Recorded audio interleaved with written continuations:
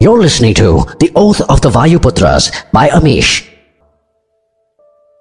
To the late Dr. Manoj Vyas, my father-in-law. Great men never die. They live on in the hearts of their followers. Har Har Mahadev. All of us are Mahadevs. All of us are gods. For his most magnificent temple, finest mosque, and greatest church exist within our souls.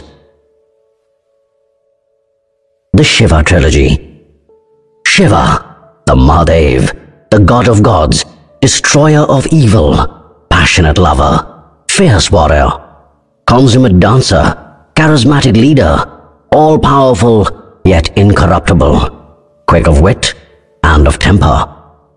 No foreigner who came to India, be he conqueror, merchant, scholar, ruler, traveler, believed that such a great man could ever have existed in reality. They assumed he must have been a mythical god, a fantasy conjured within the realms of human imagination. And over time, sadly, this belief became our received wisdom. But what if we are wrong? What if Lord Shiva was not simply a figment of a rich imagination, but a person of flesh and blood like you and me? A man who rose to become godlike as the result of his karma. That is the premise of the Shiva trilogy, which attempts to interpret the rich mythological heritage of ancient India, blending fiction with historical fact. The Immortals of Meluha was the first book in a trilogy that chronicles the journey of this extraordinary hero. The story was continued in the second book, The Secret of the Nagas, and it will all end in the book that you are holding, The Oath of the Vayuputras. This is a fictional series that is a tribute to my God. I found him after spending many years in the wilderness of atheism. I hope you will find your God as well. It doesn't matter in what form we find him, so long as we do find him eventually. Whether he comes to us as Shiva, or Vishnu, or Shakti Ma, or Allah, or Jesus Christ, or Buddha, or any other of his myriad forms, he wants to help us. Let us allow him to do so. Yadyat karma karomi tatadhakalam shambho tavardharam. My Lord Shambho, my Lord Shiva, every act of mine is a prayer in your honor. Acknowledgements. I hadn't imagined I would ever become an author. The life that I live now, a life spent in pursuits like writing, praying, reading, debating, and traveling, actually feels surreal at times. There are many who have made this dream possible, and I'd like to thank them. My Lord Shiva, my God, for bringing me back to a spiritual life. It is the biggest high possible. Neil, my son, a rejuvenating elixir, who would regularly come and ask me while I was obsessively writing this book. Dad, aapka ho gaya kya? Preeti, my wife, Bhavna, my sister, Himanshu, my brother-in-law, Anish and Ashish, my brothers, Donetta, my sister-in-law. They have worked so closely with me that many times I feel that it isn't just my book, but a joint project, which just happens to have my name on it. The rest of my family, Usha, Vinay, Meeta, Sharnaz, Smita, Anuj and Ruta, for always being there for me. Sharvani Pandit, my editor, she has battled severe health troubles without asking for any sympathy. And despite the trying times she went through, she helped me fulfill my karma. I am lucky to have her. Rashmi Pusalkar, the designer of this book's cover. She's been a partner from the first book. In my humble opinion, she's one of the best book cover designers in Indian publishing. Gautam Padmanabhan, Satish Sundaram, Anushri Banerjee, Paul Vinay Kumar, Vipin Vijay, Renuka Chatterjee, Deepthi Talwar, Krishna Kumar Nair, and the fantastic team at Westland, my publishers. They have shown commitment and understanding that very few publishers show towards their authors. Anuj Bahri, my agent, a typical large-hearted, boisterous Punjabi, a man brought to me by fate to help me achieve my dreams. Sangram Surve, Shalini Iyer, and the team at Think Why Not, the advertising and digital marketing agency for the book. I have worked with many advertising agencies in my career, including some of the biggest multinationals. Think Why Not ranks right up there amongst the best. Chandan Kauli, the photographer for the cover. He did a brilliant job as always. Also, Atul Pargaonkar for fabricating the bow and arrow. Vinay Salonke for the makeup. Ketan Karande, the model. Jafet Batista for the concept art for the background. The Little Red Zombies team and Xing Lei Chua for support on 3D elements and scene setup. Sagar Pusalkar and team for the post-processing work on the images. Julian Dubois for coordinating production. I hope you like the cover they have created. I loved it. Omendu Prakash, Biju Gopal and Swapnil Patil for my photograph that has been printed in this book. Their composition was exceptional. The model, regrettably, left a lot to be desired. Chandramauli Upadhyay, Shakuntala Upadhyay, and Ved Sri Upadhyay from Benares. Santanu Ghoshroy and Sweta Basu Ghoshroy from Singapore for their hospitality while I wrote this book. Mohan Vijayan, a friend whose advice on media matters is something I always treasure. Rajesh Lalwani and the Blogworks team, a digital agency which works with my publisher for their strong support in an area I don't understand too well. Anuja Chaudhary and the WizSpeak team, the PR agency of my publisher for the effective campaigns they've implemented. Dr. Ramiyar Karanjia for his immense help in understanding the philosophies of Zoroastrianism. Purnima, an old friend, for her impeccable legal advice. Caleb, a new friend, for working with me on my film deals. And last, but certainly not least, you, the reader. Thank you from the depths of my being for the support you've given to the first two books of the Shiva trilogy. I hope I can give you a sense of completion with this concluding book.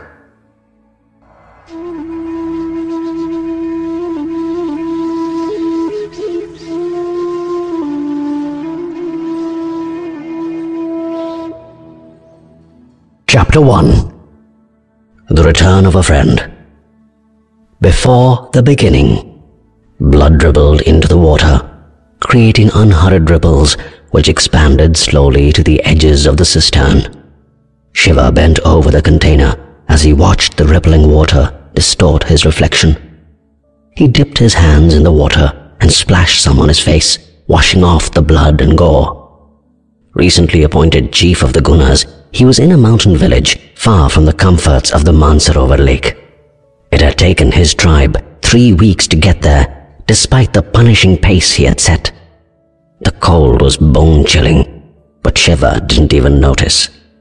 Not because of the heat that emanated from the Pakriti huts that were being gutted by gigantic flames, but because of the fire that burned within.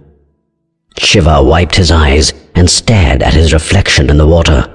Raw fury gripped him. Yakhya, the Pakriti chieftain, had escaped. Shiva controlled his breathing, still recovering from the exhaustion of combat.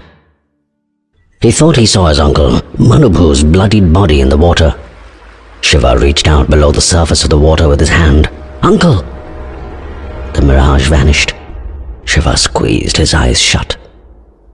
The macabre moment when he had found his uncle's body replayed in his mind.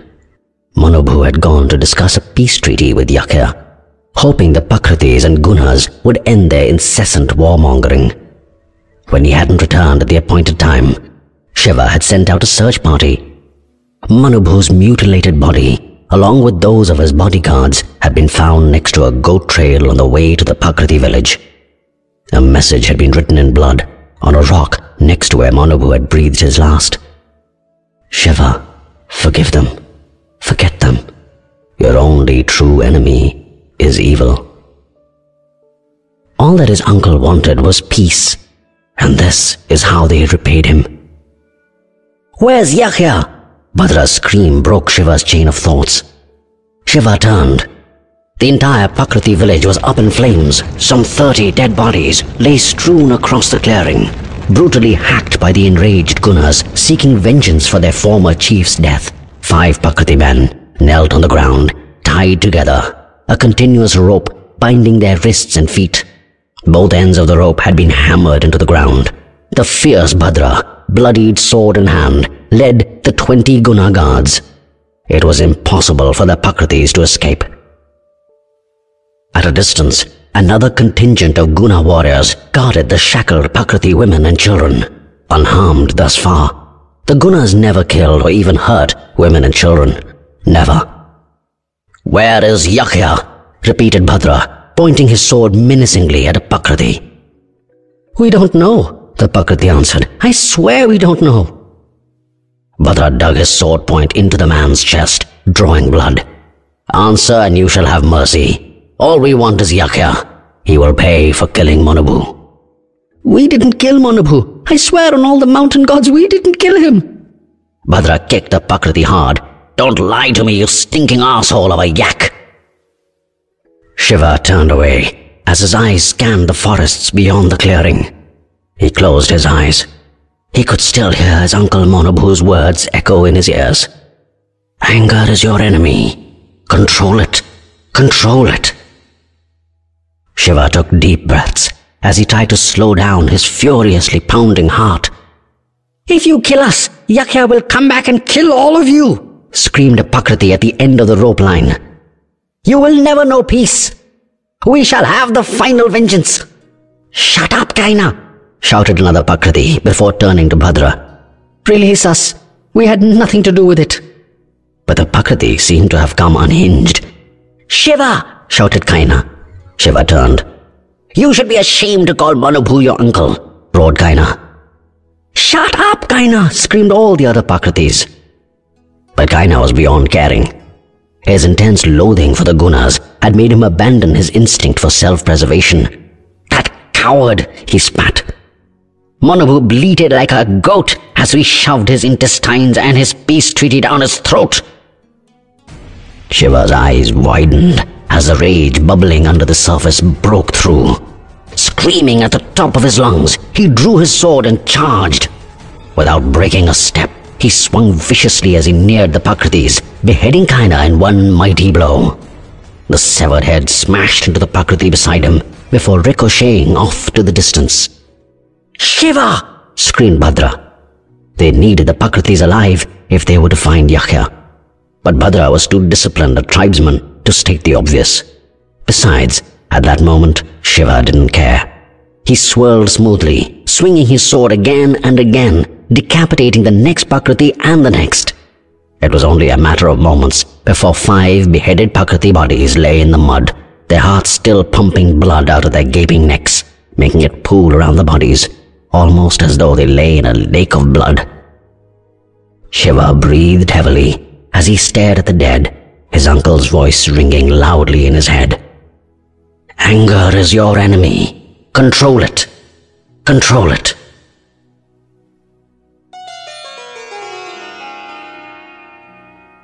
I have been waiting for you, my friend, said the teacher. He was smiling, his eyes moist. I told you I would go anywhere for you, even to Patal Lok if it would help you. How often had Shiva replayed these words, uttered by the man who stood before him? But he had never fully understood the reference to the land of the demons. Now it all fell into place. The beard had been shaved, replaced by a pencil-thin mustache.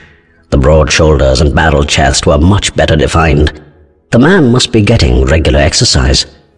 The Janeyu, the holy thread of Brahmin identity, was loosely slung over newly developed muscles.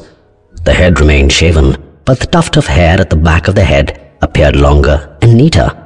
The deep-set eyes had the same serenity that had drawn Shiva to him earlier. It was his long-lost friend, his comrade in arms, his brother. Brahaspati. It took you a very long time to find me. Brahaspati stepped close and embraced Shiva. I've been waiting for you. Shiva hesitated for a moment before joyously embracing Brahaspati, allowing his emotions to take over. But no sooner had he regained his composure than doubts started creeping into his mind.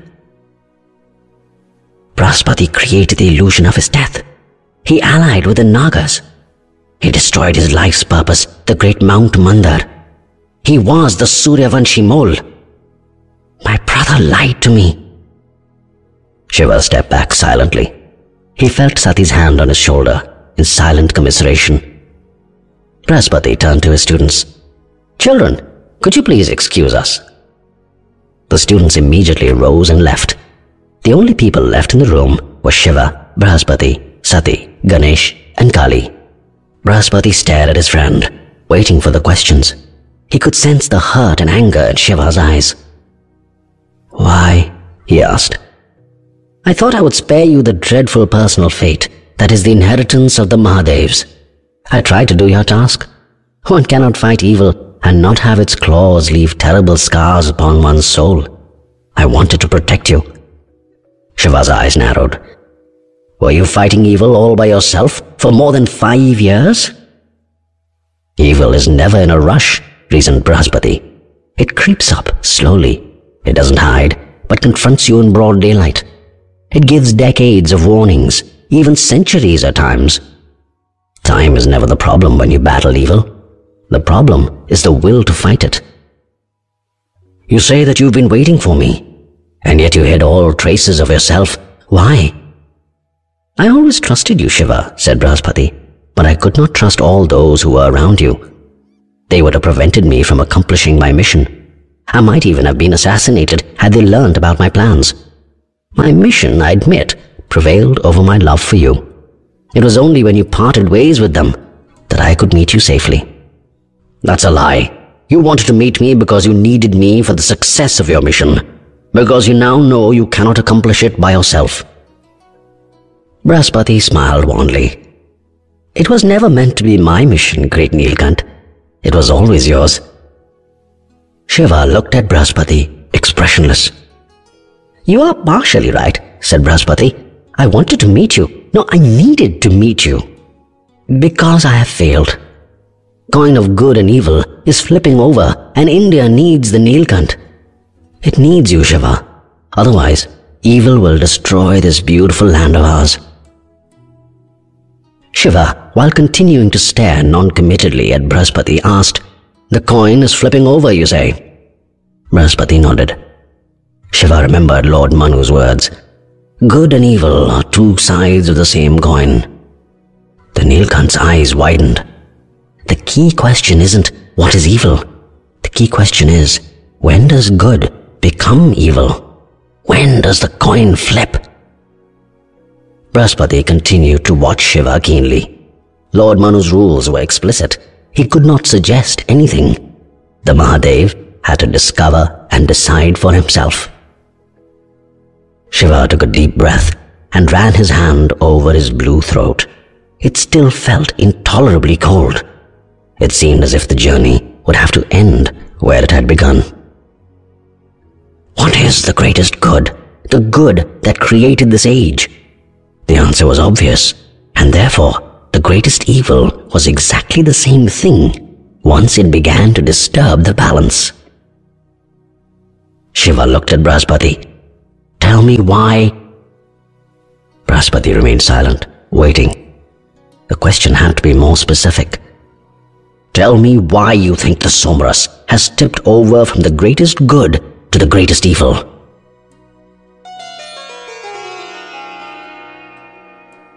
Bits and pieces of the wreckage had been dutifully brought by the soldiers for examination by Parvateshwar and Bhagirath, who squatted at a distance.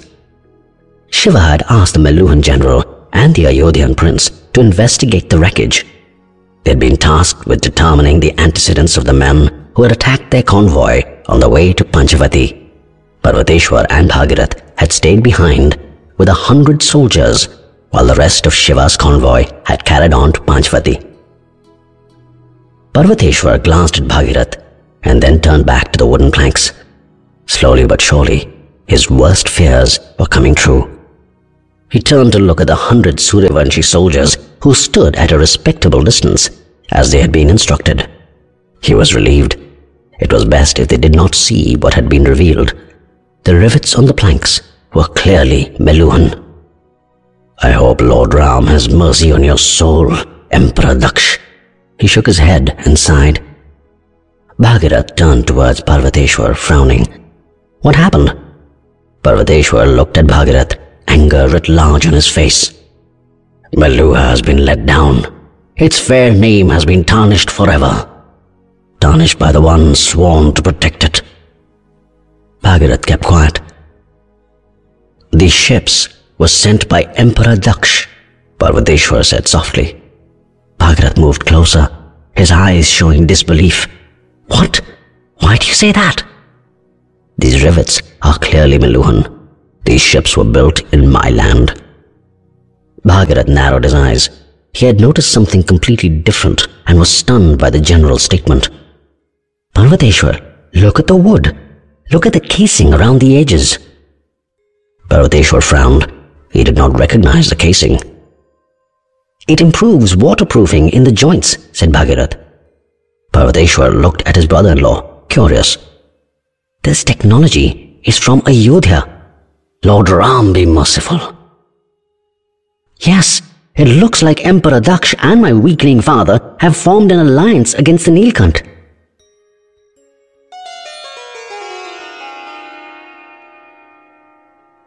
Bhrigu, Daksh and Dilipa were in the Meluhan Emperor's private chambers in Devagiri. Dilipa and Bhrigu had arrived the previous day. Do you think they have succeeded in their mission, my lord? asked Dilipa. Daksha seemed remote and disinterested. He felt the intense pain of separation from his beloved daughter Sati. The terrible event at Kashi more than a year ago still haunted him. He'd lost his child, and with it, all the love he ever felt in his heart. A few months ago, Bhrigu had hatched a plan to assassinate the Nilkant along with his entire convoy en route to Panchavati. They had sent five ships up the Godavari River to first attack Shiva's convoy and then move on to destroy Panchavati as well. There were to be no survivors who would bear witness to what actually took place. Attacking an unprepared enemy was not unethical. In one fell swoop, all those inimical to them would be destroyed. But it was possible only if Daksh and Dilipa joined hands as they together had the means as well as the technology. The people of India would be told that the ghastly Nagas had lured the simple and trusting Nilkant to their city and assassinated him. Knowing the significance of simplicity in propaganda, Bhrigu had come up with a new title for Shiva, Bholenath, the simple one, the one who is easily misled. Laying the blame on the treachery of the Nagas and the simplicity of the Nilkant would mean that Daksh and Dilipa would be spared the backlash and the hatred for the Nagas would be strengthened manifold. Bhrigu glanced at Daksh briefly and then turned his attention back to Dilipa. The Saptrishi Uttaradhikari seemed to place his trust in Dilipa more than the Meluhan now. They should have succeeded. We'll soon receive reports from the commander. Dilipa's face twitched. He took a deep breath to calm his nerves. I hope it is never revealed that we did this. The wrath of my people would be terrible. Killing the Nilkant with this subterfuge. Bhrigu interrupted Dilipa, his voice calm. He was not the Nilkant. He was an impostor. The Vayuputra Council did not create him. It did not even recognize him. Dilipa frowned. He had always heard rumors, but had never really been sure as to whether the Vayuputras the legendary tribe left behind by the previous Mahadev, Lord Rudra, actually existed. Then how did his throat turn blue? asked Dilipa. Bhrigu looked at Daksh and shook his head in exasperation. I don't know. It is a mystery. I knew the Vayuputra Council had obviously not created a Nilkant, for they are still debating whether evil has arisen. Therefore, I did not object to the Emperor of Meluha persisting with his search for the Nilkant. I knew there was no possibility of a Nilkant actually being discovered. Dilipa looked stunned. Imagine my surprise when this endeavor actually led them to an apparent Nilkant.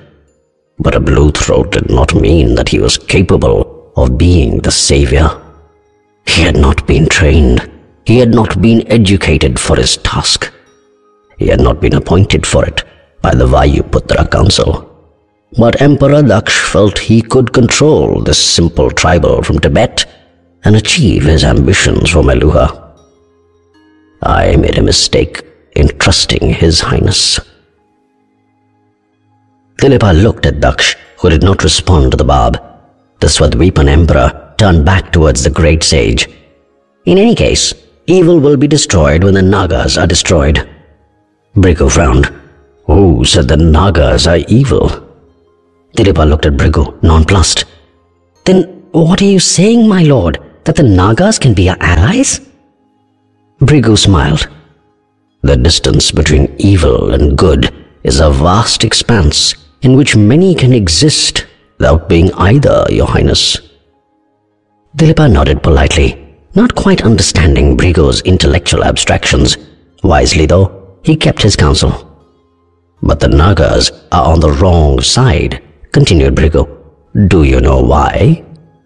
Dilipa shook his head, thoroughly confused. Because they are against the great good. They are against the finest invention of Lord Brahma, the one that is the source of our country's greatness. This invention must be protected at all costs. Dilipa nodded in affirmation. Once again, he didn't understand Bhrigu's words, but he knew better than to argue with the formidable Maharishi. He needed the medicines that Bhrigu provided. They kept him healthy and alive. We will continue to fight for India, said Bhrigu. I will not let anyone destroy the good that is at the heart of our land's greatness.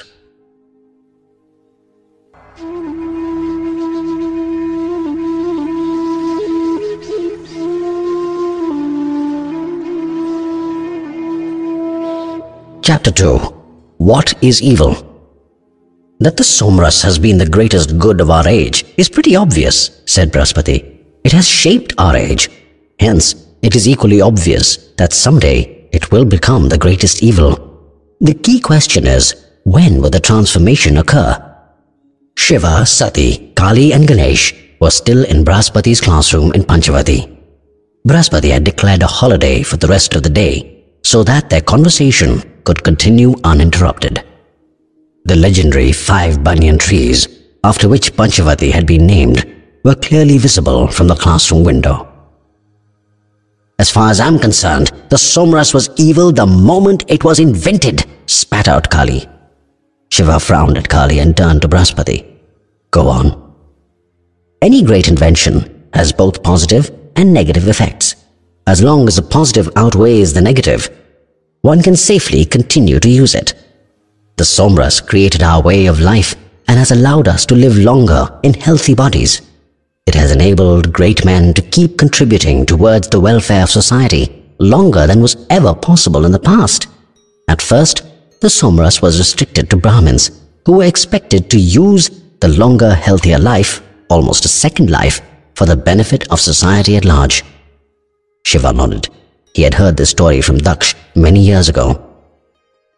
Later, Lord Ram decreed that the benefits of the Somras should be available to all. Why should Brahmins have special privileges? Thereafter, the Somras was administered to the entire populace, resulting in huge progress in society as a whole. I know all about this, said Shiva. But when did the negative effects start becoming obvious? The first sign was the Nagas, said Brahaspati. There have always been Nagas in India, but they were usually Brahmins. For example, Ravan, Lord Ram's greatest foe, was a Naga and a Brahmin. Ravan was a Brahmin? asked a shocked Sati. Yes, he was, answered Kali, for every Naga knew his story. The son of a great sage, Vishrava, he was a benevolent ruler, a brilliant scholar, a fierce warrior and a staunch devotee of Lord Rudra.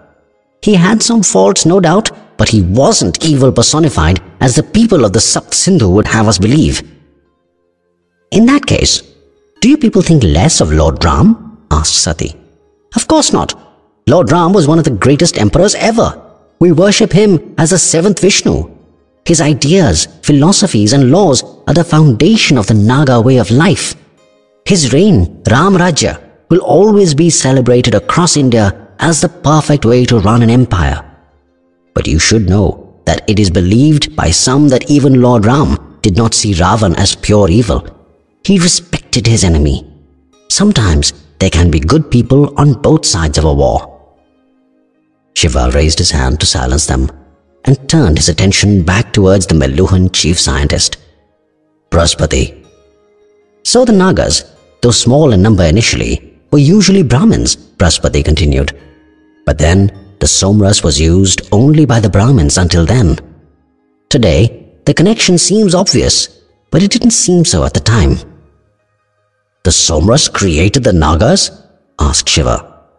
Yes, this was discovered only a few centuries ago by the Nagas. I learnt it from them. We didn't discover it, said Kali. The Vayuputra Council told us. The Vayuputra Council? asked Shiva. Yes, continued Kali. The previous Mahadev, Lord Rudra, left behind a tribe called the Vayuputras. They live beyond the western borders in a land called Pariha, the land of the fairies. I know that, said Shiva, recalling one of his conversations with the Vasudev Pandit, but I hadn't heard of the council. Well, somebody needs to administer the tribe, and the Vayuputras are ruled by their council, which is headed by their chief, who is respected as a god. He is called Mitra. He is advised by the council of six wise people, collectively called the Amartya Shpand. The council controls the twin missions of the Vayuputras.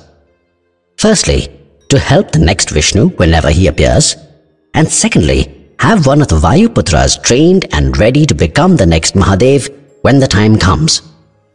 Shiva raised his eyebrows. You obviously broke that rule, Shiva, said Kali. I'm sure the Vayuputra Council must have been quite shocked when you appeared out of the blue, because quite clearly they did not create you. You mean this is a controlled process? I don't know, said Kali, but your friends will know a lot more. The Vasudevs? Yes. Shiva frowned, reached for Sati's hand, and then asked Kali, So, how did you find out about the Somras creating the Nagas? Did the Vayuputras approach you? Or did you find them? I did not find them. The Naga king Vasuki was approached by them a few centuries ago. They suddenly appeared out of nowhere, lugging huge hoards of gold, and offered to pay us an annual compensation.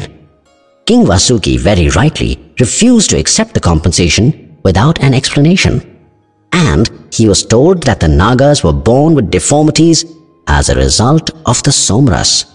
The Somras randomly has this impact on a few babies when in the womb if the parents have been consuming it for a long period. Not all babies. A vast majority of babies are born without deformities. But a few unfortunate ones, like me, are born Naga. Why? I call it dumb luck, said Kali. But King Vasuki believed that the deformities caused by the Somras were the Almighty's way of punishing those souls who had committed sins in their previous births. Therefore, he accepted the pathetic explanation of the Vayuputra Council along with their compensation. Mausi rejected the terms of the agreement with the Vayuputras the moment she ascended the throne, said Ganesh, referring to his aunt Kali. Why? I'm sure the gold could have been put to good use by your people, exclaimed Shiva. Kali laughed coldly. That gold was a mere palliative. Not for us, but for the Vayuputras. Its only purpose was to make them feel less guilty for the carnage being wrought upon us by the great invention that they protected. Shiva nodded, understanding her anger. He turned to Brahaspati. But how exactly is a Somras responsible for this? Brahaspati explained. We used to believe that the Somras blessed one with a long life by removing poisonous oxidants from one's body. But that is not the only way it works. Shiva and Sati leaned closer. It also operates at a more fundamental level. Our body is made up of millions of tiny living units called cells. These are the building blocks of life. Yes, I've heard of this from one of your scientists in Meluha, said Shiva. Then you'd know that these cells are the tiniest living beings. They combine to form organs, limbs, and in fact, the entire body. Right. These cells have the ability to divide and grow, and each division is like a fresh birth. One old unhealthy cell magically transforms into two new healthy cells. As long as they keep dividing, they remain healthy. So your journey begins in your mother's womb as a single cell. That cell keeps dividing and growing till it eventually forms your entire body. Yes, said Sati, who had learnt all of this in the Meluha Gurukul. Obviously, said Brahaspati, this division and growth has to end sometime, otherwise one's body would keep growing continuously with pretty disastrous consequences. So the Almighty put a limit on the number of times a cell can divide. After that, the cell simply stops dividing further and thus, in effect, becomes old and unhealthy. And do these old cells make one's body age and thus eventually die? asked Shiva. Yes, every cell reaches its limit on the number of divisions at some point or the other. As more and more cells in the body hit that limit, one grows old and finally dies. Does the Somras remove this limit on division? Yes. Therefore, your cells keep dividing while remaining healthy. In most people, this continued division is regulated. But in a few, some cells lose control over their division process and keep growing at an exponential pace. This is cancer, isn't it? asked Sati. Yes, said Brahaspati. This cancer can sometimes lead to a painful death. But there are times when these cells continue to grow and appear as deformities, like extra arms or a very long nose. How polite and scientific, said a livid Kali. But one cannot even begin to imagine the physical pain and torture that we undergo as children when these outgrowths occur. Sati stretched out and held her sister's hand. Nagas are born with small outgrowths, which don't seem like much initially, but are actually harbingers of years of torture, continued Kali. It almost feels like a demon has taken over your body and he's bursting out from within, slowly over many years, causing soul-crushing pain that becomes your constant companion. Our bodies get twisted beyond recognition, so that by adolescence, when further growth finally stops, we're stuck with what Brahaspati politely calls deformities. I call it the wages of sins that we didn't even commit. We pay for the sins others commit by consuming the somras. Shiva looked at the Naga queen with a sad smile. Kali's anger was justified. And the Nagas have suffered this for centuries? asked Shiva. Yes, said Brahaspati. As the number of people consuming the Somras grew, so did the number of Nagas. One will find that most of the Nagas are from Meluha, for that is where the Somras is used most extensively. And what is the Vayuputra Council's view on this? I'm not sure, but from whatever little I know, the Vayuputra Council apparently believes that the Somras continues to create good in most areas where it's used. The suffering of the Nagas is collateral damage and has to be tolerated for the larger good. Bullshit! snorted Kali. Shiva could appreciate Kali's rage, but he was also aware of the enormous benefits of Somras over several millennia. On balance, was it still good? He turned to Brahaspati. Are there any other reasons for believing the Somras is evil? Consider this. We Meluhans choose to believe that the Saraswati is dying because of some devious Chandravanshi conspiracy. This is not true. We are actually killing our mother river all by ourselves. We use massive amounts of Saraswati waters to manufacture the Somras. It helps stabilize the mixture during processing. It is also used to churn the crushed branches of the Sanjeevani tree. I have conducted many experiments to see if water from any other source can be used, but it just doesn't do the trick. Does it really require that much water? Yes, Shiva. When Somras was being made for just a few thousand, the amount of Saraswati water used didn't matter. But when we started mass producing Somras for 8 million people, the dynamics changed the water started getting depleted slowly by the giant manufacturing facility at Mount Mandar. The Saraswati has already stopped reaching the western sea. It now ends its journey in an inland delta, south of Rajasthan. The desertification of the land to the south of this delta is already complete. It's a matter of time before the entire river is completely destroyed. Can you imagine the impact on Meluha? On India? Saraswati is the mother of our entire Sapt Sindhu civilization, said Sati, speaking of the land of the seven rivers. Yes, even our preeminent scripture, the Rig Veda, sings paeans to the Saraswati. It's not only the cradle, but also the lifeblood of our civilization. What will happen to our future generations without this great river? The Vedic way of life itself is at risk. What we are doing is taking away the lifeblood of our future progeny so that our present generation can revel in the luxury of living for 200 years or more. Would it be so terrible if we live for only a hundred years instead? Shiva nodded. He could see the terrible side effects and the ecological destruction caused by the Somras. But he still couldn't see it as evil. An evil which left only one option, a Dharma Yudh, or a holy war to destroy it. What else? asked Shiva. The destruction of the Saraswati seems a small price to pay when compared to another, even more insidious impact of the Somras. Which is? The plague of Branga? asked a surprised Shiva. What does that have to do with the Somras? Branga had been suffering continuous plagues for many years, which had killed innumerable people, especially children. The primary relief thus far had been the medicine procured from the Nagas, or else exotic medicines extracted after killing the sacred peacock, leading to the Brangas being ostracized even in peace-loving cities like Kashi. Everything, said Brahaspati.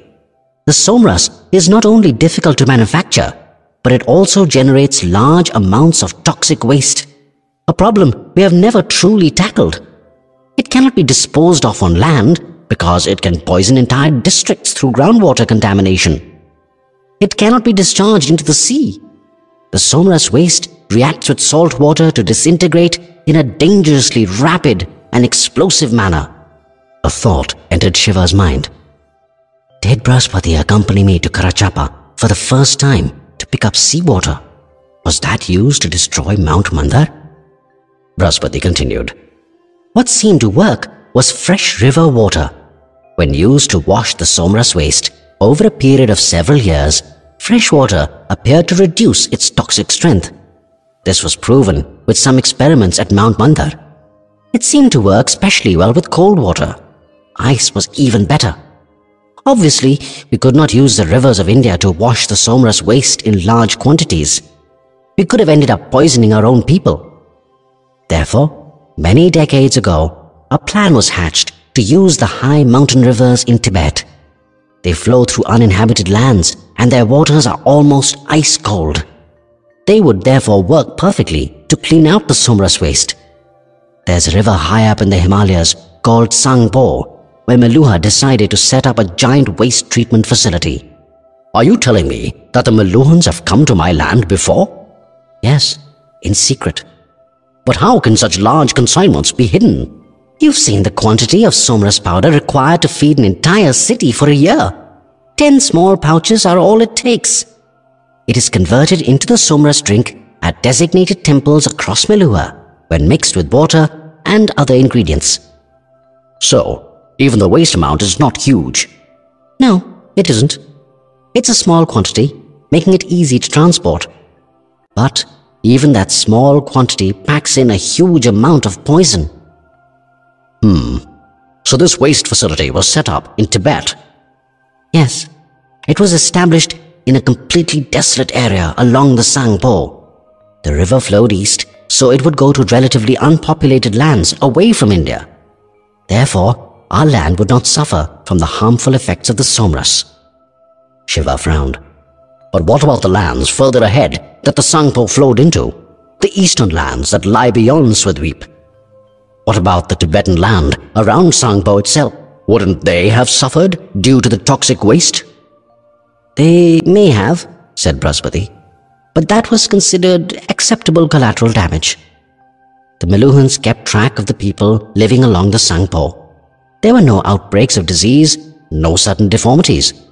The icy river waters seemed to be working at keeping the toxins inactive. The Vayuputra Council was given these reports. Apparently, the council also sent scientists into the sparsely populated lands of Burma, which is to the east of Swadweep. It was believed the Tsangpo flowed into those lands and became the main Burmese river, the Irrawaddy. Once again, there was no evidence of a sudden rise in diseases. Hence, it was concluded that we had found a way to rid ourselves of the Somras waste without harming anyone.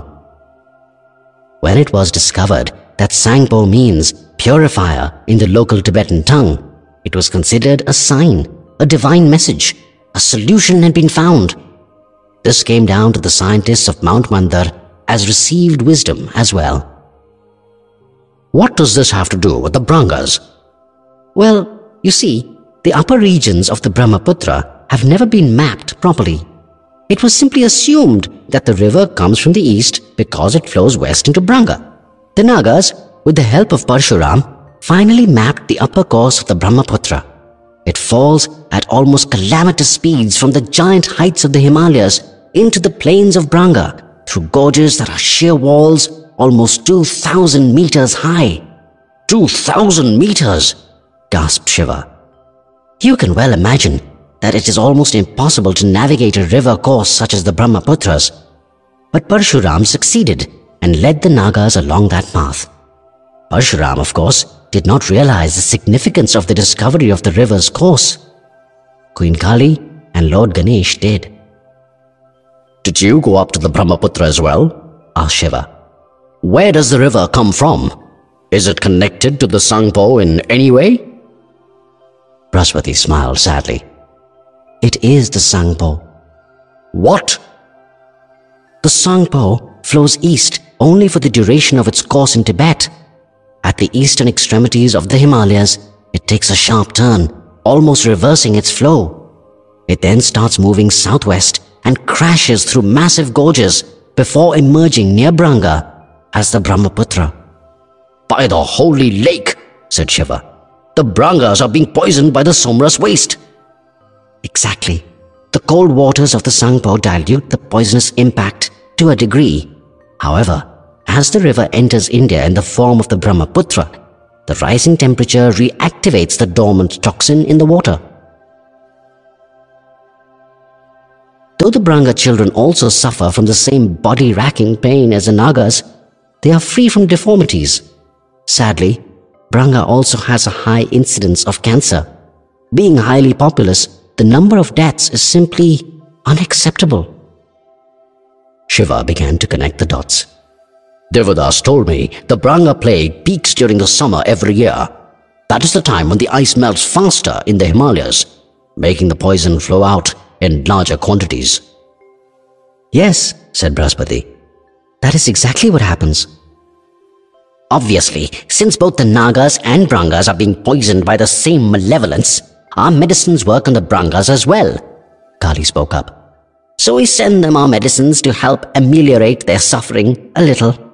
Even though we told King Chandraketu how his kingdom was being poisoned, some Brangas prefer to believe that the plague strikes every year because of a curse that the Nagas have cast upon them.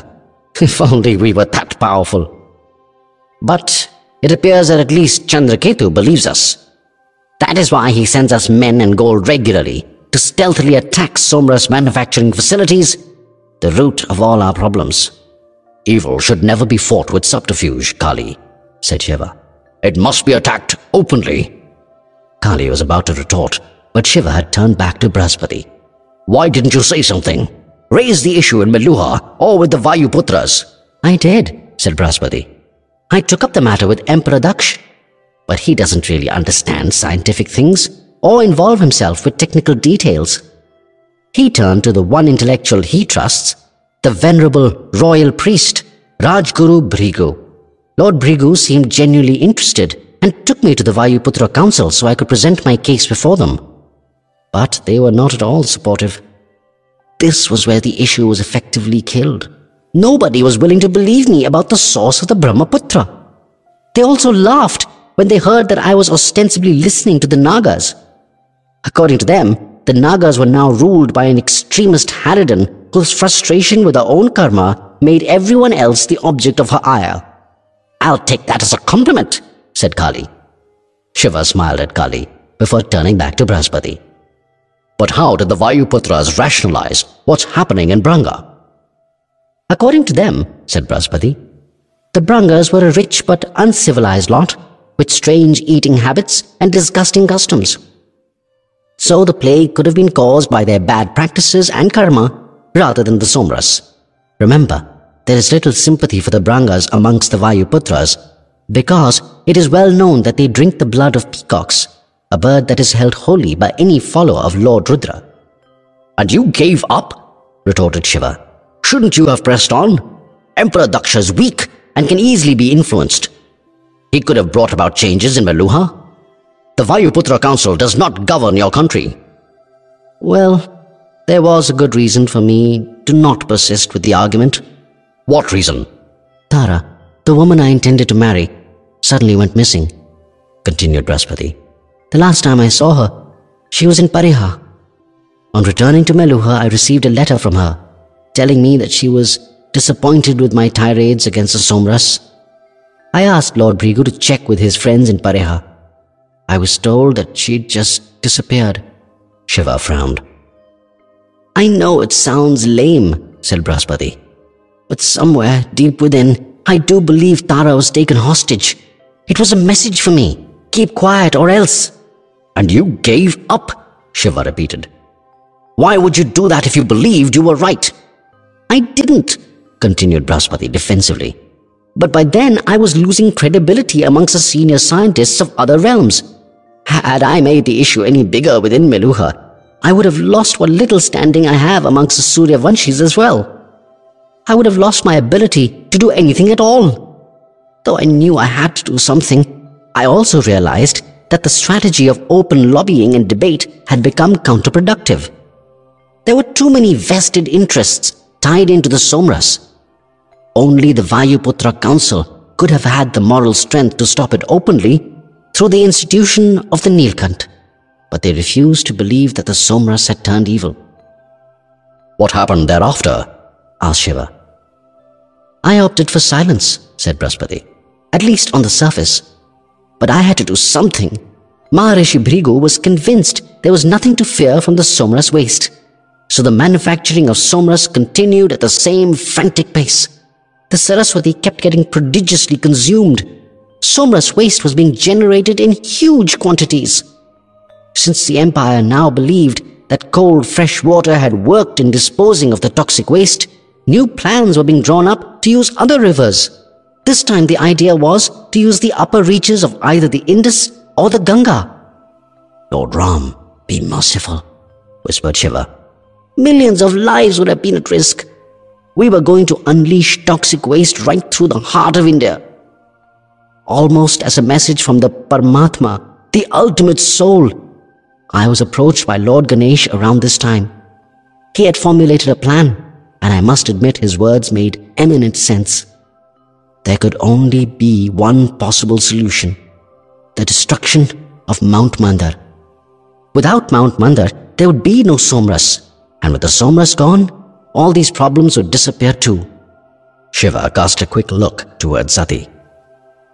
Whatever little doubts I may have had, said Brahaspati, disappeared when I was confronted with a new scenario. When it happened, I knew in my heart that it was time for the destruction of evil. What new scenario? asked Shiva. You appeared on the scene, answered Brahaspati. Even without the Vayuputra Council's permission, perhaps even without their knowledge, the Nilkant had appeared. It was a final sign for me. The time to destroy evil was upon us. Vishwadyumna quickly gave hand signals to his Branga soldiers. The hunting party went down on their knees. Karthik, who was right behind Vishwadyumna, whistled softly as his eyes lit up. Magnificent! Vishwadyumna turned towards Karthik. While most of Shiva's convoy was settling itself into the visitors' camp outside Panchavati, a few hunting parties had been sent out to gather meat for the large entourage. Karthik, having proved himself as an accomplished hunter throughout the journey to Panchavati, was the natural leader of one of the groups. Vishwadyumna had accompanied the son of the Nilkant. He intensely admired the fierce warrior skills of Karthik. It's a rhinoceros, my lord, said Vishwadyumna softly. The rhinoceros was a massive animal, nearly four meters in length. It had bumpy brownish skin that hung over its body in multiple layers, suggestive of tough armor. Its most distinctive feature was its nasal horn, which stuck out like a fearsome offensive weapon to a height of nearly 50 centimeters.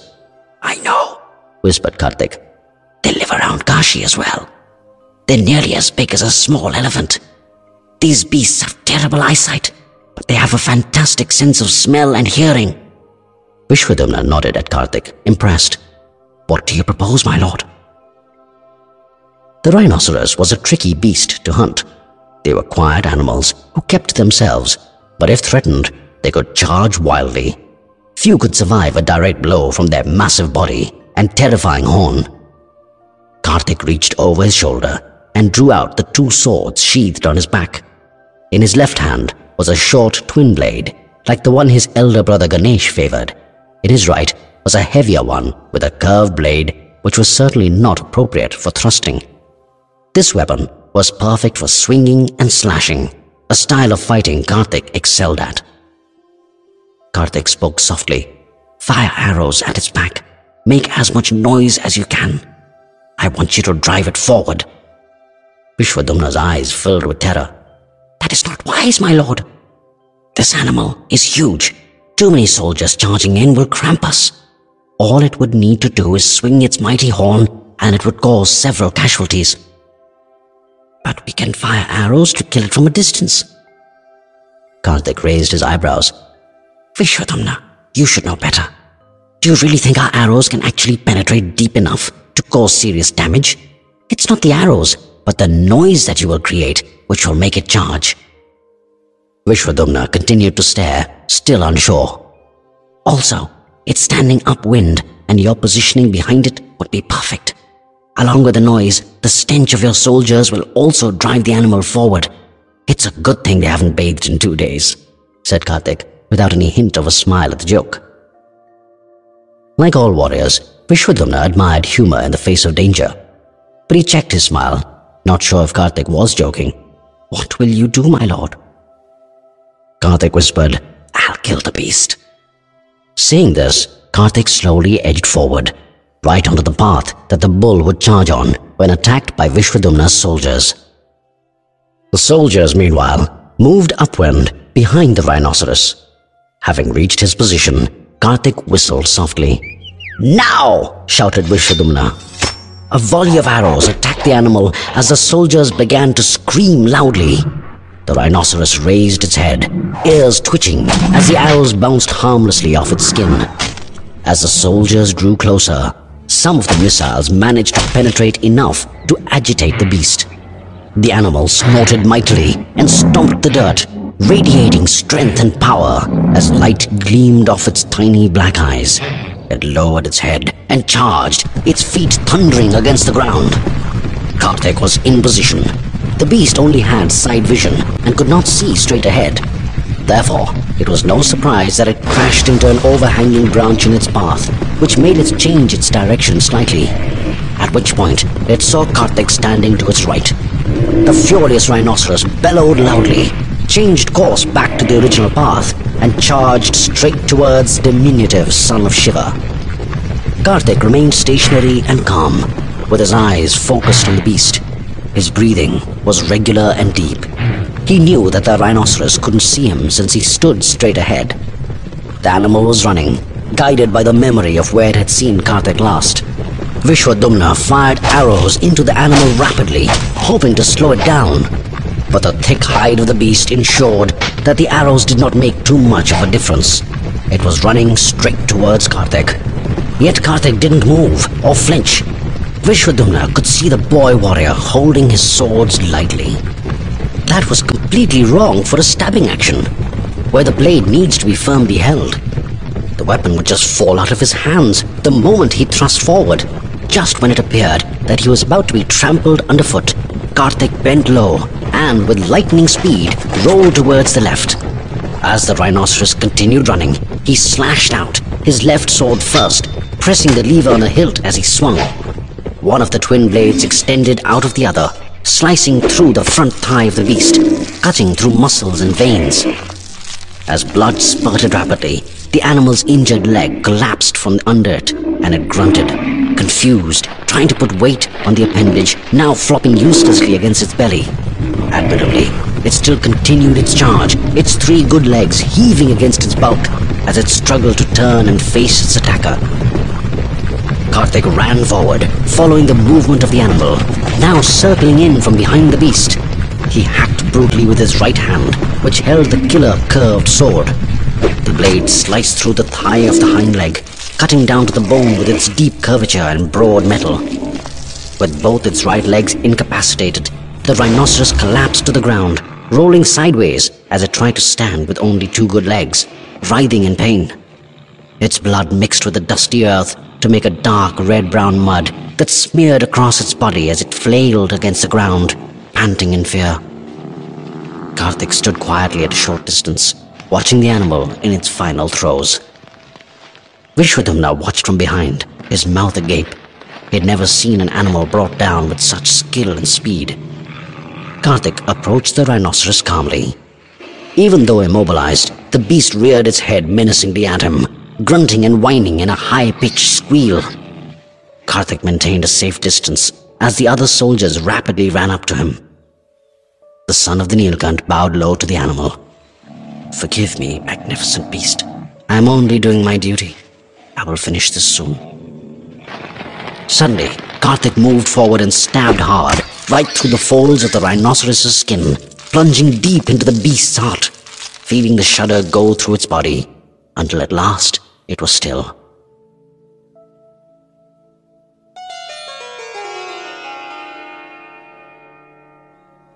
My lord, a bird courier has just arrived with a message for your eyes only, said Kanakhala, the Meluhan Prime Minister.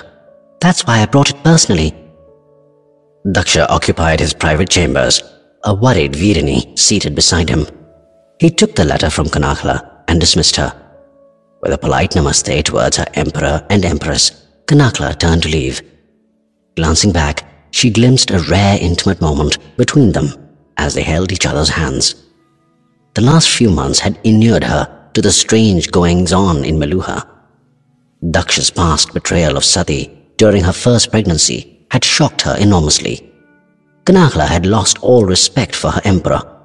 She continued with her job because she remained loyal to Meluha.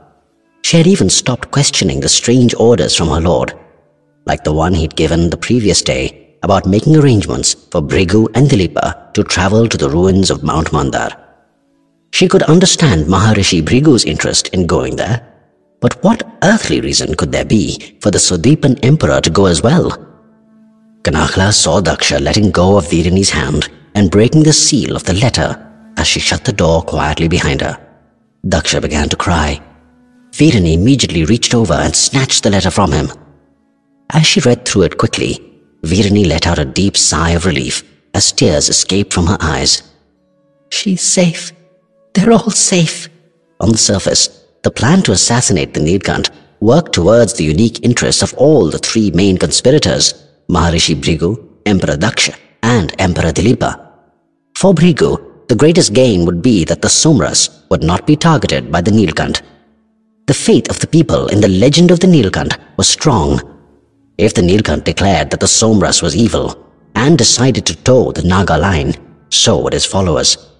For Dilipa, it meant the killing of two birds with a single stone. Not only would he continue to receive the elixir from Bhrigu, but he'd also do away with Bhagirath, his heir and greatest threat. Daksha would be rid of the troublesome Nilkant and be able to blame all ills on the Nagas once again.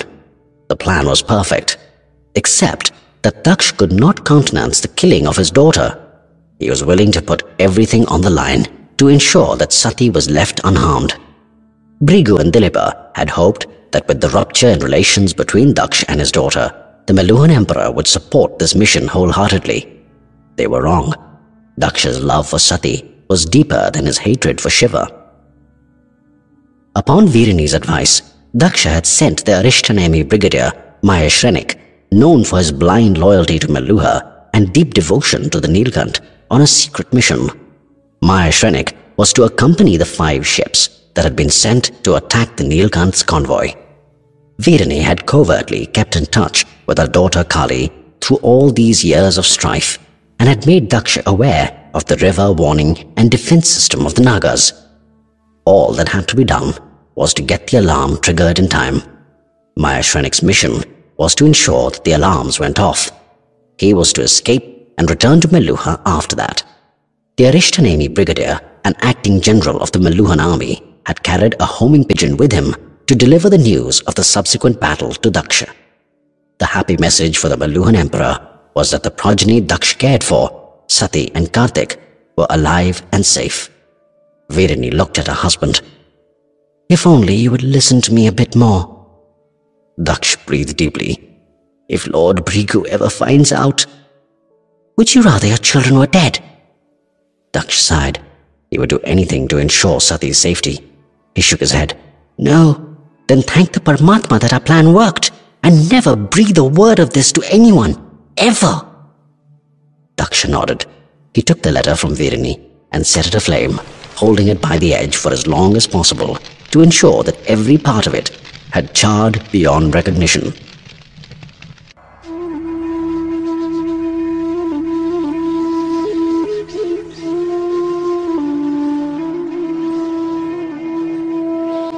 Chapter 3 The Kings Have Chosen Do you believe Brahaspati? asked Shiva. Night had fallen on the Panchavati guest colony just outside the main city. Injured and fatigued, Shiva's entourage had retired to their quarters for a well-deserved rest. Sati and Shiva were in their chambers, having just returned from the city. They had not spoken to a soul about what they'd learned at the Panchavati school. They had not even told the Suryavanshis that Brahaspati, their beloved chief scientist, was still alive. They were to meet him again the next day. Well, I don't think Brahaspati ji is lying, said Sati. I do remember that more than two decades ago, Lord Bhrigu had spent many months in Devagiri, which was highly unusual for the Rajguru. He's a rare sight in Meluha, since he usually chooses to spend his time meditating in his Himalayan cave. Aren't Rajgurus supposed to stay in the royal palace and guide the kings? Not someone like Lord Bhrigu. He helped my father get elected as emperor because he believed my father would be good for Meluha. Beyond that, Lord Bhrigu has had no interest in the day-to-day governance of Meluha. He is a simple man, rarely seen in the so-called powerful circles. So, he spent a lot of time in Devagiri. That may have been unusual, but what about the other things that Brahaspati said? Well, Lord Bhrigu, my father and Brahaspati ji were indeed away for many months. It had been announced as an important trade trip. But I can't imagine Lord Bhrigu or Brahaspati ji being interested in trade. Perhaps they were in Pariha at the time. And yes, the talented and lovely Taraji, who worked at Mount Mandar and had been sent to Pariha for a project, did disappear suddenly. It was announced that she had taken sannyas. Renouncing public life is very common in Meluha. But what Brahaspati ji revealed today was something else altogether. So, you believe Brahaspati speaks the truth? All I'm saying is that Brahaspati ji may believe this to be the truth. But is it actually so, or is he mistaken? This decision of yours can change the course of history. What you do now will have repercussions for generations to come. It's a momentous occasion, a big battle. You have to be completely sure. I must speak with the Vasudevs. You must. But that is not all you wanted to say to me, is it? I think there is another aspect to be considered. What made Brahaspatiji disappear for over five years? What was he doing in Panchavati all this while? I feel this is an important question, perhaps linked to the backup manufacturing facility for the Somras that father had told me about.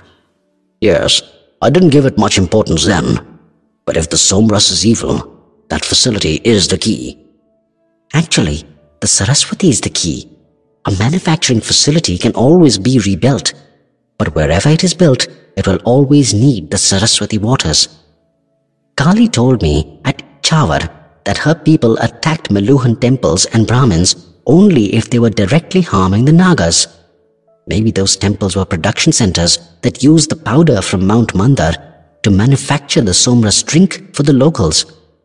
She also said that a final solution would emerge from the Saraswati that the Nagas were working on it. I don't know what that cryptic statement meant. We need to find out. You did not tell me about your conversation with Kali. Shiva, this is the first honest conversation we are having about Kali and Ganesh since you met my son at Kashi. Shiva became quiet. I'm not blaming you, continued Sati. I understood your anger.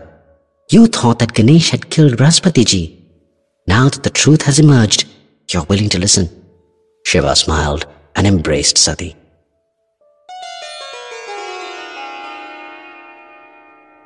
Are you sure? asked Sati. It was late the next morning, four hours into the second prahar. Shiva sat with Sati at his side in his private chambers. Parvateshwar and Bhagirath stood in front, holding a plank. The Meluhan general and the Ayodhyan prince had just returned after surveying the destroyed battleships. Yes, my lord, the evidence is indisputable, said Bhagirath. Show me. Bhagirath stepped forward.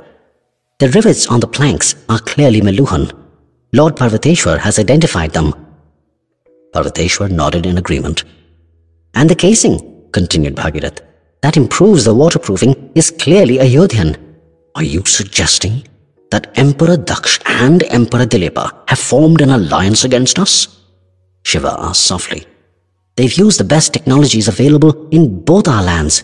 These ships have navigated through a lot of seawater. Judging by the mollusks on them, they needed the best to be able to make the journey quickly. Shiva breathed deeply, lost in thought. My lord, said Bhagirath, for all his faults, I cannot imagine my father would be capable of leading a conspiracy such as this. He simply does not have the capability. He's just a follower in this plot. You have to target him, of course, but don't make the mistake of thinking that he is the main conspirator. He's not. Sati leaned towards Shiva. Do you think my father can do this? Shiva shook his head. No. Emperor Daksh, too, is incapable of leading this conspiracy. Parvateshwar, still shamefaced at the dishonor brought upon his empire, said quietly, The Meluhan Code enjoins upon us to follow the rules, my lord. Our rules bid us to carry out our king's orders. In the hands of a lesser king, this can lead to a lot of wrong. Emperor Daksh may have issued the orders, Parvateshwar, said Shiva. But he didn't dream them up. There is a master who has brought the royalty of Meluha and Swadweep together. Someone who also managed to procure the feared Devi Astras. Heaven alone knows if he has any more divine weapons. It was a brilliant plan. By Lord Ram's grace, we were saved by the skin of our teeth. It cannot be Emperor Daksh or Emperor Dilipa. This is someone of far greater importance, intelligence, and resource, and one who is clever enough to conceal his identity. Return to Meluha? asked Veerbhadra. Veerbhadra and Kritika were in Shiva's private chambers. Kali and Sati were also present. Yes, Bhadra, said Shiva. It was the Meluhans and the Ayodhyans who attacked us, together. Are you sure Meluha is involved? asked Veerbhadra. Parvateshwar himself has confirmed it. And now you are worried about our people? Yes, said Shiva. I'm worried the Gunas will be arrested and held hostage as leverage over us. Before they do so, I want you to slip into Meluha quietly and take our people to Kashi. I will meet you there.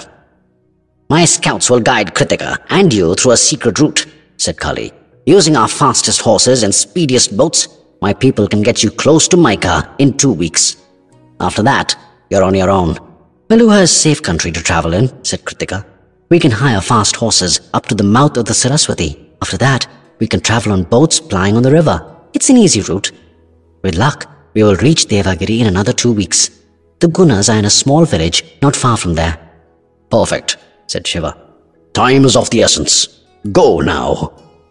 Yes, Shiva, said Veerbhadra as he turned to leave with his wife. And Bhadra, said Shiva. Veerbhadra and Kritika turned around. Don't try to be brave, said Shiva. If the Gunas have been arrested already, leave Meluha quickly and wait for me at Kashi. Veerbhadra's mother was with the Gunas. Shiva knew Veerbhadra would not abandon her to her fate so easily. Shiva, whispered Veerbhadra. Shiva got up and held Veerbhadra's shoulders. Bhadra, promise me. Veerbhadra remained quiet.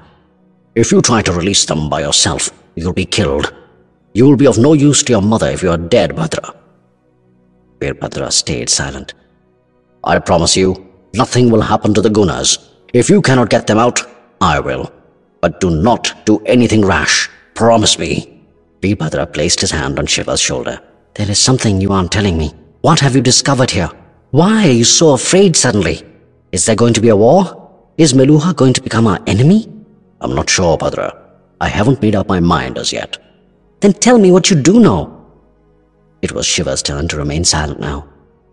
I'm going back to Meluha, Shiva.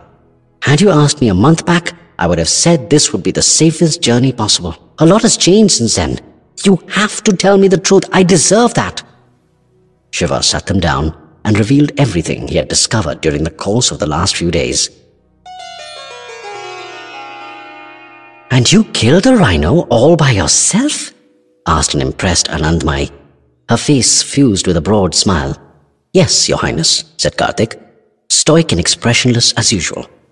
Anandmai, Ayurvati and Karthik were settled comfortably on soft cushions in the dining room. Kshatriya in word and deed, Anandmai and Karthik partook of the delicious rhinoceros meat. The Brahmin Ayurvati restricted herself to roti, dal and vegetables. Have you decided to stop smiling altogether? asked Anandamai. Or is this just temporary? Karthik looked up at Anandamai, a hint of a smile on his face. Smiling takes more effort than it's worth, Your Highness. Ayurvati shook her head. You're just a child, Karthik. Don't trouble yourself so much. You need to enjoy your childhood. Karthik turned to the Meluhan chief physician. My brother Ganesh is a great man, Ayurvati ji. He has so much to contribute to society, to the country. And yet, he was almost eaten alive by dumb beasts because he was trying to save me. Ayurvati reached across and patted Karthik. I will never be so helpless again, swore Karthik. I will not be the cause of my family's misery. The door swung open. Parvateshwar and Bhagirath walked in. Just by looking at them, Anandamai could tell that they had discovered what she feared. Was it Meluha? Ayurvati winced. She could not imagine her great country's name being dragged into a vile conspiracy like the attack on the Nilkant's convoy at the outskirts of Panchavati. And yet, after what she had discovered of Emperor Daksha's perfidy during Sati's pregnancy at Maika, she would not be surprised if Meluhan ships had carried out this dastardly act. It's worse, sighed Bhagirath as he sat down. Parvateshwar sat next to Anandamai and held her hand. He looked at Ayurvati, his pained expression bearing witness to his stark misery. The general prized his country, his Meluha, as Lord Ram's ultimate legacy. It was the custodian of Ram Rajya. How could this great country's emperor have committed such a dastardly act such as this? Even worse? prompted Anandamai. Yes, it seems Swadweep is in on the conspiracy as well. Anandamai was stunned. What? It's either only Ayodhya or all of Swadweep. I cannot be sure if other kingdoms of Swadweep are following Ayodhya's lead. But Ayodhya is certainly involved. Anandamai looked at Parvateshwar. He nodded, confirming Bhagirath's words. Lord Rudra be merciful, said Anandamai.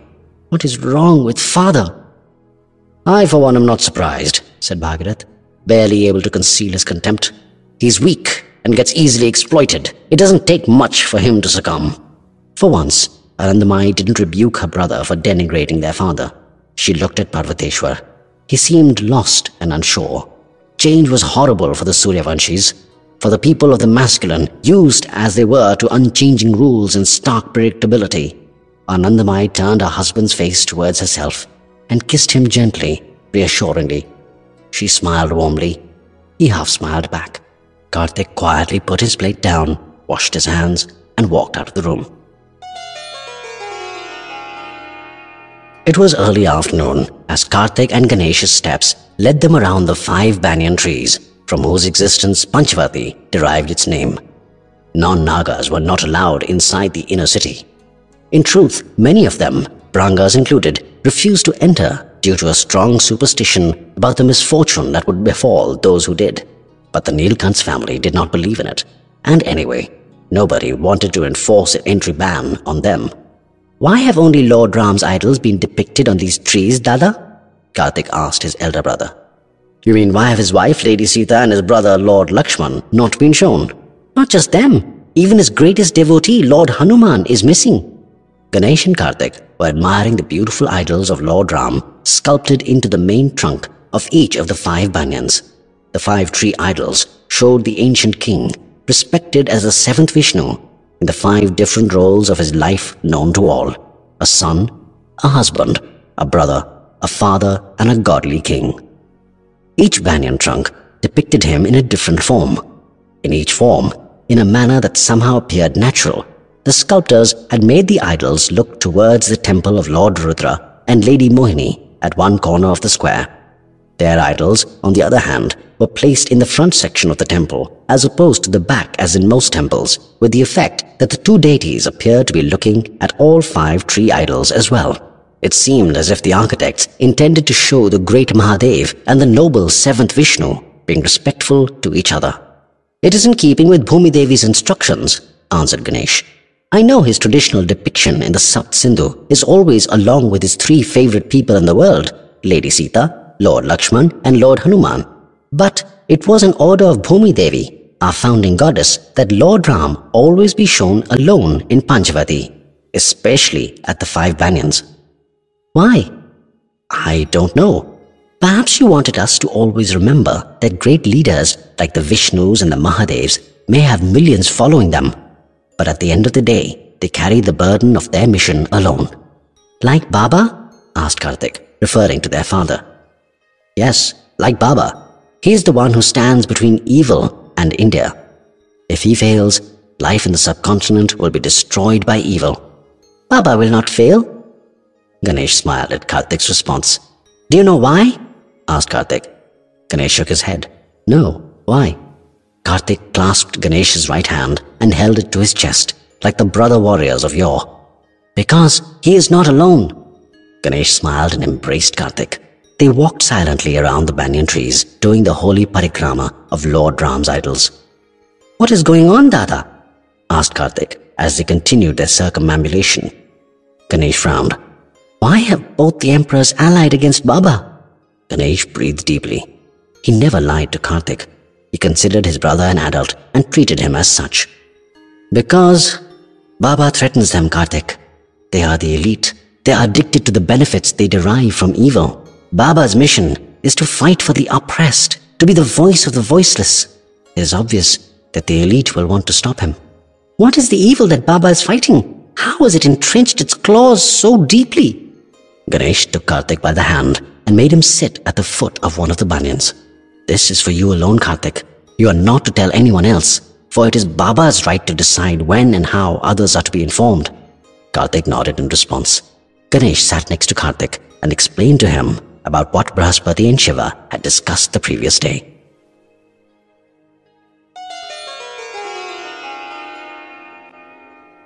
What have you been doing these past five years, Brahaspati? asked Shiva. Sati and Shiva had joined the chief scientist to the Naga Queen's chambers. Brahaspati felt like he was being interrogated, but he could understand Shiva's need to get to the bottom of the issue. I was trying to find a permanent solution to the Somras problem, answered Brahaspati. Permanent solution? Destroying Mount Mandar is a temporary solution. We know it will get rebuilt. The Nagas tell me the reconstruction has been surprisingly slow. It shouldn't have taken five years, not with Meluhan efficiency. But it's only a matter of time before it gets rebuilt. Shiva looked at Sati, but she didn't say anything. Once Mandar is back to full manufacturing capacity, the destruction of the Saraswati and the production of the toxic waste will begin in large measure once again. So we have to find a permanent solution. The best way to do that is to examine the somras's ingredients. If we can somehow control that, we could possibly control the poisonous impact of the somras waste. Many ingredients can be easily replaced, but two of them cannot.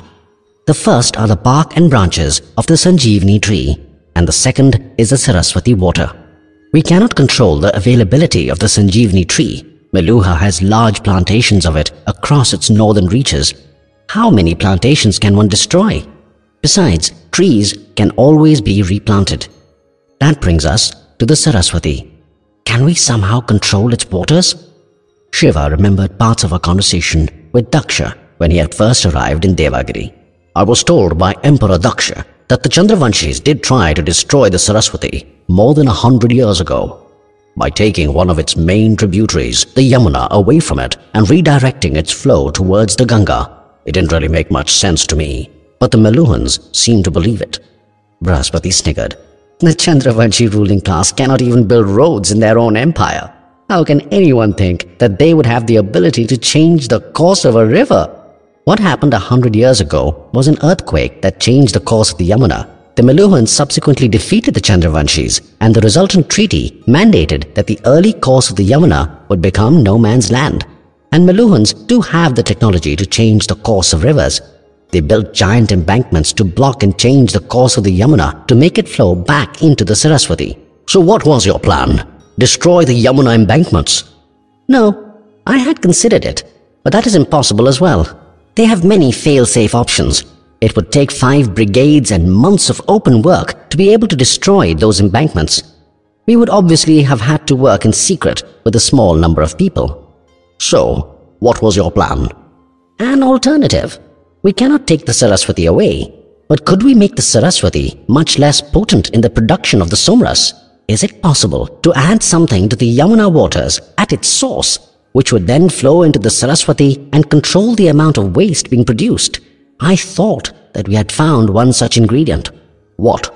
A bacterium which reacts with the Sanjeevani tree and makes it decay almost instantly. I thought the Sanjeevani tree was already unstable and decayed rapidly. Ayurvati had told me that the Naga medicine is created by mixing the crushed branches of another tree with the Sanjeevani bark to stabilize it. If the Sanjeevani is already unstable, why would it need bacteria to aid the decay? Wouldn't it just decay anyway? The Sanjeevani bark becomes unstable once stripped off the branch. The entire branch, if used, is not. The bark is easier for small-scale manufacture, but for manufacturing the somras in large quantities, we have to use crushed branches. This is what we did at Mount Mandar, but it is a method known only to my scientists. So what you want to do is make the Sanjeevani branch also unstable. Yes, and I discovered that it was possible to do so with this bacterium. But it is only available in Mesopotamia. Is this what you picked up from Karachapa when you accompanied me on my initial travels through Meluha? You had said you were expecting a shipment from Mesopotamia. Yes, said Brahaspati, and it would have worked perfectly. The Somras cannot be made without both the Sanjeevani tree and the Saraswati water. The presence of bacteria in the Saraswati water would render useless the Sanjeevani tree at the beginning of the process itself. And in any case, without the Saraswati water, the Somras cannot be made. Without the power of the Sanjeevani, the Somras would not be as potent. It will not triple or quadruple one's lifespan, but only increase it by 20 or 30 years. However, it would also mean that there would be practically no production of Somras waste. By sacrificing some of the powers of the Somras, we would take away all the poison of the Somras waste. Furthermore, these bacteria also mix with water and then multiply prodigiously. All we needed to do was release it in the Yamuna and the rest would follow. Sounds perfect. Why didn't you? There's no free lunch, said Brahaspati. The bacteria came with its own problems. It is a mild toxin in itself. If we mix it in large quantities, as would be required in the Saraswati, we could create a new set of diseases for all living beings, dependent not just on the Saraswati, but also the Yamuna. We would have only replaced one problem with another. So, you were trying to see if the poisonous effect of the bacteria could be reduced or removed without disturbing its ability to destroy the Sanjeevani tree. Yes, secrecy was required. If those who support the Somras knew about these bacteria, they would try to kill it at its source had they known I was working on an experiment such as this, they would have had me assassinated. Aren't you afraid of being killed now? asked Shiva. A lot of Meluhans will be angry with you when they discover you weren't the victim, but the perpetrator of the attack on Mount Mandar. Brahaspati breathed deeply. Earlier, it was important for me to remain alive since I alone could have done this research. But I have failed, and the solution to the Somras problem is not in my hands anymore. It's in your hands. It doesn't matter if I live any longer. Mount Mandar will be reconstructed. It's a matter of time. And Somras production will begin once again. You have to stop it, Shiva. For the sake of India, you have to stop the Somras. The reconstruction is a charade, Brahaspatiji, said Sati. It's to mislead enemies into thinking that it will take time to get Somras production back on track. To make them think that Meluha must be surviving on lower quantities of Somras. What? Is there another facility? asked Brahaspati as he looked quickly at Kali. But that cannot be true. It is, answered Sati.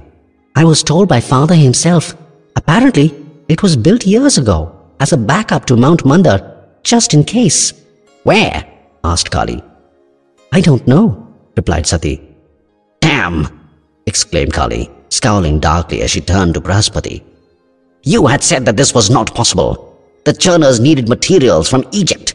They could not be built from Indian material. We have allies constantly watching those Egyptian mines. No material has gone to Meluha. Brahaspati's face turned white as the implications dawned on him.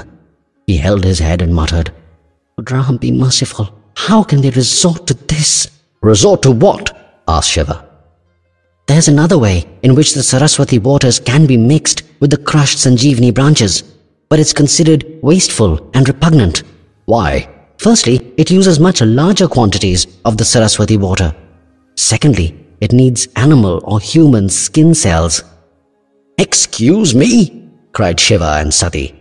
It doesn't mean that one skins a live animal or human, said Brahaspati, as though reassuring them. What is needed is old and dead skin cells that we shed every minute that we are alive.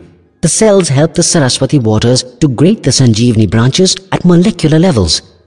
The waters mixed with dead skin cells are simply poured over crushed branches placed in a chamber. This process does not require any churning, but as you can imagine, it wastes a lot of water. Secondly, how would one find animals and humans who would come to a faraway facility and get into a pool of water above a chamber which contains crushed Sanjeevani branches? It is risky. Why? Dead skin cells of humans or animals are best shed while bathing. A human sheds between 2 and 3 kilograms every year. Bathing hastens the process. But why is this risky? Because Somras production is inherently unstable. The skin cell route even more so. One doesn't want large populations anywhere close to a Somras facility. If anything goes wrong, the resultant explosion can kill hundreds of thousands, even in the usual less risky churning process. We do not build Somras production centers close to cities. Can you imagine what would happen if the riskier skin cell process was being conducted close to a city with a large number of humans ritually bathing above a Somras production center? Shiva's face suddenly turned white. Public baths in Meluhan cities, he whispered. Exactly, said Brahaspati.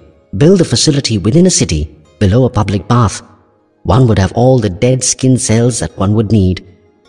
And if something goes wrong, if an explosion takes place, Blame the Devi Devyastras or the Nagas, blame the Chandravanshis if you want, fumed Brahaspati. Having created so many evil spectres, you can take your pick. Something is wrong, said Bhrigu. He was surveying the destroyed remains of Mount Mandar with Dilipa. The Somras manufacturing facility looked nowhere near completion, though reconstruction was on. Dilipa turned towards the sage. I agree, Maharishiji. It has been more than five years since the Nagas destroyed Mandar. It's ridiculous that the facility has still not been reconstructed. Bhrigu turned to Dilipa and waved his hand dismissively. Mount Mandar is not important anymore. It is only a symbol. I'm talking about the attack on Panchavati. Dilipa stared wide-eyed at the sage. Mount Mandar is not important? This means that the rumors are true another Somras manufacturing facility does exist. I had given a whole kit of homing pigeons to the attackers, continued Bhrigu, not bothering with Dilipa's incredulous look. All of them had been trained to return to this site. The last pigeon came in two weeks back. Dilipa frowned. You can trust my man, my lord. He will not fail. Bhrigu had appointed an officer from Dilipa's army to lead the attack on Shiva's convoy at Panchavati. He did not trust Daksha's ability to detach himself from his love for his daughter. Of that I am sure. He has proven himself trustworthy, strictly complying with my instructions to send back a message every week. The fact that the updates have suddenly stopped means that he has either been captured or killed. I'm sure a message is on its way. We needn't worry. Bhrigu turned sharply towards Dilipa. Is this how you govern your empire, great king? Is it any wonder that your son's claim to the throne appears legitimate? Dilipa's silence was telling. Bhrigu sighed.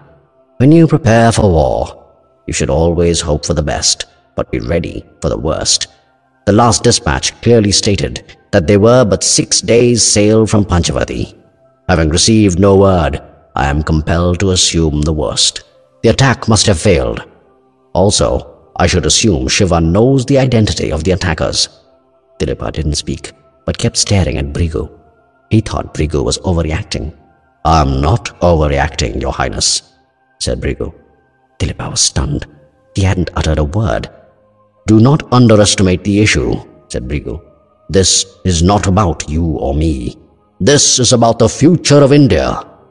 This is about protecting the greatest good. We cannot afford to fail. It is our duty to Lord Brahma, our duty to this great land of ours. Dilipa remained silent. The one thought kept reverberating in his mind. I'm way out of my depth here. I have entangled myself with powers that are beyond mere emperors.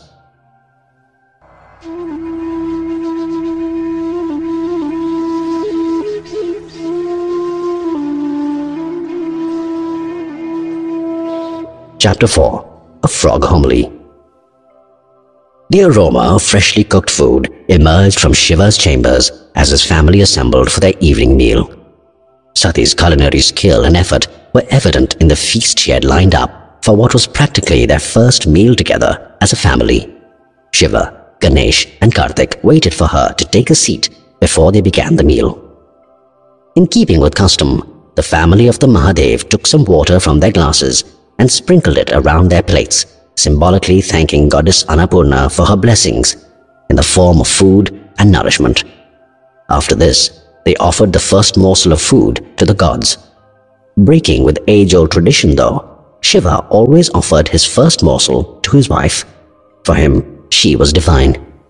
Sati reciprocated by offering her first morsel to Shiva. Thus, the meal began.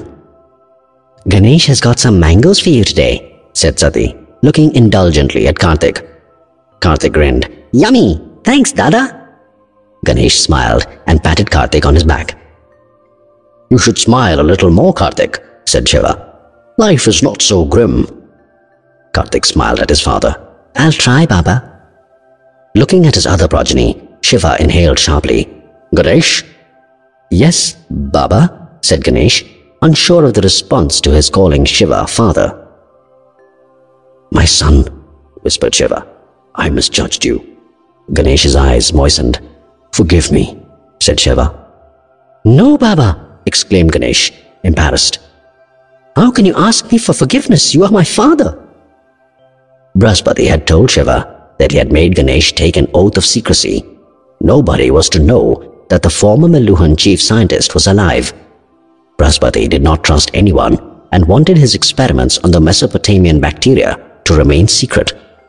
Ganesh had kept his word even at the cost of almost losing his beloved mother and of grievously damaging his relationship with Shiva.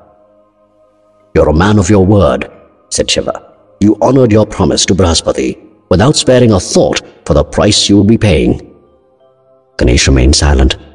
I'm proud of you, my son, said Shiva. Ganesh smiled. Sati looked at Shiva, Karthik, and then at Ganesh. Her world had come full circle. Life was as perfect as it could possibly be. She did not need anything else. She could live her life in Panchavati till the end of her days. But she knew that this was not to be. A war was coming, a battle that would require major sacrifices. She knew she had to savor these moments for as long as they lasted. What now, Baba? asked Karthik seriously. We're going to eat, laughed Shiva. And then, hopefully, we will go to sleep. No, no, smiled Karthik. You know what I mean. Are we going to proclaim the Somras as the ultimate evil? Are we going to declare war against all those who continue to use or protect the Somras? Shiva looked at Karthik thoughtfully. There has already been a lot of fighting, Karthik. We will not rush into anything. Shiva turned to Ganesh. I'm sorry, my son, but I need to know more. I have to know more. I understand, Baba. There are only two groups of people who know all there is to know about this. The Vasudevs and the Vayuputras. Yes. I'm not sure if the Vayuputra Council will help me, but I know the Vasudevs will. I'll take you to Ujjain, Baba. You can speak to their chief directly. Where is Ujjain? It's up north, beyond the Narmada. Shiva considered it for a bit. That would be along the shorter route to Swadweep and Meluha, right? With the security of the Panchavati uppermost in her mind, Kali had led Shiva and his entourage from Kashi to Panchavati via an elaborate route which took a year to traverse. The party had first headed east through Swadweep, then south from Branga. They then moved west from Kalinga through the dangerous Dandak forests before they reached the headwaters of the Godavari where Panchavati lay. Shiva realized that there must be a shorter northern route to Meluha and Swadweep, which was impossible to traverse without a Naga guide because of the impregnable forests that impeded the path. Yes, Baba. Though Mausi is very secretive about this route, I know that she would be happy to share it with the three of you. I understand, said Sati. The Nagas have many powerful enemies. Yes, Ma, said Ganesh before turning to Shiva. But that is not the only reason. Let's be honest. Though the war has not yet begun, we already know that the most powerful emperors in the land are against us. Which side everyone takes, including those waiting in the Panchavati guest house colony, will become clear over the next few months. Panchavati is a safe haven. It's not wise to give away its secrets just as yet. Shiva nodded. Let me figure out what I should do with my convoy. There aren't too many kings in the Sapt Sindhu I can readily trust at this point of time. Once I've made up my mind, we can make plans to leave for Ujjain. Karthik turned to Ganesh. Dada, there's one thing I simply don't understand. The Vayuputras are the tribe left behind by Lord Rudra. They helped the great seventh Vishnu, Lord Ram, complete his mission. So how is it that these good people do not see the evil that the Somras has become today? Ganesh smiled. I have a theory. Shiva and Sati looked up at Ganesh while continuing to eat. You've seen a frog, right? asked Ganesh. Yes, said Karthik. Interesting creatures, especially their tongues. Ganesh smiled. Apparently, an unknown Brahmin scientist had conducted some experiments on frogs a long time ago. He dropped a frog into a pot of boiling water. The frog immediately jumped out. He then placed a frog in a pot full of cold water. The frog settled down comfortably. The Brahmin then began raising the temperature of the water gradually over many hours. The frog kept adapting to the increasingly warm and then hot water till it finally died without making any attempt to escape. Shiva, Sati and Karthik listened in rapt attention. Naga students learn this story as a life lesson, said Ganesh. Often, our immediate reaction to a sudden crisis helps us save ourselves. Our response to gradual crisis that creeps up on us, on the other hand, may be so adaptive as to ultimately lead to self-destruction. Are you suggesting that the Vayuputras keep adapting to the incremental ill effects of the Somras? asked Karthik. That the bad news is not emerging rapidly enough? Perhaps, said Ganesh, for I refuse to believe that the Vayuputras, the people of Lord Rudra, would consciously choose to let evil live. The only explanation is that they genuinely believe the Somras is not evil. Interesting, said Shiva. And perhaps you are right too. Sati chipped in with a smile, almost as if to lighten the atmosphere. But do you really believe in the frog experiment? Ganesh smiled. It is such a popular story around here that I'd actually tried it when I was a child. Did you really boil a frog slowly to death? And it sat still all the while? Ganesh laughed. Ma, frogs don't sit still no matter what you do. Boiling water, cold water, or lukewarm water, a frog always leaps out. The family of the Mahadev laughed heartily. Shiva and Sati were exiting the Panchavati Rajya Sabha, having just met with the Naga nobility.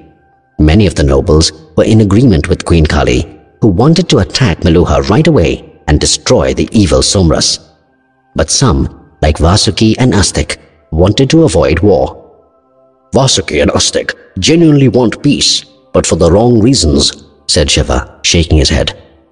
They may be Naga nobility, but they believe that their own people deserve their cruel fate because they are being punished for their past life sins. This is nonsense. Sati, who believed in the concept of karma extending over many births, could not hold back her objection. Just because we don't understand something doesn't necessarily mean it's rubbish, Shiva. Come on, Sati. There is only this life, this moment. That is the only thing we can be sure of. Everything else is only theory. Then why were the Nagas born deformed? Why did I live as a Vikarma for so long? Surely it must be because in some sense we deserved it. We were paying for our past life sins. That's ridiculous. How can anyone be sure about past life sins? The Vikarma system, like every system that governs human lives, was created by us. You fought the Vikarma system and freed yourself. But I didn't free myself, Shiva. You did. It was your strength, and all the Vikarmas, including me, was set free because that was your karma. So how does this work? asked Shiva disbelievingly. That the compounded totality of sins committed by all the Vikarma over their individual previous lives was nullified at the stroke of a quill when I struck down this law? On that fateful day, in a flash, several lifetimes of sins, sullying every Vikarma soul, were washed away? A day of divine pardon indeed. Shiva, are you mocking me? Do I ever do that, dear? asked Shiva, but his smile gave him away. Don't you see how illogical this entire concept is? How can one believe that an innocent child is born with sin? It's clear as daylight. A newborn child has done no wrong. He has done no right either. He's just been born. He could not have done anything. Perhaps not in this life, Shiva, but it's possible that the child committed a sin in a previous life. Perhaps the child's ancestors committed sins for which the child must be held accountable. Shiva was unconvinced. Don't you get it? It's a system designed to control people. It makes those who suffer or are oppressed blame themselves for their misery. Because you believe you are paying for sins committed either in your own previous lives or those committed by your ancestors or even community. Perhaps even the sins of the first man ever born. The system therefore propagates suffering as a form of atonement and at the same time does not allow one to question the wrongs done unto oneself. Then why do some people suffer? Why do some get far less than what they deserve? The same reason why there are others who get far more than what they deserve. It's completely random. Shiva gallantly reached out to help Sati mount her steed, but she declined and gracefully slid onto the stallion. Her husband smiled. There was nothing he loved more than her intense sense of self-sufficiency and pride. Shiva leapt onto his own horse and with a quick spur matched Sati's pace. Really, Shiva, said Sati, looking towards him. Do you believe that the Paramatma plays dice with the universe? That we're all handed our fate randomly? The Nagas on the road recognized Shiva and bowed low in respect. They didn't believe in the legend of the Nilkant, but clearly their queen respected the Mahadev, and that made most Nagas believe in Shiva as well. He politely acknowledged every person, even as he replied to Sati without turning. I think the Paramatma does not interfere in our lives. He sets the rules by which the universe exists. Then he does something very difficult. What? He leaves us alone. He lets things play out naturally. He lets his creations make decisions about their own lives. It's not easy being a witness when one has the power to rule. It takes a supreme God to be able to do that. He knows this is our world, our Karma Bhumi, said Shiva, waving his hand all around as though pointing out the land of their karma. Don't you think this is difficult to accept? If people believe that their fate is completely random, it would leave them without any sense of understanding, purpose, or motivation, or why they are where they are. On the contrary, this is an empowering thought. When you know that your fate is completely random, you have the freedom to commit yourself to any theory that will empower you. If you have been blessed with good fate, you can choose to believe it is God's kindness and ingrain humility within. But if you have been cursed with bad fate, you need to know that no great power is seeking to punish you. Your situation is, in fact, a result of completely random circumstances, an indiscriminate turn of the universe. Therefore, if you decide to challenge your destiny, your opponent would not be some judgmental Lord Almighty who is seeking to punish you. Your opponent would only be the limitations of your own mind. This will empower you to fight your fate. Sati shook her head. Sometimes you are too revolutionary. Shiva's eyes crinkled. Maybe that is itself a result of my past life sins. Laughing together, they cantered out of the city gates. Seeing the Panchvati guest colony in the distance, Shiva whispered gravely, But one man will have to account to his friends for his karma in this life. Brahaspatiji? Shiva nodded. What do you have in mind? I'd asked Brahaspati if he'd like to meet Parvateshwar and Ayurvati to explain to them as to how he is still alive. And he readily agreed. I would have expected nothing less from him. Are you all right? asked Anandamai. Parvateshwar and Anandamai were in their private room in the Panchavati guest house colony. I'm thoroughly confused, said Parvateshwar. The ruler of Meluha should represent the best there is in our way of life truth, duty, and honor. What does it say about us if our emperor is such a habitual lawbreaker? He broke the law when Sati's child was born. I know what Emperor Daksh did was patently wrong, but one could argue that he's just a father trying to protect his child, albeit in his own stupid manner. The fact that he did what was wrong is enough, Anandamai. He broke the law. And now he has broken one of Lord Rudra's laws by using the Devi Astras. How can Meluha, the finest land in the world, have an emperor like him? Isn't something wrong somewhere? Anandamai held her husband's hand. Your emperor was never any good. I could have told you that many years ago, but you don't need to blame all of Meluha for his misdeeds. That's not the way it works. A leader is not just a person who gives orders. He is also the one who symbolizes the society he leads. If the leader is corrupt, then the society must be corrupt too. Who feeds this nonsense to you, my love? A leader is just a human being like anyone else. He doesn't symbolize anything. Parvateshwar shook his head. There are some truths that cannot be challenged. A leader's karma impacts his entire land. He is supposed to be his people's icon. That is a universal truth. Anandamai bent towards him with a soft twinkle in her eyes. Parvateshwar, there is your truth and there is my truth. As for universal truth, it does not exist. Parvateshwar smiled as he brushed a stray strand of hair away from her face. You Chandravanshis are very good with words. Words can only be as good or as bad as the thoughts they convey. Parvateshwar's smile spread wider. So what is your thought on what I should do? My emperor's actions have put me in a situation where my god, the Nilkant, may declare war on my country. What do I do then? How do I know which side to pick? You should stick to your god, said Anandamai without any hint of hesitation in her voice. But this is a hypothetical question, so don't worry too much about it. My lord, you called, said Ayurvati. She had been as surprised as Parvateshwar when the both of them had been summoned to Shiva's chambers. Since their arrival in Panchavati, Shiva had spent most of his time with the Nagas.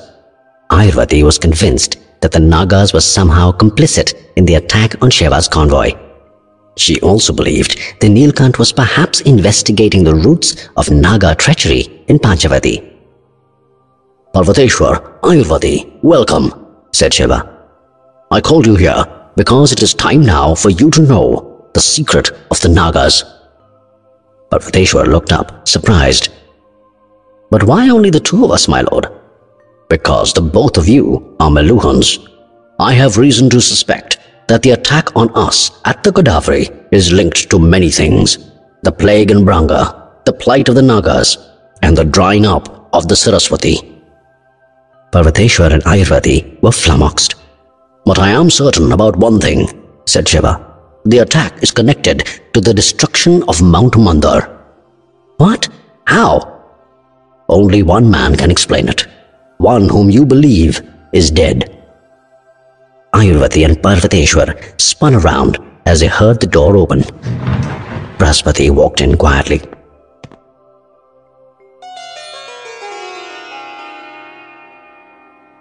The Somras is evil? asked Anandamai incredulously. Is that what the Lord Nilkant thinks? Parvateshwar and Anandamai were in their chambers at the Panchvati guest colony. Bhagirath had just joined them. I'm not sure about what he thinks, said Parvateshwar, but Brahaspati seems to think so. But evil is supposed to be evil for everybody, said Bhagirath. Why should a Surya Vanshi turncoat decide what evil is? Why should we listen to him? Why should the Nilkant listen to him? Bhagirath, do you expect me to defend Brahaspati, the man who destroyed the soul of our empire? asked Parvateshwar. Just a minute, said Anandamai, raising her hand. Think this through. If the plague in Branga is linked to the Somras, if the slow depletion of the river Saraswati is linked to the Somras, if the birth of the Nagas is linked to the Somras, then isn't it fair to think that maybe it is evil? So what is the Nilkant planning to do? Does he want to ban the Somras? asked Bhagirath. I don't know, Bhagirath, snapped an irritated Parvateshwar, his world having turned upside down because of Daksha and now Brahaspati. You keep asking me questions, the answers to which I don't know. Anandamai placed a hand on Parvateshwar's shoulders. Perhaps the Nilkant is just as shocked as we are. He needs to think things over. He cannot afford to make hasty decisions. Well, he's made one already, said Parvateshwar. Bhagirath and Anandamai looked at Parvateshwar curiously. We are to leave for Swadweep once all have recovered from their injuries. The Lord has asked us to wait for him at Kashi till he decides his next move. He believes King Athithigva has not sold out to Ayodhya in the conspiracy to assassinate us on the Godavari. But if we go to Kashi, my father will get to know that we are alive, said Bhagirath. He will know his attack has failed. We have to keep quiet about it. We have to pretend that nothing happened, that we were not attacked at all, that we made an uneventful journey to Panchavati and back. Won't they wonder about their ships? The Lord says that's all right. Many things can happen during long sea and river voyages. They may believe their ships met with an accident before they could attack us. Bhagirath raised his eyebrows. My father may be stupid enough to believe that story, but he is not the leader. Whoever put together a conspiracy of this scale will certainly investigate what went wrong. But investigations take time, allowing the Nilkant to check whatever else it is that he needs to. The Lord is not coming with us? asked a surprised Anandamai. Parvateshwar shook his head. No. And the Lord has said we should let it be known that neither his family nor he is with us at Kashi. It should be publicized that he remains in Panchavati. The Lord believes that it will keep us safe as the attack was aimed at him.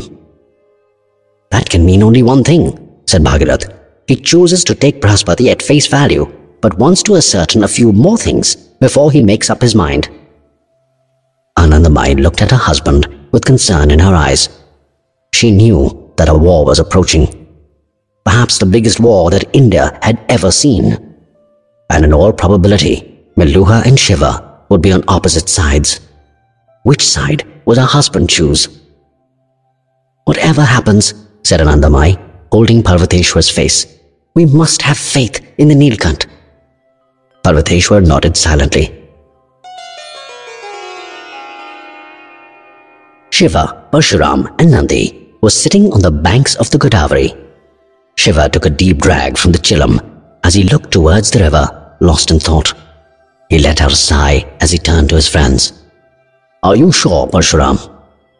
Yes, my lord, replied Parshuram. I can even take you to the uppermost point of the mighty Brahmaputra, where it is the Tsangpo. But I wouldn't recommend it, for fatalities can be high on that treacherous route. Shiva's silence provoked Parshuram to probe further. What is it about that river, my lord? He had been intrigued by the abnormal interest shown by the Nagas in the Brahmaputra's course as well. First the Nagas, now you. Why is everyone so interested in it? It may be the carrier of evil, Parshuram. Nandi looked up in surprise. Doesn't the Tsangpo begin close to your own home in Tibet, my lord? Yes, Nandi, said Shiva. It seems evil has been closer than it initially appeared. Nandi remained quiet. He was one of the few who knew the ships that attacked Shiva's convoy were from Meluha. He knew what he had to do. If it came to a choice between Shiva and his country, he would choose Shiva. But it still hurt him immensely. He knew he might have to be part of an army that would attack his beloved motherland, Meluha. He hated his fate for having put him in such a situation. I think I know how to find the mastermind, my lord, said Bhagirath. He had sought an appointment with Shiva as soon as he had stepped out of Parvateshwar's chambers. He knew that his father had decided to oppose the Nilkant. It made sense, therefore, for Bhagirath to immediately prove his loyalty to Shiva. He didn't expect Shiva to lose. Regardless of the opinion of the kings, the people would be with the Nilkant. How? asked Shiva. You'd agree that my father hardly has the wherewithal to draw up such an elaborate plan.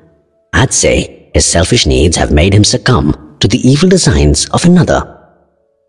Shiva edged forward, intrigued. You think he has been bribed? Your father is in no need of money. What can be a better bribe than life itself, my lord? Had you seen my father a few years back, you would have thought he was but a small step away from the cremation pyre. A life of debauchery and drink had wreaked havoc within his body. But today, he looks younger than I've ever known. The Somras? I don't think so. I know he tried the Somras in the past. It hadn't worked. Somebody is supplying him with superior medicines, something that is otherwise unavailable to even a king. Shiva's eyes widened. Who could be more powerful, more knowledgeable than a king? Do you think a Maharishi is helping him? Bhagirath shook his head. No, my lord. I think a Maharishi is leading him. But who can that Maharishi be? I don't know. But when I go back to Ayodhya, Ayodhya? If we are to maintain that no ships attacked us on the Godavari, my lord, then what reason can there be for my not going back to Ayodhya? It will arouse suspicion.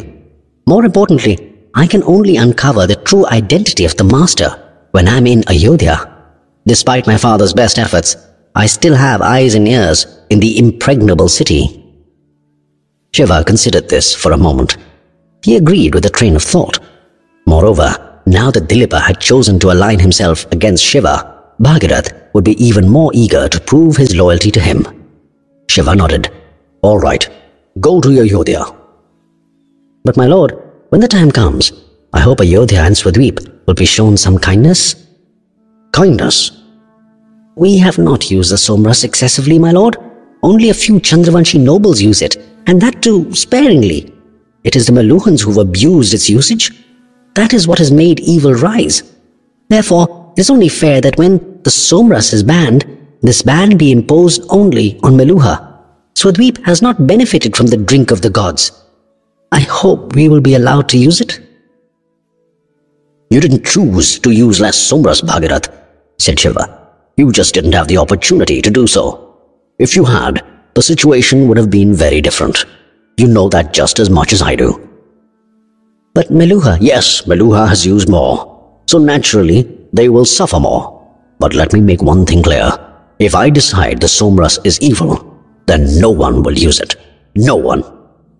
Bhagirath kept silent. Is that clear? asked Shiva. Of course, my lord.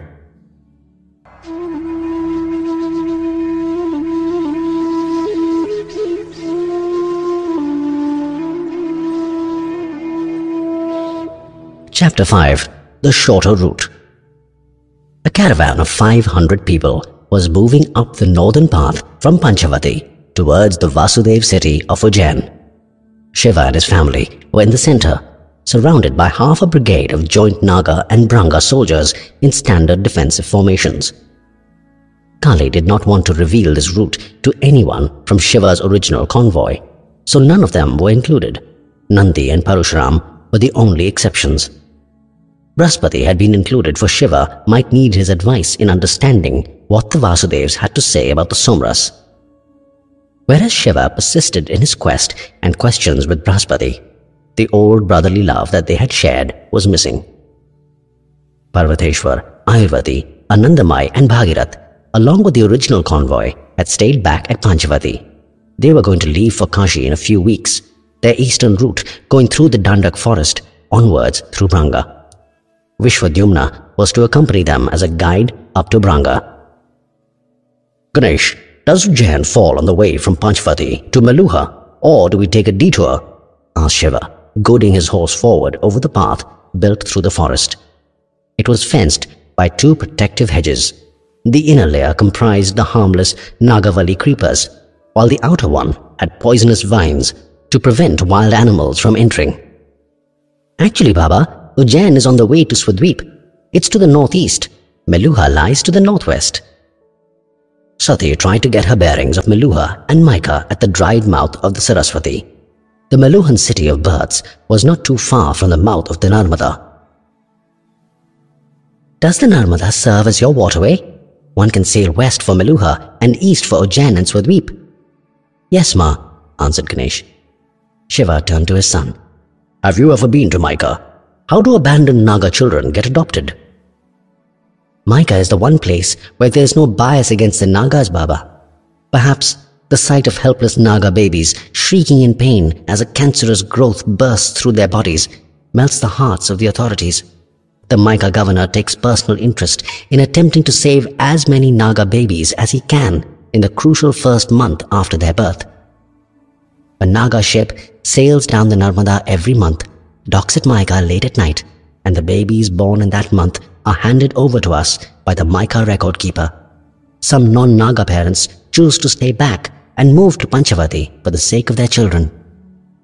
Don't the Maika authorities stop them?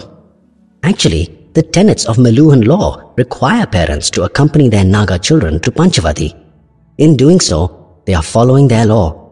But others refuse to do so. They abandon their children and return to their comfortable life in Meluha. In such cases, only the child is handed over. The Maika governor pretends not to notice this breach of law. Sati shook her head. She had lived in Meluha for more than 100 years, a few of which were in Maika as an infant. She had never known any of this. It was almost like she was discovering her seemingly upright nation anew. Her father had not been the only one to break the law. It appeared as if many Meluhans valued the comforts of their land more than their duty towards their children or towards observing Lord Ram's laws. Shiva looked ahead to see a large ship anchored in a massive lagoon. The waters were blocked on the far side by a dense grove. Having seen the grove of floating Sundari trees in Branga, Shiva assumed that these trees must also have free-floating roots. The route ahead seemed obvious. I guess we have reached your secret lagoon. I assume the Narmada is beyond that grove. There is a massive river beyond that grove, Baba, said Ganesh. But it is not the Narmada. It is the Tapi. We have to cross to the other side. After that, it is a few more days' journey to Narmada. Shiva smiled. The Lord Almighty has blessed this land with too many rivers. India can never run short of water. Not if we abuse our rivers the way we are now abusing the Saraswati. Shiva nodded, silently agreeing with Ganesh.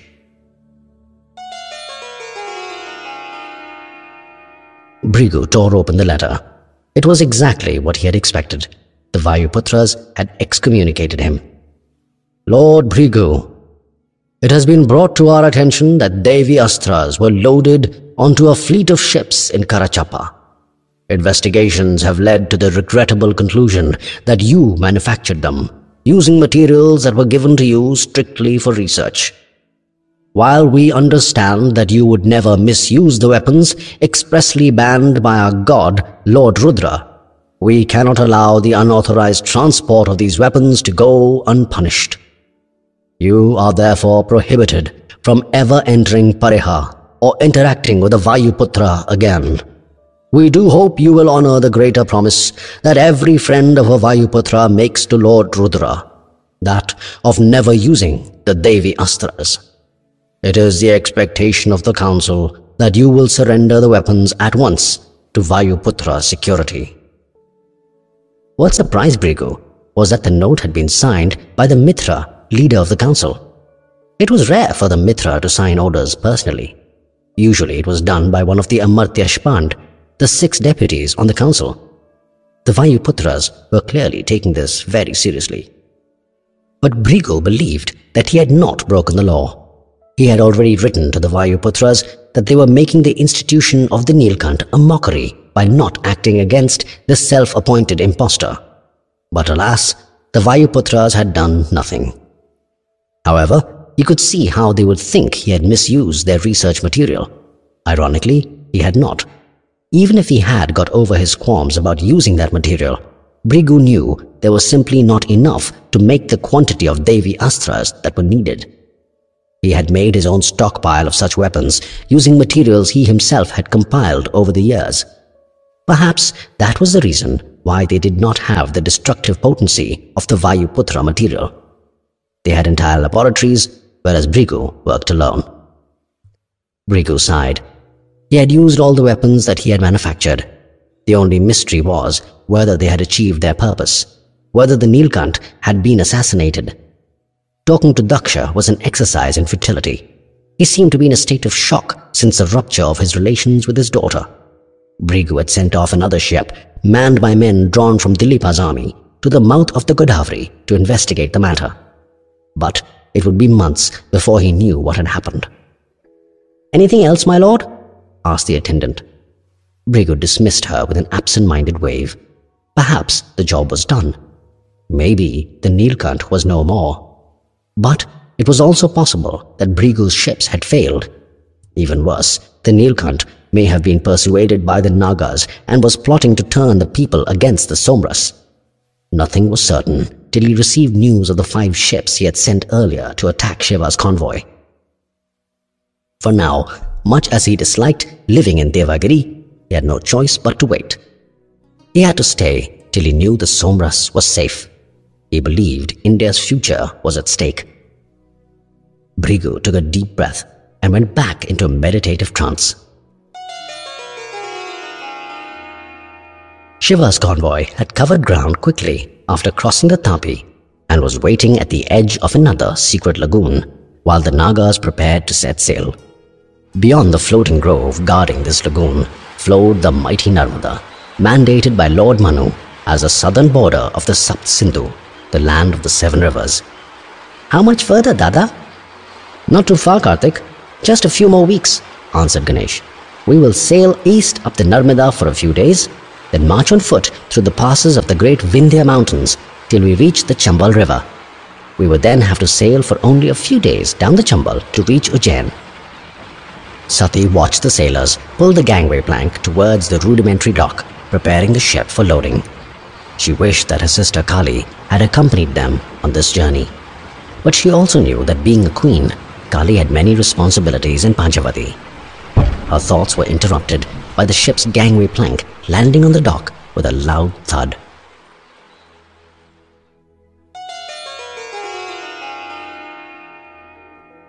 Parvateshwar, Anandamai, Bhagirath and Ayurvati were dining together in the late afternoon.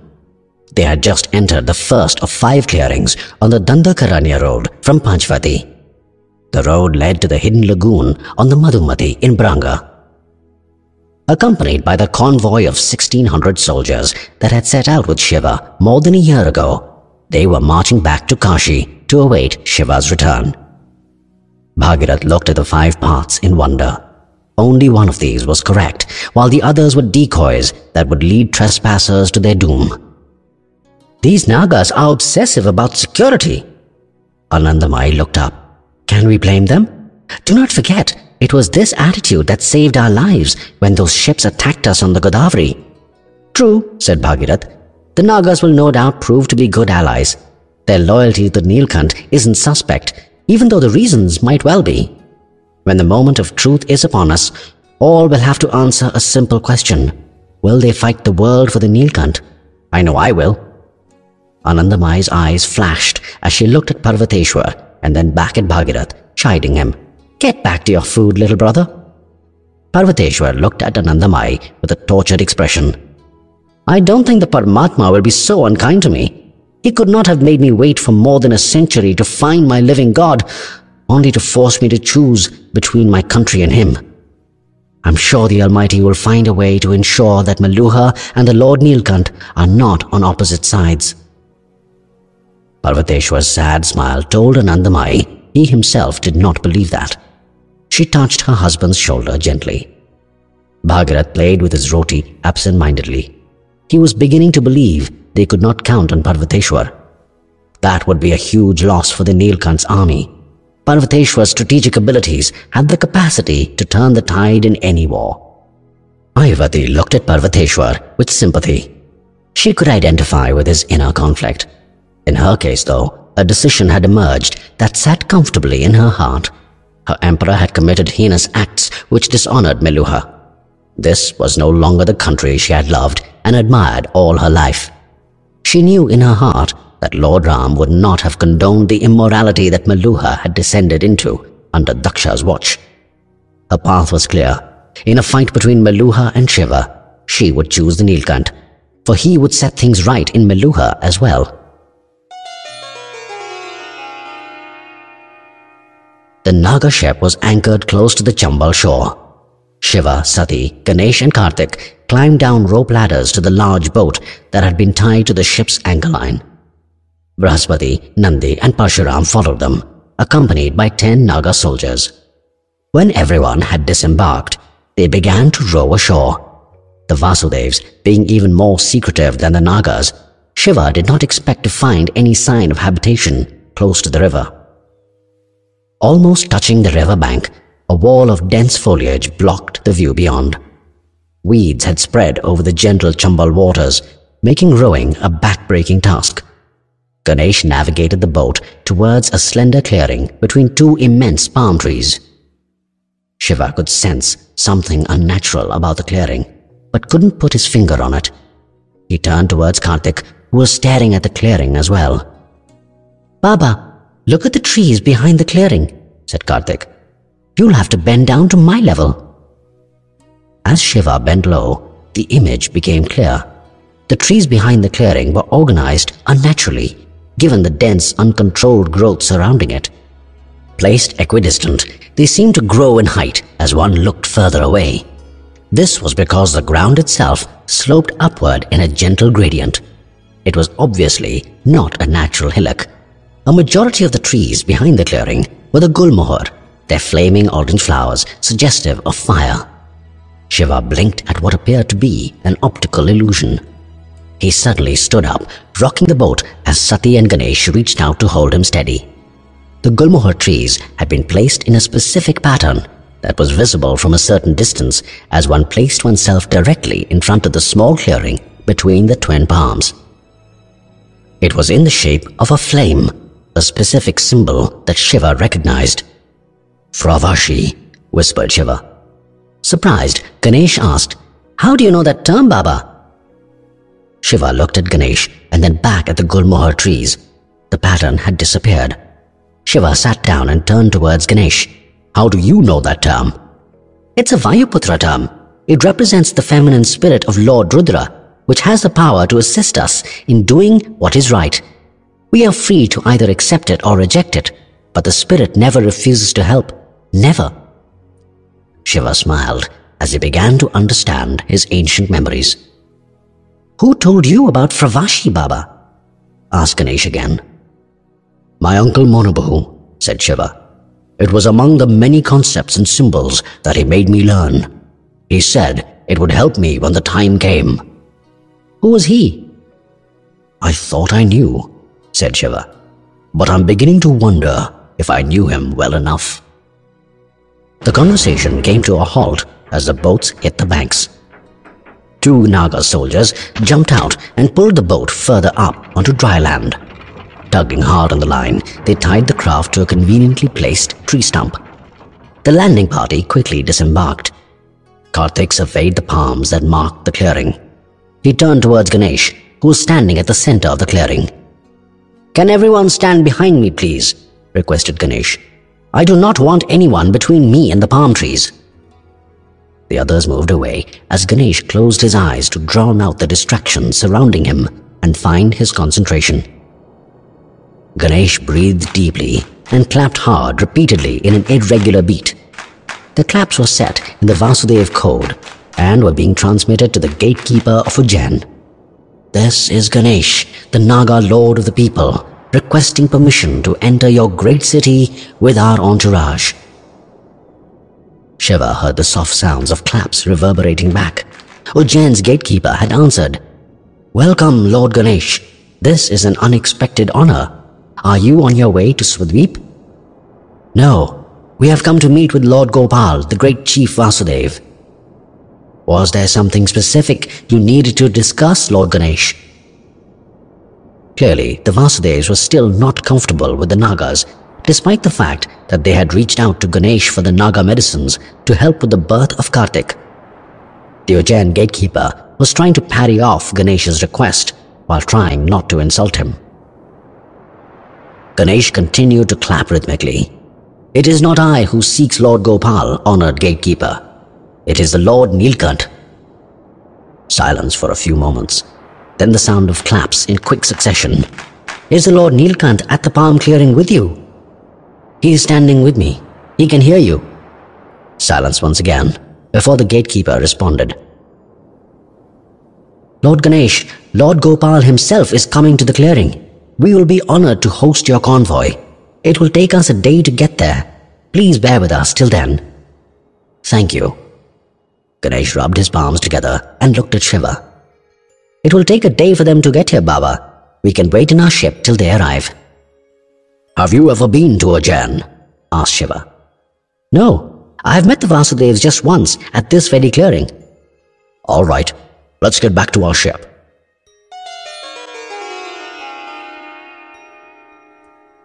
Are you telling me Lord Bhrigu visited Ayodhya eight times in the last year? Asked a surprised Surapadman. The Crown Prince of Magad maintained his own espionage network independent of the notoriously inefficient Royal Magad spy service. His man had just informed him of the goings-on in the Ayodhya royal household. Yes, Your Highness, answered the spy. Furthermore, Emperor Dilipa himself has visited Meluha twice in the same period. That I'm aware of, said Surapadman. But the news you bring throws new light on it. Perhaps Dilipa was not going to meet that fool Daksha after all. Maybe he was going to meet Lord Bhrigu. But why would the great sage be interested in Dilipa? That I do not know, Your Highness but I am sure you have heard of Emperor Dilipa's newly acquired youthful appearance. Perhaps Lord Bhrigu has been giving him the somras. Surapadman waved his hand dismissively. The somras is easily available to Swadweepan royalty. Dilipa doesn't need to plead with the Maharishi for it. I know Dilipa has been using the somras for years. But when one has abused the body as much as he has, even the somras would find it difficult to delay his aging. I suspect Lord Bhrigu is giving him medicines that are even more potent than the Somras. But why would Lord Bhrigu do that? That's the mystery. Try to find out. Any news of the Nilkant?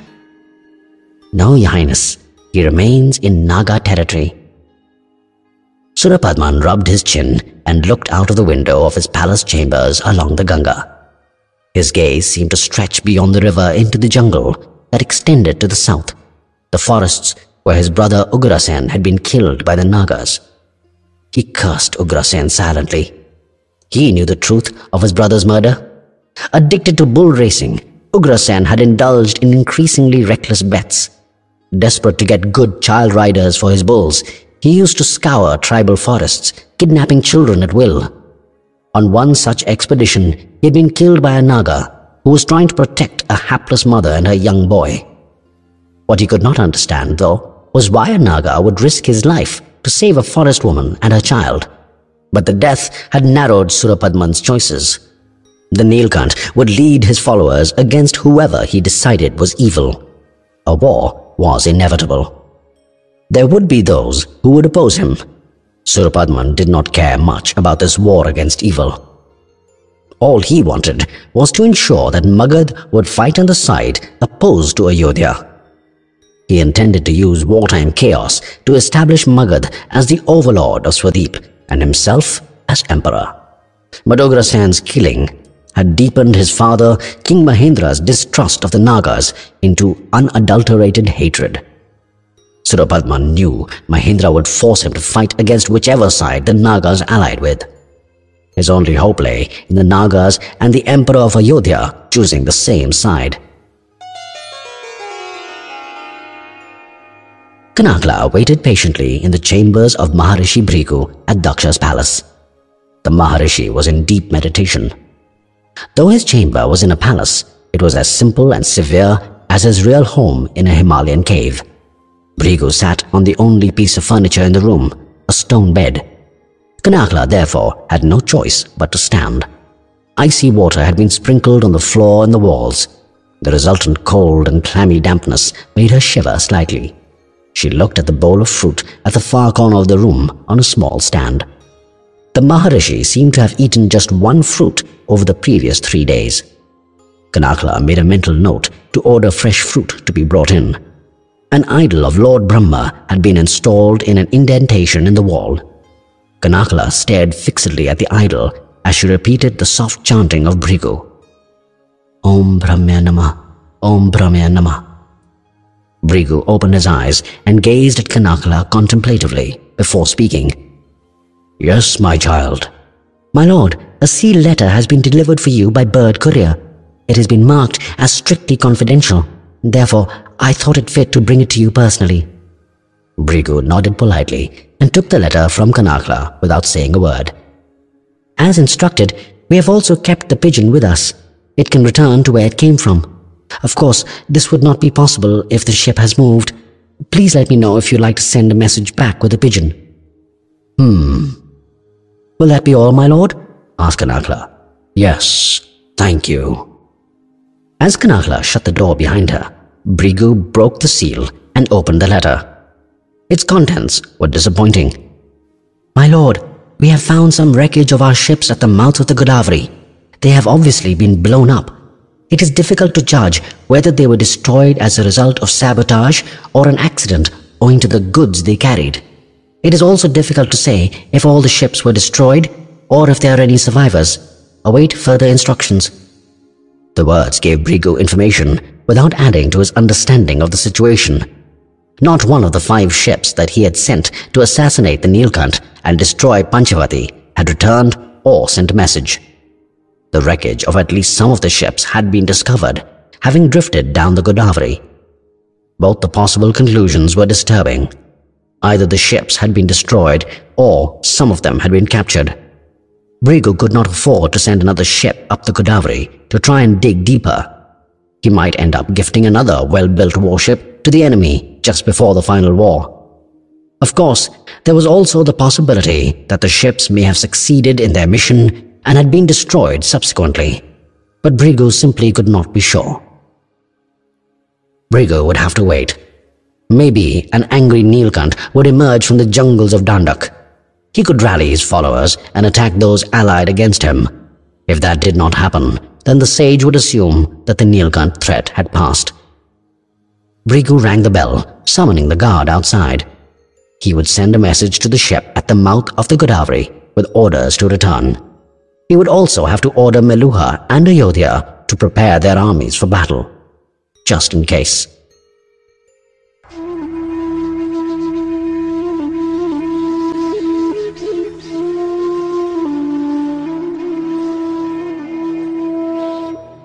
Chapter 6 The City That Conquers Pride It was a full moon night. Shiva stood at the anchored ship's balustrade as he looked into the dark expanse of forest on the Chambal's banks. Deep in the distance was what seemed to be a massive hill made of pure black stone. Shiva had been observing that hill all evening. It was too smooth to be natural. Even more unusually, it had an inverted bowl-like structure at the top that was distinctly a cupola. It was colored a deeper hue of black as compared to the rest of the hill, which it was certainly not a part of. It's man-made, Baba, said Karthik. Shiva, Ganesh and Brahaspati turned towards Karthik, who was crouching, looking at the bank of the river from a lower height. Shiva went down to the same level as Karthik. He observed the area behind the palm tree clearing. He could clearly see the pattern of the ancient Vayuputra image Fravashi. As his eyes traced the path of the slope, he realized that had the incline continued, it would have ended at the very top of the black hill in the distance, at the cupola. Brahaspati spoke up. The slope with the trees is probably the remnant of a very long ramp that was used to carry that stone cupola to the top of the hill. Shiva smiled at the precise engineering skills of the Vasudevs. He had known his mysterious advisors for years. He looked forward to finally meeting their leader. Daksh gazed at the full moon reflected in the shimmering Saraswati waters. He was standing by the large window of his private palace chamber. He had increasingly isolated himself in the last few months, avoiding meeting people as far as possible. He was especially terrified of meeting Maharishi Bhrigu, convinced as he was that the Maharishi would read his mind and realize that it was Daksha who had foiled the attack on Panchavati in an attempt to save his beloved daughter. But this period of isolation had done wonders for Daksha and Virini's relationship. They were conversing, even confiding in each other once again, almost like the first few years of their marriage. Before Daksha developed ambitions to become the ruler of Meluha. Virini walked up to her husband and placed her hand on his shoulder. What are you thinking? Daksh pulled back from his wife. Virini frowned. Then she noticed Daksha's hands. He was holding an amulet that showed his chosen tribe, the self-declared ranking within the caste hierarchy that is adopted by young men and women. It was a subordinate rank, a lowly goat. Many Kshatriyas felt that the goat-chosen tribe was so low that it did not entitle its members to be considered complete Kshatriyas. In Daksha's case, it was his father, Brahmanayak, who had selected his chosen tribe clearly reflecting his contempt for his son. What's the matter, Daksha? Why does she think I'm a monster? I got rid of her son for her own good, and we didn't abandon Ganesh. He was well taken care of in Panchavati. How can she imagine that I would even think of getting her husband killed? It wasn't me. Virini stayed silent. Now was not the time to confront her husband with the truth. Had he wanted to, he could have saved Chandan Dhwaj Sati's first husband. Daksha may not have got the killing done through commission, but he was complicit by omission. However, weak people never admit that they are responsible for their own state. They always blame either circumstances or others. I'm saying once again, Daksh, let's forget everything, said Virini. You have achieved all you wanted to. You are the Emperor of India. We cannot live in Panchavati anymore. We lost that opportunity long ago. Kali and Ganesh despise us, and I don't blame them for it. Let us take sannyas, retreat to the Himalayas, and live out the rest of our lives in peace and meditation. We will die with the name of the Lord on our lips. I will not run away. Daksha, everything is clear to me now. I needed the Nilkant to conquer Swadweep. He has now served his purpose. Sati will be back once he's gone, and we will be happy again. A horrified Virini stared at her husband. Daksh, what in Lord Ram's name are you thinking? I can set everything right by trust me. The best thing to do is leave all this alone. You should never even have tried to become emperor. You can still be happy if never try to become emperor. What nonsense. I am the emperor. Not just of Meluha, but of India. You think some barbarian with a blue throat can defeat me? That a chillum smoking uncouth ingrate is going to take my family away from me? Virini held her head in despair. I made him, said Daksha, and I will finish him. My lord, exclaimed Parashuram, look! Shiva turned to look towards the dense forests beyond the palm tree clearing. In the distance, they saw a sudden flight of birds flying off into the sky, obviously disturbed by massive movement. The approaching mass was effortlessly pushing trees aside as it forged through the forest. They're here, said Nandi. Shiva turned around and spoke loudly. Ganesh, lower the boats.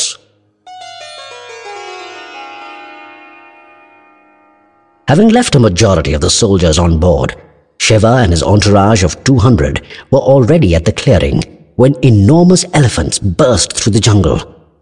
They wore intricately carved ceremonial forehead gear made of gold. The human handlers of the elephants, or mahouts, sat just behind the beasts' heads, and were secured into their position with ropes. They were covered from head to toe in cane armor, which protected them from the whiplash of the branches that the elephants effortlessly pushed aside. With the aid of gentle prodding with their feet as well as the handheld hooks called ankush, the mahouts expertly guided the elephants into the clearing. Firmly secured on the backs of the elephants were large, strong wooden howdahs, fashioned to extend horizontally from the sides of the animals. Completely covered from all sides, they afforded protection to the people inside. Angled slats allowed access to air, and a side door to the howdahs facilitated entry. Shiva's eyes were fixed on the first elephant in the line. As it halted, the side door flung open and a rope ladder was flung down. A tall and lanky pandit, clad in a saffron dhoti and angavastram, climbed down. As soon as the pandit's feet touched the ground, he turned towards Shiva, his hands folded in a respectful namaste. He had a flowing white beard and a long silvery mane. His wizened face, calm eyes, and gentle smile showed a deep understanding of true wisdom. The wisdom of Satchit Anand, of truth, consciousness, bliss, the unrelenting bliss of having one's consciousness and mind drowned in truth. Namaste, Panditji, said Shiva. It is an honor to finally meet the Chief Vasudev. Namaste, great Mahadev, said Gopal politely. Believe me, the honor is all mine. I have lived for this moment. Shiva stepped forward and embraced Gopal. The surprised Chief Vasudev responded tentatively at first and then returned the embrace as the open-heartedness of the Nilkant made him smile. Shiva stepped back and looked at the large number of men and elephants waiting patiently. It's a little crowded, isn't it? Gopal smiled. This is a small clearing, great Mahadev. We don't really meet too many people. Well, let's climb aboard your elephants and leave for Ujjain. Certainly, said Gopal as he gestured towards his men. The howdahs were surprisingly spacious and could seat up to eight people in relative comfort. The carriage with Gopal and Shiva also carried Sati, Ganesh, Kartik, Brahaspati, Nandi, and Parashuram. I hope your journey was comfortable, said Gopal. Yes, it certainly was, said Shiva before pointing towards Ganesh. My son guided us well. The Lord of the People has a reputation of a wise man, agreed Gopal. And stories of the warrior spirit of your other son, Kartik, have already reached our ears. Kartik acknowledged the compliment with a slight nod and folded his hands into respectful namaste. Panditji, is it because of the distance that it takes us a day to reach Ujjain? Or is it the density of the forest? asked Shiva. A bit of both, great Nilkant. We have not built any roads from the clearing to the Chambal into the city of Ujjain. We do not really meet a lot of people. But when we do need to travel, we have well-trained elephants that make it possible for us. The people sitting in the howdahs had got used to the sounds of foliage crashing and scraping against the outside of the closed carriage. It had been a long and steady ride, due to which their attention was immediately drawn when the sounds stopped. Gopal spoke up before any of them could make inquiries. We're here. As he said this, Gopal pressed a lever to his left. Hydraulic action made three sides of the howdah, the left, right and rear, slowly collapse outwards. Support pillars on the sides remained strong and held the howdah roof up. Horizontal metal railings ensured no passengers fell out. But none were paying attention to the engineering behind the howdah. They were all transfixed by Ujjain, the city that conquers pride. The entire circular city had been laid out within a giant, perfect square clearing in the dense forest. A sturdy ring of stones, almost 10 feet in depth and 30 feet in height, ran around the city, a strong and effective fort wall. The Shipra River, a tributary of the Chambal, which flowed along Ujjain, had been channeled into a moat around the walls. The moat followed the dimensions of the forest clearing. Therefore, the circular city was enclosed within a square moat. The moat was infested with crocodiles. the elephants ambled slowly towards the moat, where, much to everyone's surprise, there did not appear to be any bridge. Shiva had seen many forts across India with retractable drawbridges across their moats. These moats provided effective defense against the siege engines that an enemy used to attack a city's fort walls. He expected the elephants to stop and wait till the drawbridge was lowered. But neither did the elephants stop, nor was there any sign of a drawbridge being lowered. Instead, there were twenty armed men who stood on the raised embankments which ran around the moat. As the elephants neared, two men stepped back and pushed hard on what appeared like cobbled ground. A button, the size of a stone block, depressed into the embankment with a soft hiss. This in turn triggered a part of the ground just before the embankment to slide sideways, revealing broad, gentle steps descending deep into the earth. The steps led to a well-lit tunnel which the elephants entered. The Vasudev guards went down on their knees in obeisance to the Nilkant. Kartik looked at Ganesh smiling. What a brilliant idea, Dada! Yes, instead of building a bridge over the moat, they built a tunnel underneath it and the door to the tunnel merges completely into the cobbled ground, thus being effectively camouflaged. The entire ground around the moat is cobbled. This will prevent animal tracks from appearing around the tunnel entries. Unless an enemy knows exactly where the entrance is, he can never find a way to cross the moat and enter the city. Nandi looked at Gopal. Your tribe is brilliant, Panditji. Gopal smiled politely. As the elephants moved towards the city gates, the passengers noticed large geometric patterns along the walls. There were a series of concentric circles boxed within a single perfect square that skirted the outermost circle. It seemed to symbolize the aerial layout of Ujjain. The circular fort wall of the city was not an accident, but the culmination of what the Vasudevs believed was a perfect geometric design. We have built the entire city in the form of a mandal, said Gopal. What is the mandal, Panditji? asked Shiva. It's a symbolic representation of an approach to spirituality. How so? The square boundary of the moat symbolizes Prithvi, the land we live on. It is represented by a square that is bound on four sides, just like our land, which is also bound by the four directions. The space within the square represents Prakriti, or nature, as the land that we live on is uncultured and a wild jungle. Within it, the path of consciousness is the path of the Paramatma, which is represented by the circle. Why a circle? The Paramatma is the Supreme Soul. It is infinite.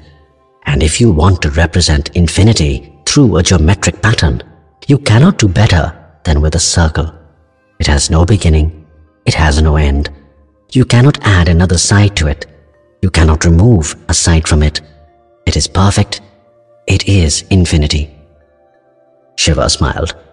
A bird's eye view of Ujjain would show that within the circular fort wall, there were five tree-lined ring roads that had been laid out in concentric circles.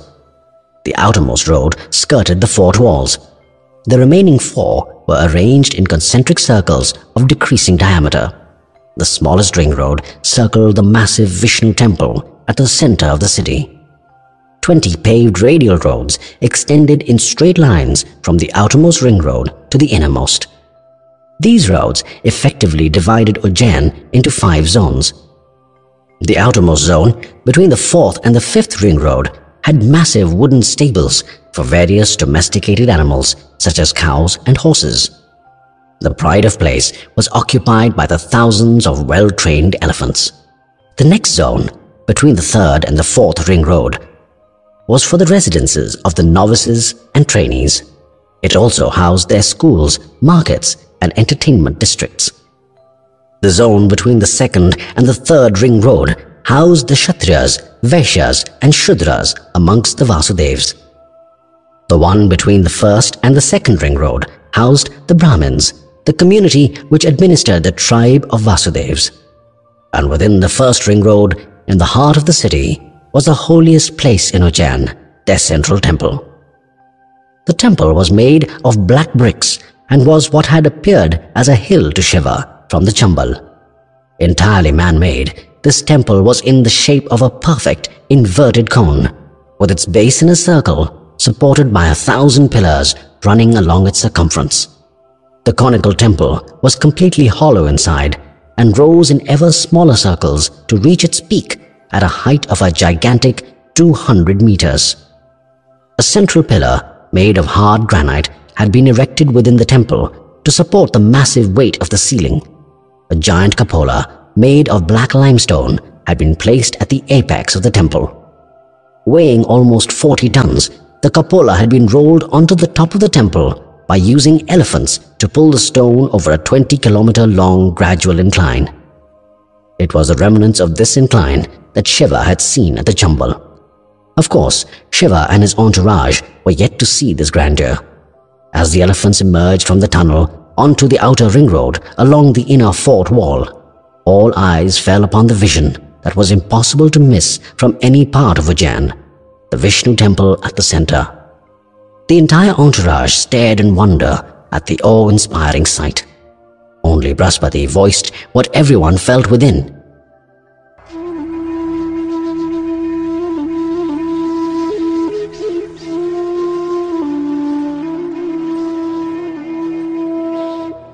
Chapter 7 An Eternal Partnership Shiva's entourage had been housed in Ujjain's Brahmin zone, abutting the central Vishnu temple.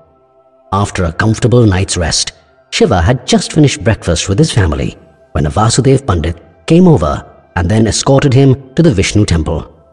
Shiva had a meeting with Gopal in the morning. The simple grandeur of the massive Vishnu temple became even more apparent as Shiva approached it. It was built on a circular platform of polished granite stones that were fixed together using metal. Contiguous holes and channels were drilled into stones and then molten metal poured into them. As the metal solidified, it bound the stones together in an unbreakable grip. Although expensive, this technique ensured strength as compared to the stones being bound together by mortar. There were no carvings on the platform at all, in keeping with its simplicity. In fact, Statues and carvings would have been an unnecessary distraction given the marvel of engineering that the structure itself was. Steps had been chiseled all along the sides of the circular platform so that visitors could approach the great seventh Vishnu, Lord Ram, from all directions. A thousand cylindrical pillars made of granite stood atop the platform, their bases buried deep Lathe machines powered by elephants had achieved perfect evenness and uniform solidity in the pillars, which allowed them to efficiently bear the weight of the conical spire on top. The massive black stone spire looked as smooth from up close as from a distance. Each stone block was of the same dimension, fitted in perfectly and polished smooth. A giant cupola made of black limestone had been placed on top of the spire. The Vasudev Pandit remained silent as he watched Shiva climb the steps of the temple in wonder. As he entered the main temple, he noticed that the spire was completely hollow from the inside, giving a magnificent view of the giant conical ceiling that enveloped a cavernous hall. This temple, unlike the others that Shiva had seen in India, did not have a separate sanctum sanctorum. The inside of the temple was an open, communal place of worship the ceiling was ablaze with paintings in bright colors depicting the life of Lord Ram, his birth, his education, his exile and eventual triumphant return. Large frescoes on a prominent wall were devoted to the Lord's life after ascending the throne of Ayodhya, his real enemies, the wars he waged against them, his intense relationship with his inspirational wife, Lady Sita, and his founding of Meluha. A giant pillar made of white granite stood in the center of the hall. It was almost 200 meters high, extending all the way to the top of the conical spire. Shiva was aware that granite was amongst the hardest stones known to man and extremely difficult to carve. Hence, he was surprised to see the detailed carvings on the pillar. They were giant images of Lord Ram and Lady Sita. Dressed simply, with no royal ornaments or crowns, they wore plain hand-spun cotton, the clothes of the poorest of the poor. These were the garments worn by the divine couple during their 14 year exile, most of it in dense jungles. Even more intriguing was the absence of Lord Lakshman and Lord Hanuman, who were normally included in all depictions of the seventh Vishnu. Lady Sita held his right hand from below, as if in support. Why has the worst phase of their life been chosen for depiction? asked Shiva. This was when they had been banished from Ayodhya, when Lady Sita was later kidnapped by the demonic King Ravan and Lord Ram fought a fierce battle to rescue her. The Vasudev Pandit smiled. Lord Ram had said that even if his entire life was forgotten, this phase, the one that he had spent in exile along with his wife, his brother, and his follower Hanuman, should be remembered by all, for he believed this was the period that had made him who he was. Gopal stood close to the base of the central pillar. Next to him were two ceremonial chairs, one at the feet of the statue of Lady Sita and the other at the feet of Lord Ram. A small ritual fire burned between the two chairs. The presence of the purifying Lord Agni, the god of fire, signified that no lies could pass between those who sat on either side.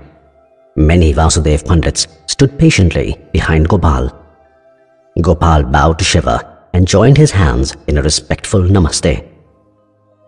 A Vasudev exists to serve but two purposes.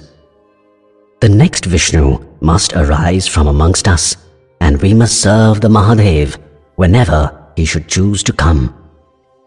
Shiva bowed low to Gopal in reciprocation. Every single one of us present here is honored, continued Gopal, that one of our missions will be fulfilled within our lifetime. We are yours to command, Lord Nilkant.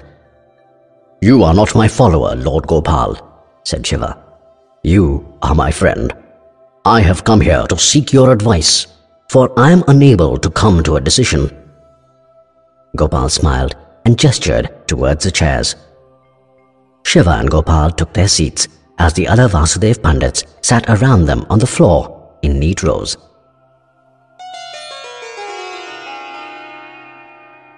Ganesh, Kartik and Brahaspati had set off on a short tour of Ujjain, accompanied by a Vasudev Kshatriya. Ganesh was deeply interested in the animal enclosures in the outermost zone, specifically the elephant stables. Pulling his horse close to Ganesh's mount, the Vasudev Kshatriya asked, Why are you so interested in the elephants, my lord? They are important for the impending war. They will play a big role if they are as well trained as I hope. The Vasudev smiled and prodded his horse forward, leading the way to the enclosures. He was happy to see the son of the Nilkant interested in their war elephants. The Kshatriyas amongst the Vasudevs had revived the art of training them, much against the advice of the ruling Vasudev Pandits. These magnificent beasts had once formed the dominant core in Indian armies. However, counter tactics had been developed in recent times that offset their fearsome power. Foremost amongst them was the use of specific drums which disturbed the elephants and made them run amok, resulting in casualties within their own ranks. Most armies had stopped using them, but it was undeniable that well-trained elephants could be devastating on a battlefield. Ganesh had heard about the skillfully trained elephants in the Vasudev army, but their famous reticence made it difficult to believe whether this was true or in fact just rumors. Kartik leaned close to his brother.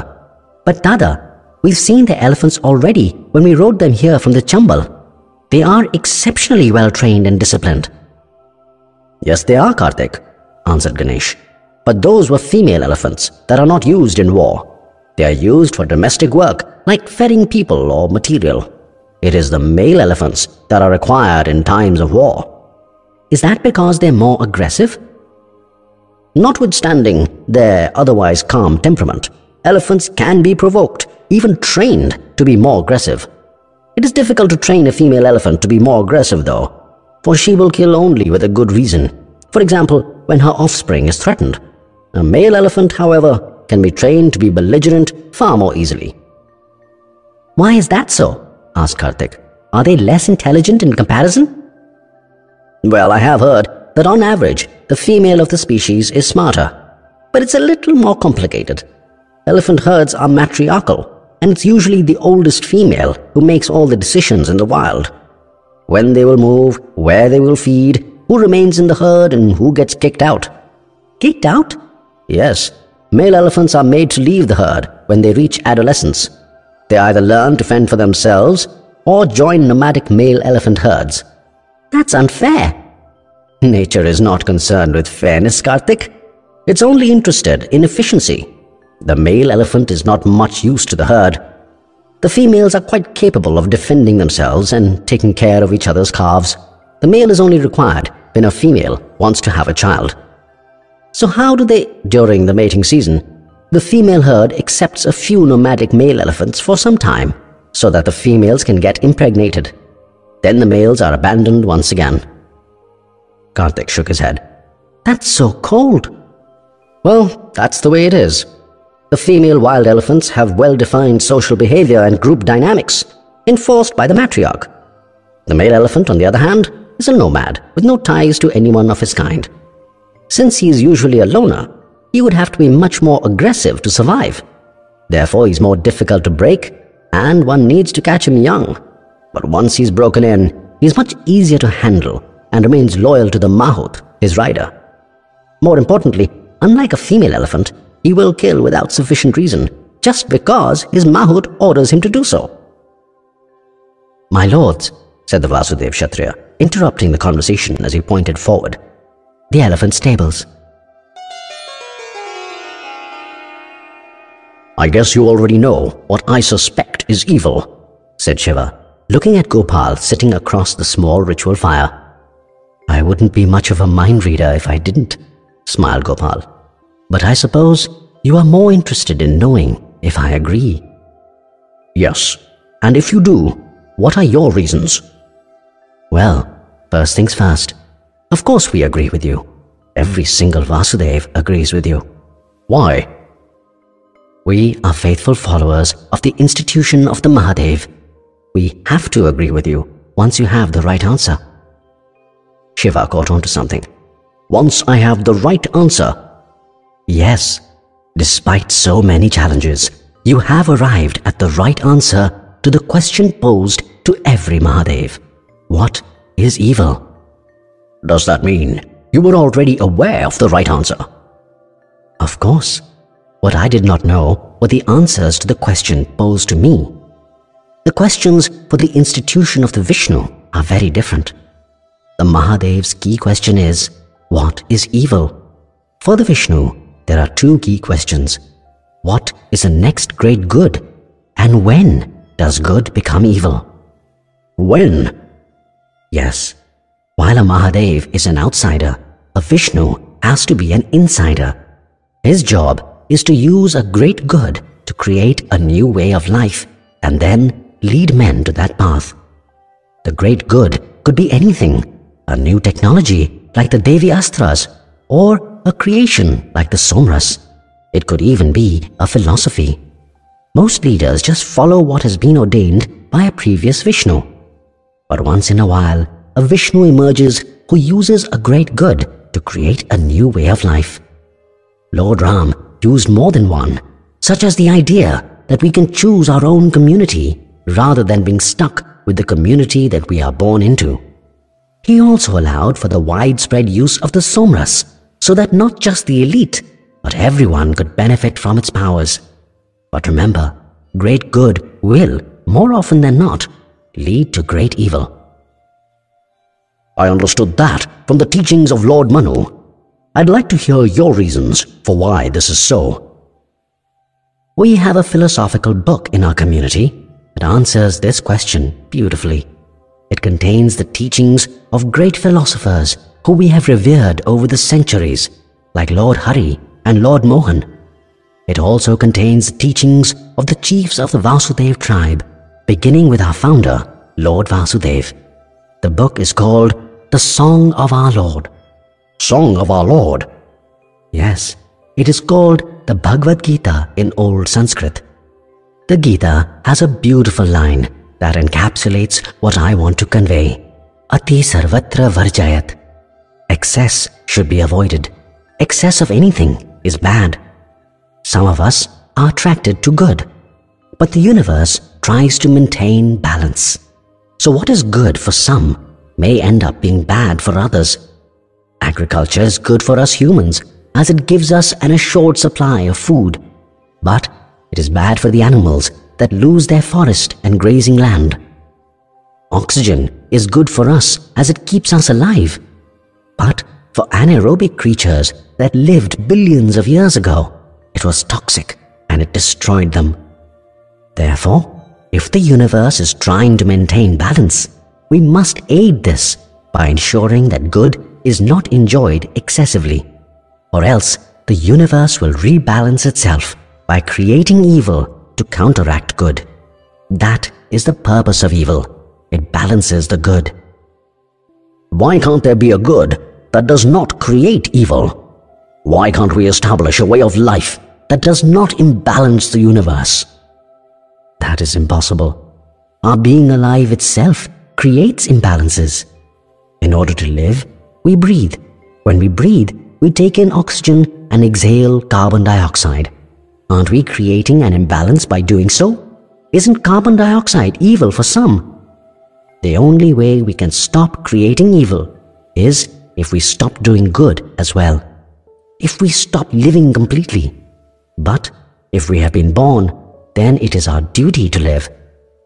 Let us look at it from the perspective of the universe. The only time the universe was in perfect balance was at the moment of its creation.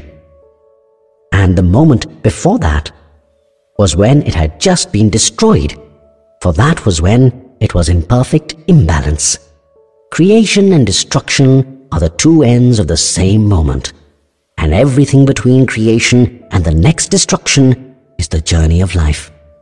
The universe's dharma is to be created, live out its life till its inevitable destruction, and then be created once again.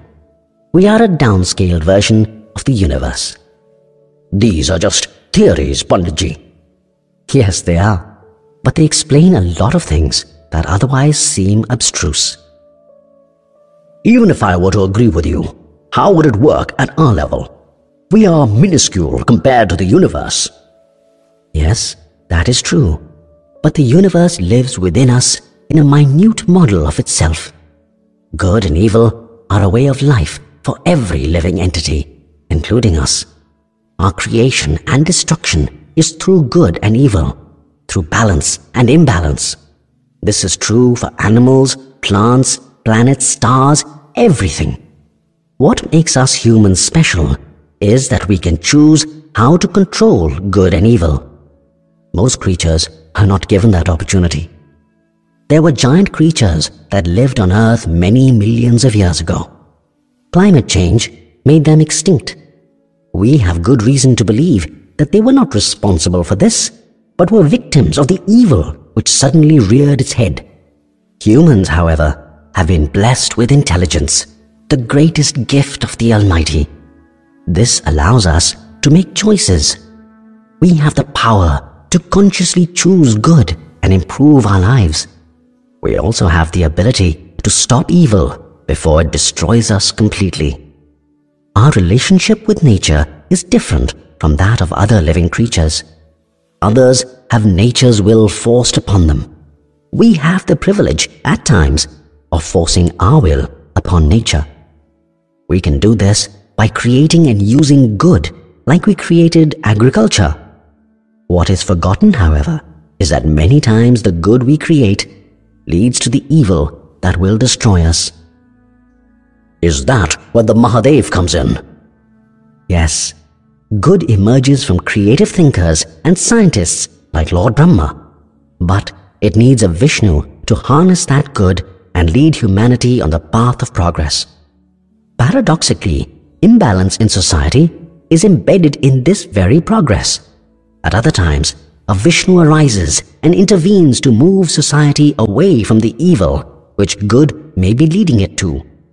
He creates an alternative good. By diluting the potency and hence the toxic effects of the Somras waste, Brahaspati was attempting just such an intervention.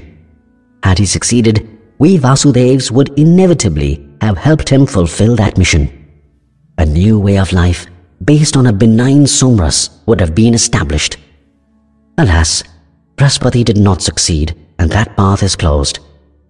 There exists only the path of the Mahadev now, to confront and then lead people away from the good that has now become evil. So, a Vishnu can make people move away from a good that has turned evil by offering an alternate good. But a Mahadev has to ask people to give up a good without offering anything in return. Yes, and that is not an easy thing to do. The Somras is still good for a lot of people. It increases their lifespan dramatically and enables them to lead youthful, disease-free and productive lives. But it is evil for society as a whole. We are asking people to sacrifice their selfish interests for the sake of a greater good, while giving them nothing in return. This requires an outsider, a leader who people will follow blindly. This requires a God who excites fervent devotion.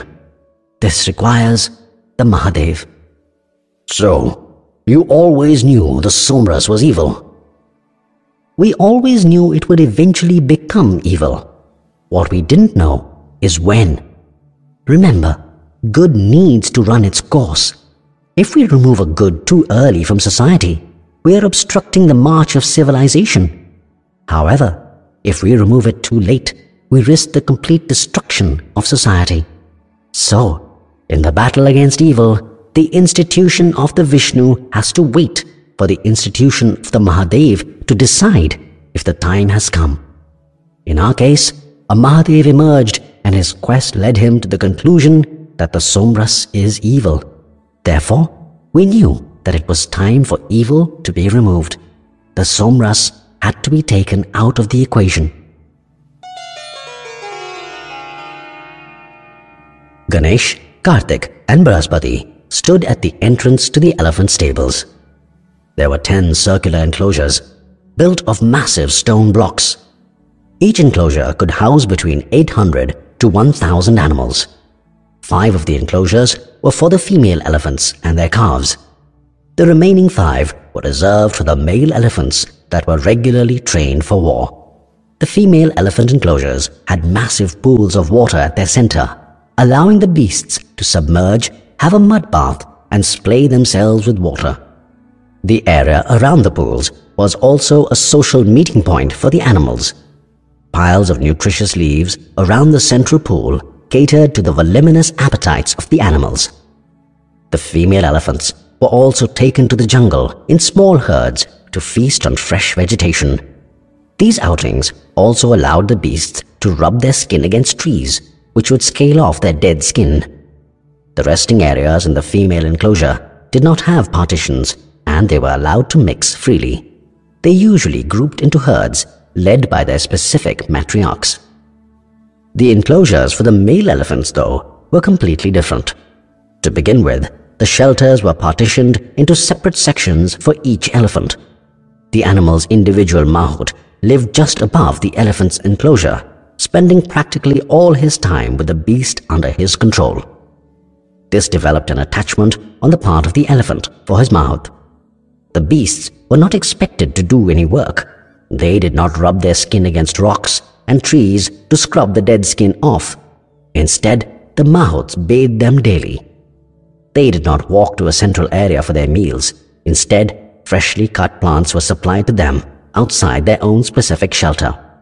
The male elephants had only one task train for war. The central area of the male elephant enclosures had been suitably prepared for that purpose.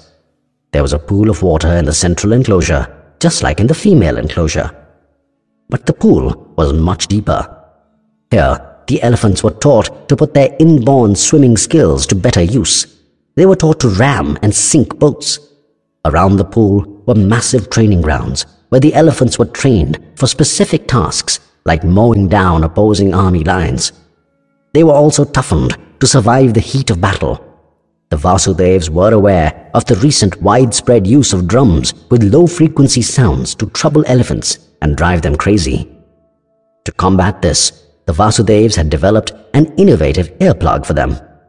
Furthermore, the elephants were also subjected to a daily bout of low-frequency war drums to help them get used to the sounds.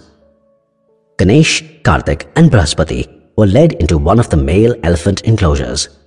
The Vasudev led them directly to one of the animals that he was personally proud of. As he reached the enclosure, he called out to the Mahout, instructing him to bring the elephant out of his shelter. The Mahout immediately did so, sitting proudly on top of the beast just behind his head. To Ganesh's surprise, the elephant's eyes had been covered by its headgear. The Vasudev Kshatriya clarified that the covers could be removed easily by the Mahout from his position. It was used when they wanted the elephant to act solely on the Mahout's instructions and not based on what it saw. A metallic cylindrical ball was tied to its trunk with a bronze chain. The Vasudev then proceeded to set up a round wooden board as a target. It was roughly three times the size of a human head. You may want to step back, said the Vasudev to the assemblage. As the visitors stepped back, the Vasudev looked towards the Mahout and nodded. The man gently pressed his feet into the back of the elephant's ears in a series of instructions. The elephant stepped languidly up to the wooden target and shook his head, acknowledging the orders. Then, all of a sudden, with the speed of lightning, it swung its mighty trunk, hitting the wooden board smack in the center with a metallic ball, smashing the target to smithereens. Kartik whistled softly in appreciation. Ganesh looked toward the Vasudev. Can we make the target a little more interesting? The Vasudev was so confident of his elephant that he immediately agreed. Another wooden target was brought in, but placed on a board with wheels at the bottom, as Ganesh had instructed. He painted a smaller circle on the wooden board as a target. It was the size of a human head. In addition, Ganesh asked for the metallic ball tied to the elephant's trunk to be painted a bright red. Thus, they'd know exactly where the ball would hit the target. The Mahout was tasked with ensuring that the elephant struck the smaller circle with his metallic ball, even as two other soldiers moved the board around with long ropes. The target simulated a man trying to avoid the elephant's blow. If the elephant could be used to kill a specific man rather than for mass butchery, then one could target the leader of an opposing army, rendering it headless. Everyone stepped back. The Mahout kept his eyes pinned to the board as he issued instructions through his feet, making the elephant move slowly toward the target. The soldiers with the ropes were alternately pulling and releasing their lines, keeping the target in constant motion. Suddenly, the Mahout dug in deep with his right foot and the elephant swung his mighty trunk. The metallic ball hit the center of the wooden board. It was a killer blow. Ganesh smiled and swore in the name of the legendary Lord of the Animals. By the great Pashupatinath himself, what an elephant!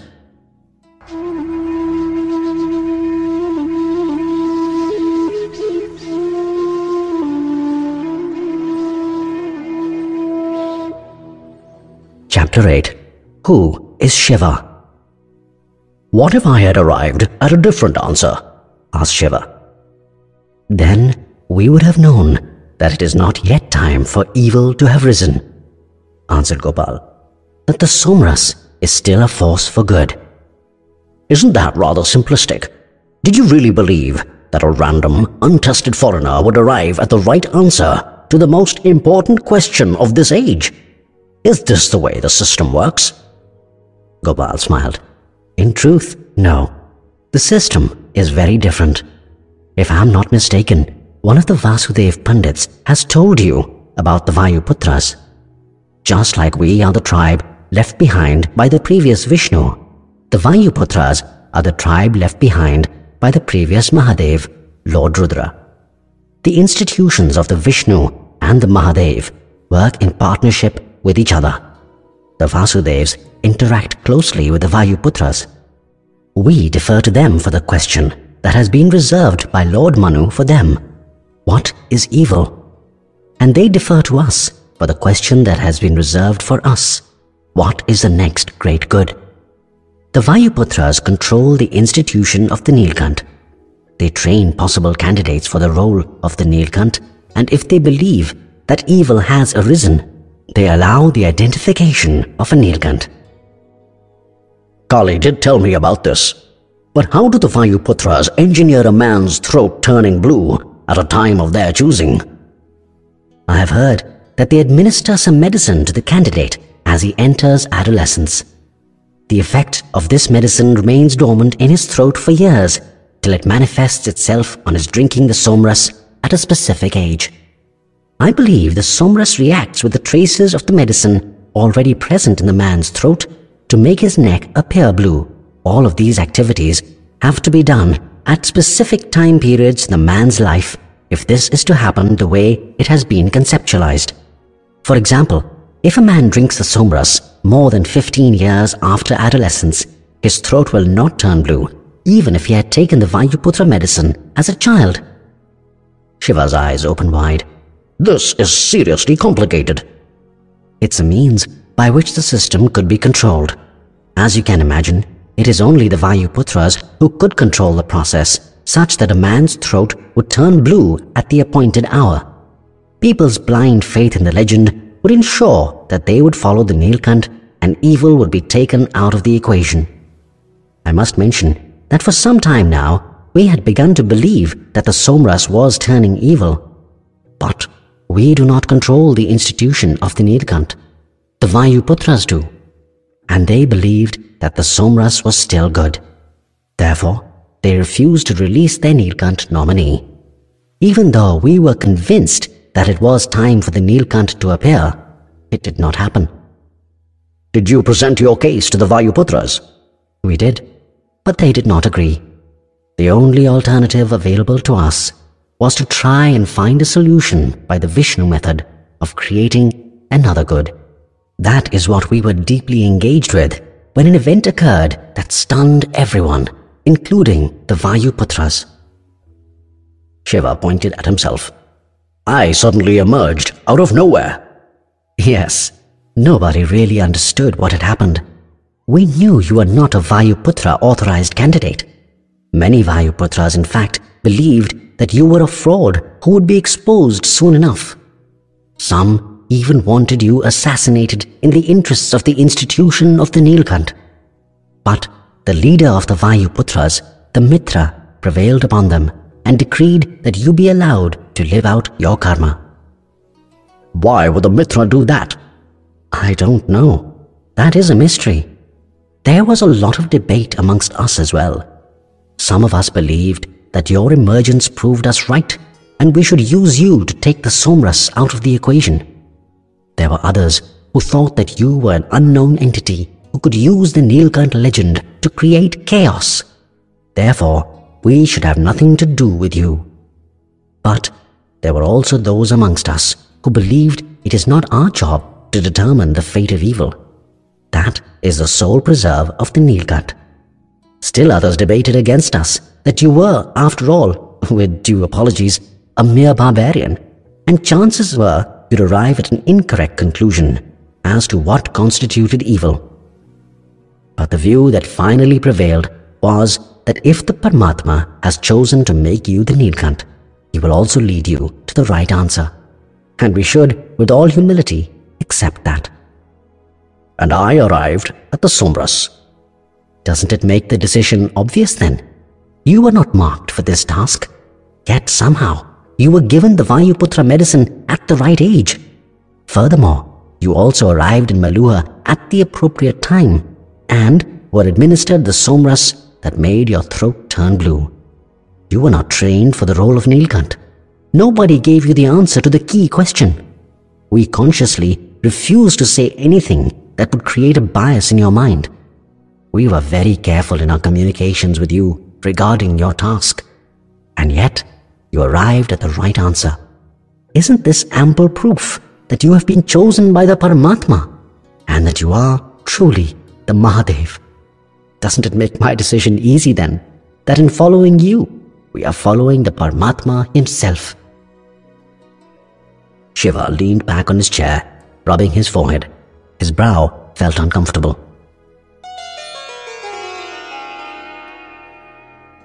On returning from their short tour of Ujjain, Brahaspati, Ganesh and Kartik joined Sati, Nandi and Parashuram at the guest house. How is the city, Brahaspati ji? asked Sati. Beautiful and well organized, answered Brahaspati. This city is a better rendition of Lord Ram's principles than even Meluha and Panchavati. Sati turned to Ganesh and Kartik. My sons, did you like the city? Ganesh's tactical mind reflected in his opinion. Ujjain is nice, what fascinated me were the elephant stables. We watched the mahouts tend to these beasts of war, each one of the 5,000 of them equivalent to a thousand foot soldiers. I dare say our strength has increased manifold, given that the Vasudevs follow the Nilkant. With these elephants on our side, we are not as precariously placed as we were earlier. Precariously placed? asked Parashuram. Lord Ganesh, forgive me for disagreeing with you, but how can you say that? We have the Nilkant with us. That means a vast majority of Indians will be with us. I would say that the odds overwhelmingly favor us. Parashuram, I have always admired your bravery and your utter devotion to the Nilkant. But hope alone does not win battles. Only an honest evaluation of one's weaknesses, followed by their mitigation, can win the day. What weaknesses can we have? We are led by the Nilkant. The people will follow him. The people will follow the Nilkant, but their kings won't. And remember, the people do not control the army. Kings do. Emperor Daksh is already turning against us. So is Emperor Dilipa. Together, they have the technological wizardry of Meluha and the sheer numbers of Swadweep. That makes a very strong army. But Tada, argued Kartik, even the most capable army is of little use if it is led by incapable leaders. Do you see any good generals on their side? I see none. Ganesh shook his head and looked at Brahaspati and Nandi before turning back to Kartik. They have the best. They have Lord Parvateshwar. Sati burst in angrily. Ganesh, I have warned you to desist from insulting Pitratulya. I know he's like a father to you, Ma, said Ganesh politely. But the truth is, Lord Parvateshwar will fight for Meluha. No, he will not. Your father trusts him completely. How can you believe he will escape and join those who tried to kill the Nilkant? Ma, Parvateshwarji has too much honor to escape. He will leave openly once he has revealed his intentions to Baba. And trust me, Baba will let him go. He will not even try to stop him, for they are both honorable men who'd rather bring harm upon themselves than forsake their honor. Indeed, he is an honorable man, Ganesh. Will that sense of duty not bind him to the path of the Nilkant? No. Parvateshwarji is with Baba because he is inspired by him not because he is honor bound to follow him. He is supremely committed to one value alone, as in fact all Meluhans are the protection of Meluha. You can ask any of the Meluhans here. Nandi's eyes flashed with anger as the normally affable man stared at Shiva's son, his eyes unblinking. Lord Ganesh, I have already made my choice. I live for the Nilkant, and I will die for the Nilkant. If that means I have to oppose my country, so be it. I will face my karma for having betrayed my country, but I will not have you questioning my loyalty again. Ganesh immediately reached out to Nandi. I was not questioning your loyalty, brave Nandi. I was wondering how you think General Parvateshwar will react. I don't know how the general thinks. I only know what I think, Nandi bristled. Well, I know how Parvateshwar thinks, said Brahaspati. I realize this will hurt you, Sati, but Ganesh is right. Parvateshwar will not abandon Meluha. In fact, he will battle those who seek to hurt Meluha. And if Shiva, as I hope, decides the Somras is evil, then Meluha will be our primary enemy. The battle lines are drawn, my child. Wordlessly, Sati looked out of the window at the Vishnu temple and sighed. Shiva rubbed his throbbing brow as he pondered over the mystery of his childhood. Gopal bent forward. What is it, great Nilkant? It is not the hand of fate, Panditji, said Shiva. Neither is it the grand plan of the Paramatma that I emerged as the Nilkant. I suspect it was my uncle's doing, though how he did all this is a mystery to me. What do you mean? I remember being administered some medicine in my childhood by my uncle. I used to suffer severe burning between my brows from when I was very young. My uncle's medicine helped me calm the burning sensation. The throbbing persists to this day, but it is not as bad as it used to be. I still recall his words as he readied the medicine. We will always remain faithful to your command, Lord Rudra. This is the blood oath of a. Then he pricked his index finger and let the blood drop into the potion. It was this mix that he gave to me and bade me rub it into the back of my throat. Gopal's eyes had been pinned on Shiva, fascinated. He briefly looked at the Vasudev Pandit from the Ayodhya temple, who was sitting in the first row. The Ayodhya Vasudev spoke up. Great Nilkant, what was the name of your uncle? Manobhu, said Shiva. The stunned Ayodhya Vasudev turned to Gopal. In the great name of Lord Ram! What is it? asked a surprised Shiva.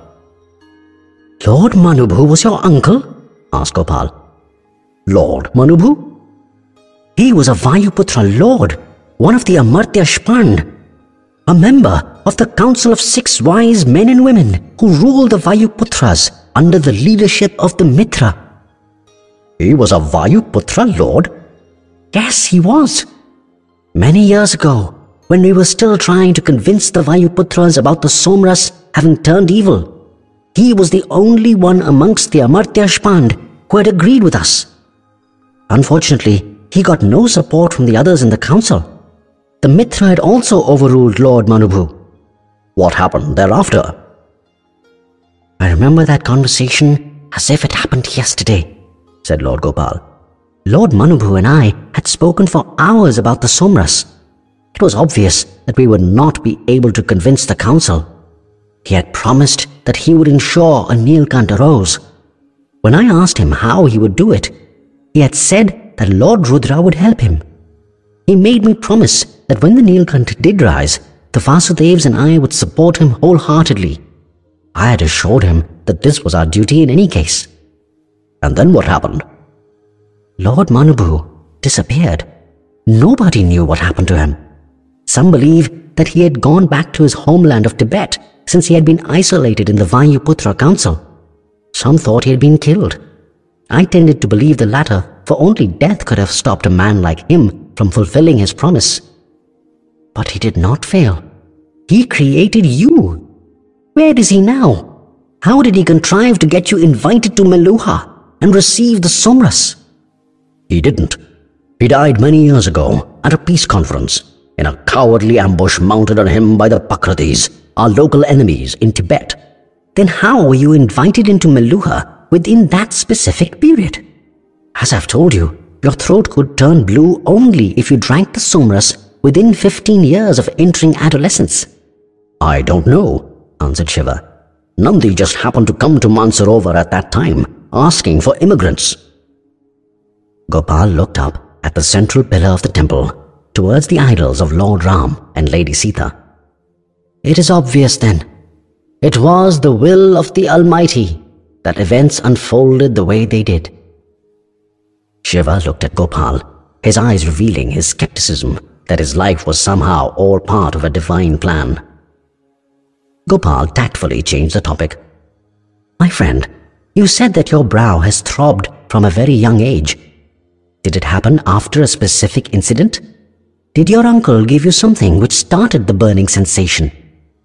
Shiva frowned. No, I've had it for as long as I can remember. I think from when I was born. Whenever I'd get upset, my brow would start throbbing. Would this happen when your heart rate went up dramatically? Shiva thought about it for a second. Yes, whenever I'm angry or upset, my heart does beat dramatically. Or when I think of Sati, but that is a happy heartbeat. Gopal smiled. Which means your third eye has been active from the time of your birth, and that is very rare. It convinces me that you are the one chosen by the Paramatma. Third eye? It is the region between one's brows. It is believed that there are seven chakras or vortices within the human body which allow the reception and transmission of energy. The sixth chakra is called the Ajna chakra, the vortex of the third eye. These chakras are activated by yogis after years of practice. Of course, they can also be activated by medicines. The Vayuputras use medicines to activate the third eye of those amongst their young who are potential candidates. But in all my 140 years, I have yet to hear of a child born with his third eye active. So what is so special about that? It just causes me trouble. It burns dreadfully. Gopal smiled. That is just a small side effect.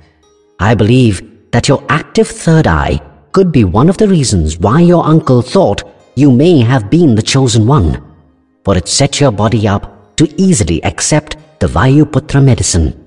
How so? The Parihan system of medicine believes that the pineal gland, which exists deep within our brain, is the third eye. It is a peculiar gland. The cortical brain is divided into two equal hemispheres within which most components exist in pairs. The singular pineal gland, however, is present between the two hemispheres. It is a little like an eye and is impacted by light. Darkness activates it and light inhibits it. A hyperactive pineal gland is regenerative. This is probably what made your body such that the somras did not only lengthen your life, but also repaired your injuries. Furthermore, the pineal gland is not covered by the blood barrier system. Blood barrier system? Yes. One's blood flows freely throughout the body, but there is a barrier when it approaches the brain. Perhaps this is so as to prevent germs and infections from affecting the brain, the seat of one's soul. However, the pineal gland, despite being lodged between the two hemispheres, is not covered by the blood barrier system. It is obvious why your third eye throbs when you are upset. This is the result of blood gushing through your hyperactive pineal gland. Shiva nodded slowly. Does this happen to others? Yes, it does, but only amongst those who practice decades of yoga to train their third eye. Or it is active amongst those who are given medicines to stimulate it. What is unnatural about your case is that you were born with an active third eye. This is unheard of. Shiva shifted uneasily in his chair. So, a congenital event just set me up for this role. My uncle could have got it all wrong. I could still be an erroneous choice, and maybe I will not achieve the purpose set out for me. But I am sure your uncle did not give you the medicine merely because of your active third eye. He would have judged your character and found you worthy. He must have trained you for this. I was trained by him, no doubt. He taught me ethics, warfare, psychology, arts. But he did not say anything to me about my purported task. You must concede he did an excellent job, though, for you have done well as a Nilkant. Just luck, said Shiva wryly. Great Nilkant. A non-believer will credit luck for one's achievements, but a believer in the Paramatma, like me, will know that the Nilkant has achieved all that he has because the Paramatma willed it. And that means that the Nilkant will complete his journey and eventually succeed in taking evil out of the equation. Shiva smiled. Sometimes faith can lean towards oversimplicity. Gopal smiled in return. Maybe simplicity is what this world needs right now. Shiva laughed softly and looked at the audience of Vasudev Pandits, listening to the two of them with rapt attention. Well, many of my doubts have been cleared. The Somras is the greatest good, and will therefore, one day, certainly emerge as the greatest evil. But how do we know that the moment has arrived? How can we be sure? One of the Vasudev Pandits answered, We can never be completely sure, great Nilkant. But if you allow me to express an opinion, we have had a good which has had a glorious journey for thousands of years and humanity has grown tremendously with its munificence. However, we also know that it is close to becoming evil now. It is possible that the Somras is taken out of the equation a trifle early, and the world will lose out on a few hundred years of additional good that it could do. But that pales in comparison to the enormous contribution it has already made for thousands of years. On the other hand, there is the risk that the Somras is getting closer to evil and is likely to lead to chaos and destruction. It is already causing it in substantial measure. I'm not merely referring to the plague of Branga or the deformities of the Nagas. It is believed that the Somras is also responsible for the drastic fall in the birth rate of the Meluhans. Really? Yes, answered Gopal. Perhaps in refusing to embrace death, they pay the price of not seeing their own genes propagate. Shiva acknowledged that he'd understood with a gentle nod.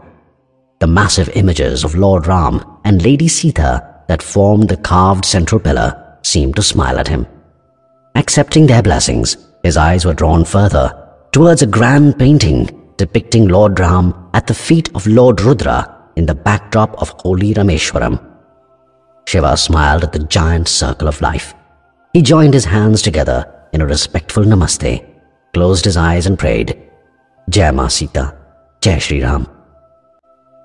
Shiva was resolute as he opened his eyes and beheld Gopal. I have made my decision. We will strive to avoid war and needless bloodshed. But should our efforts prove futile, we shall fight to the last man. We will end the reign of the Somras.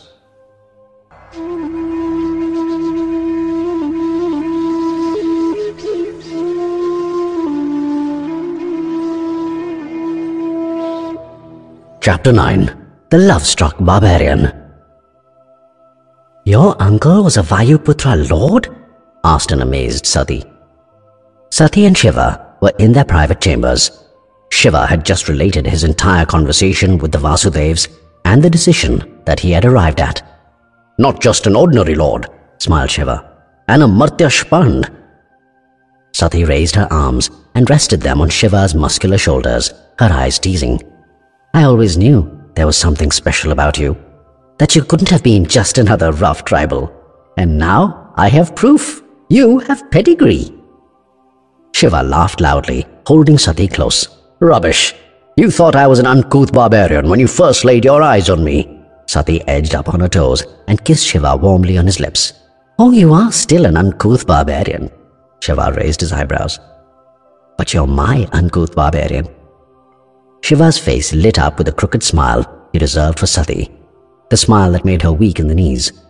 He held her tight and lifted her up close to his lips. Her feet dangling in the air, they kissed languidly, warm and deep. You are my life, whispered Shiva. You are the sum of all my lives, said Sati. Shiva continued to hold her up in the air, embracing her tight, resting his head on her shoulders. Sati had her arms around her husband, her fingers running circles in his hair. So, are you going to let me down sometime? asked Sati. Shiva just shook his head in answer. He was in no hurry. Sati smiled and rested her head on his shoulders, content to let her feet dangle in midair, playing with Shiva's hair.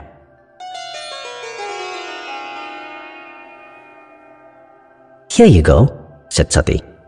Shiva took the glass of milk from her. He liked his milk raw, no boiling, no jaggery, no cardamom, nothing but plain milk.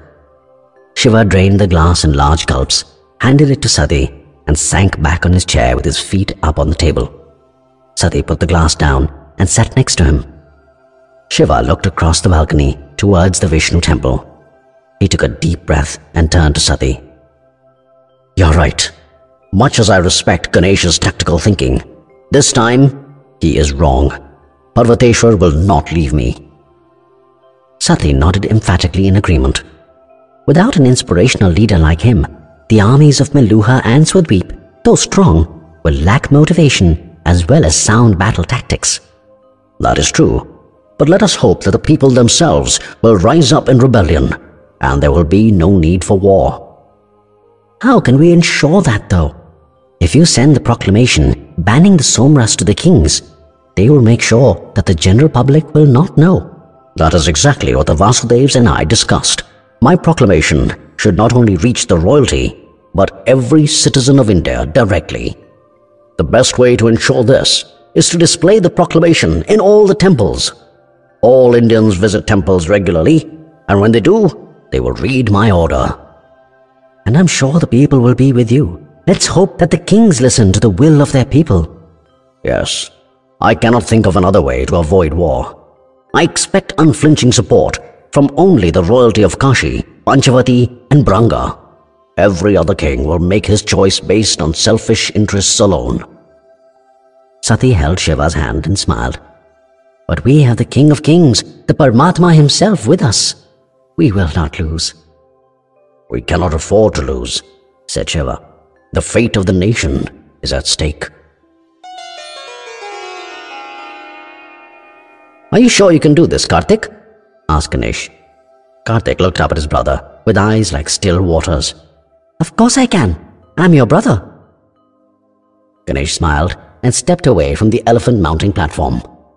Kartik and another diminutive Vasudev soldier were sitting on a howdah atop one of the largest bull elephants in the Ujjain stables. The howdah had been altered from its standard structure. The roof had been removed and the side walls cut by half. This reduced the protection to the riders, but dramatically improved their ability to fire weapons. Kartik had come up with an innovative idea that used the elephant as more than just a battering ram for enemy lines. Instead, it could be used as a high platform from which to fire weapons in all directions. This strategy envisioned a deliberate and coordinated movement of war elephants as opposed to a wild charge. The issue of the choice of weapons, however, remained. Arrows discharged from elephant back could never be so numerous as to cause serious damage. The Vasudev military engineers were ready with a solution. An innovative flamethrower which used a refined version of the liquid black fuel imported from Mesopotamia. This devastating weapon spewed a continuous stream of fire, burning all that stood in its path. The fuel tanks occupied a substantial part of the howdah, leaving just enough room for two such weapons and infantrymen. The flamethrowers were not just heavy, but released intense heat while operational. Therefore, they required strong operators. But constraints of space in the howdah also meant that the operators be, perforce, of short stature. Kartik, along with such a soldier, had volunteered to man this potential inferno. Ganesh stood at a distance along with Parshuram, Nandi and Brahaspati. He shouted out to his brother, Are you ready, Kartik? Kartik shouted back, I was born ready, Dada. Ganesh smiled as he turned towards the Vasudev commander. Let's begin, brave Vasudev. The commander nodded and waved a red flag. Kartik and the Vasudev soldier immediately struck a flame and lit the weapons. Two devilishly long streams of fire burst out and reached almost 30 meters on both sides of the elephant. A protective covering around the elephant's sides ensured it did not feel the heat. Kartik and the Vasudev had been tasked with reducing some 30 mud statues to ashes. The enemy mud soldiers had been spread out to test the range and accuracy of the weapon. Though heavy, the fire weapons were surprisingly maneuverable. The Mahout concentrated on following Kartik's orders and the mud soldiers were reduced to ash in no time. Parshuram turned towards Ganesh. These can be devastating in war, Lord Ganesh. What do you think? Ganesh smiled as he borrowed a phrase from his father. Hell yes.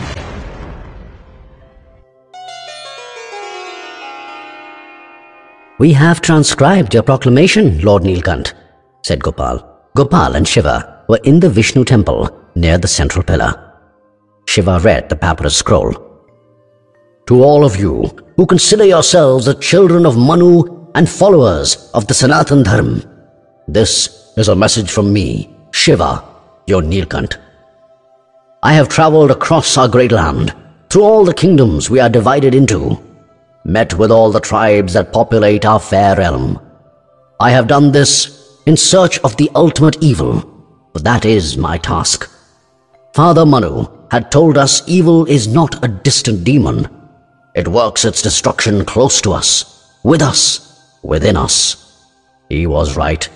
He told us evil does not come from down below and devour us. Instead, we help evil destroy our lives. He was right. He told us good and evil are two sides of the same coin. That one day, the greatest good will transform into the greatest evil. He was right. Our greed in extracting more and more from good turns it into evil. This is the universe's way of restoring balance. It is the Paramatma's way to control our excesses. I have come to the conclusion that the Somras is now the greatest evil of our age. All the good that could be wrung out of the Somras has been wrung. It is time now to stop its use before the power of its evil destroys us all. It has already caused tremendous damage, from the killing of the Saraswati River to birth deformities to the diseases that plague some of our kingdoms. For the sake of our descendants, for the sake of our world, we cannot use the Somras anymore. Therefore, by my order, the use of the Somras is banned forthwith. To all those who believe in the legend of the Nilkant, follow me. Stop the Somras. To all those who refuse to stop using the Somras, know this. You will become my enemy. And I will not stop till the use of the Somras is stopped. This is the word of your Nilkant. Shiva looked up and nodded. This will be distributed to all the pundits in all the Vasudev temples across the Sapt Sindhu, said Gopal. Our Vasudev Kshatriyas will also travel to other temples across the land. They will carry your proclamation, carved on stone tablets, and fix them on the walls of temples. All of them will be put up on the same night, one year from now. The kings will have no way to control it, since it will be released simultaneously all over. Your word will reach the people. This is exactly what Shiva wanted. Perfect, Panditji. This will give us one year to prepare for war. I would like to be in Kashi when this proclamation is released. Yes, my friend. Until then, we need to prepare for war. I also need to use this one year to uncover the identity of my true enemy. Gopal frowned. What do you mean, great Nilkant? I don't believe that either Emperor Daksh or Emperor Dilipa is capable of mounting a conspiracy of this scale. They are obviously being led by someone. That person is my real enemy. I need to find him. I thought you knew who your real enemy is. Do you know his identity? Yes, I do. And you are right. He is truly dangerous. Is he so capable, Panditji? A lot of people are capable, Nilkant. What makes a capable person truly dangerous is his conviction. If we believe that we are fighting on the side of evil, there is moral weakness in our mind. Somewhere deep within, the heart knows we're wrong. But what happens if we actually believe in the righteousness of our cause? What if your enemy genuinely believes that he is the one fighting for good, and that you, the Nilkant, are fighting for evil? Shiva raised his eyebrows. Such a person will never stop fighting, just like I won't. Exactly. Who is this man? He is a Maharishi. In fact, most people in India revere him as a Saptarishi Uttradhikari, said Gopal, using the Indian term for the successors of the seven great sages of yore. His scientific knowledge and devotion to the Paramatma are second to none in the modern age. His immense spiritual power makes emperors quake in his presence. He leads a selfless, frugal life in Himalayan caves. He comes down to the plains only when he feels that India's interests are threatened, and he has spent the whole of last year in either Meluha or Ayodhya. Does he genuinely believe that the Somras is good? Yes, and he believes that you are a fraud. He knows that the Vayuputras did not select you. In fact, we believe that the Vayuputras are on his side. For who else could have given him the Daivi Astras that were used in the attack at Panchavati? Is there a possibility that he could have made the Daivi Astras himself? That is what I assumed must have happened. Trust me, that is not possible. Only the Vayuputras have the know-how to make the Daivi Astras. Nobody else does, not even us. Shiva stared at Gopal, stunned. I didn't expect the Vayuputras to support me. I'm not one of them. But I thought they would at least be neutral. No, my friend. We must assume that the Vayuputras are on the side of your enemy. They may even be in agreement with him about the Somras still being good. Shiva breathed deeply. This man sounded formidable. Who is he?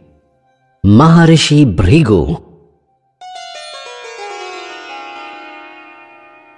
Bhrigu's eyes scanned the distance, observing the Meluhan soldiers practicing their art.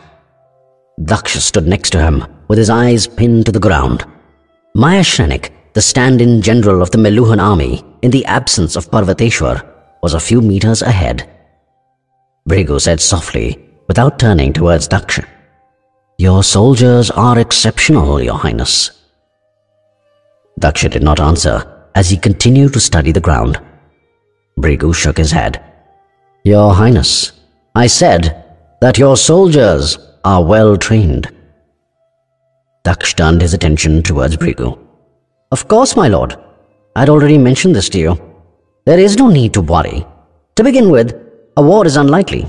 But even the possibility of war leaves little to fear, for I have the combined Ayodhyan and Meluhan armies at my command, which we have much to fear, said Bhrigu, interrupting Daksha. Your soldiers are well trained, but they are not well led. But Mayashrenik, Maya Shrenik is not a leader. He is a great second in command. He will follow orders unquestioningly and implement them effectively, but he cannot lead. But we need someone who can think, someone who can strategize, someone who is willing to suffer for the sake of the greater good. We need a leader. But I am their leader. Bhrigu looked contemptuously at Daksha. You are not a leader, your highness. Parvateshwar is a leader, but you sent him off with that fraud Nilkant. I don't know if he is alive, or even worse, if he has switched loyalties to that barbarian from Tibet. Daksh took offense at Bhrigu's criticism. Parvateshwar is not the only great warrior in Meluha, my lord. We can use Vidyunmali. He's a capable strategist and would make a great general.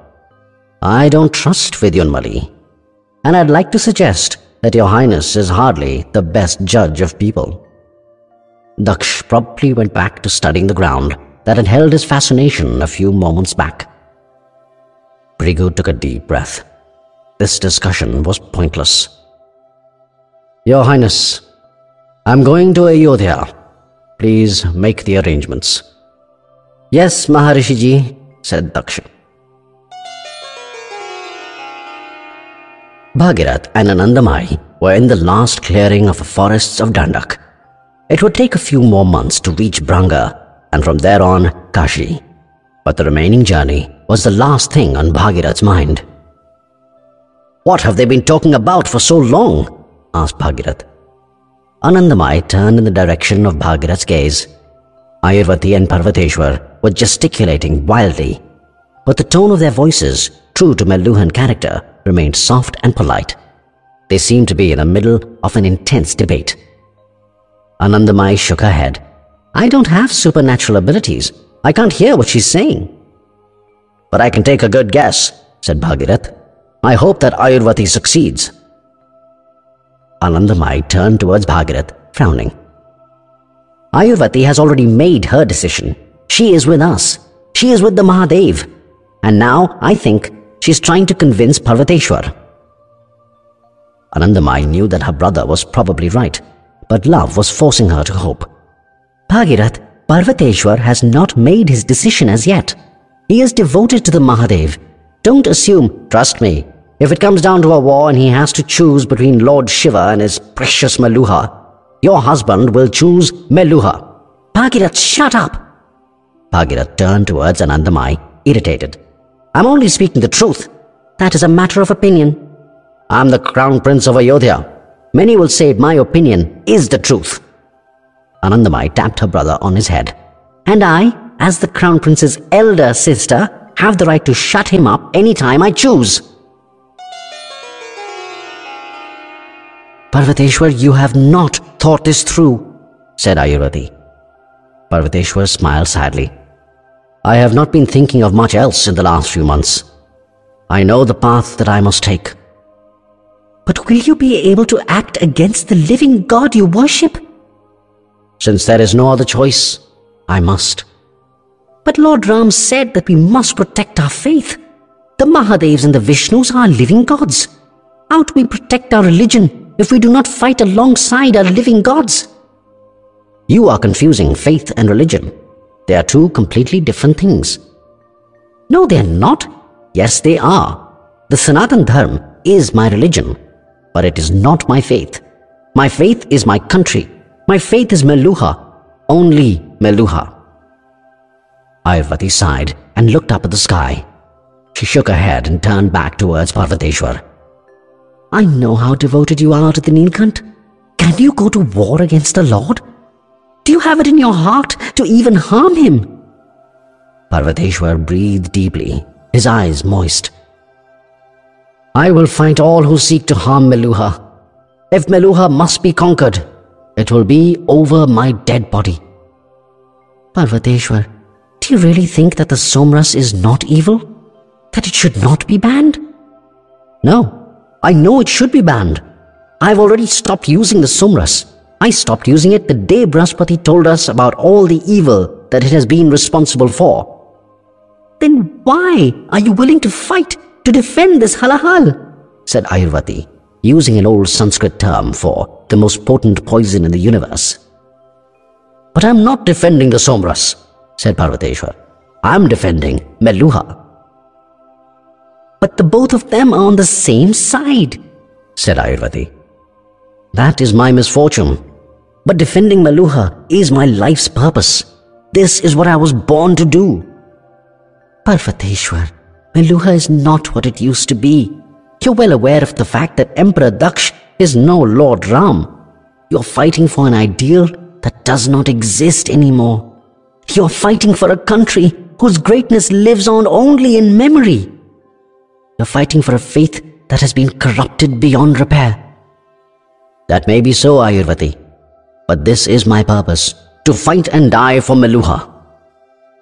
Ayurvati shook her head in irritation, but her voice was unfailingly polite.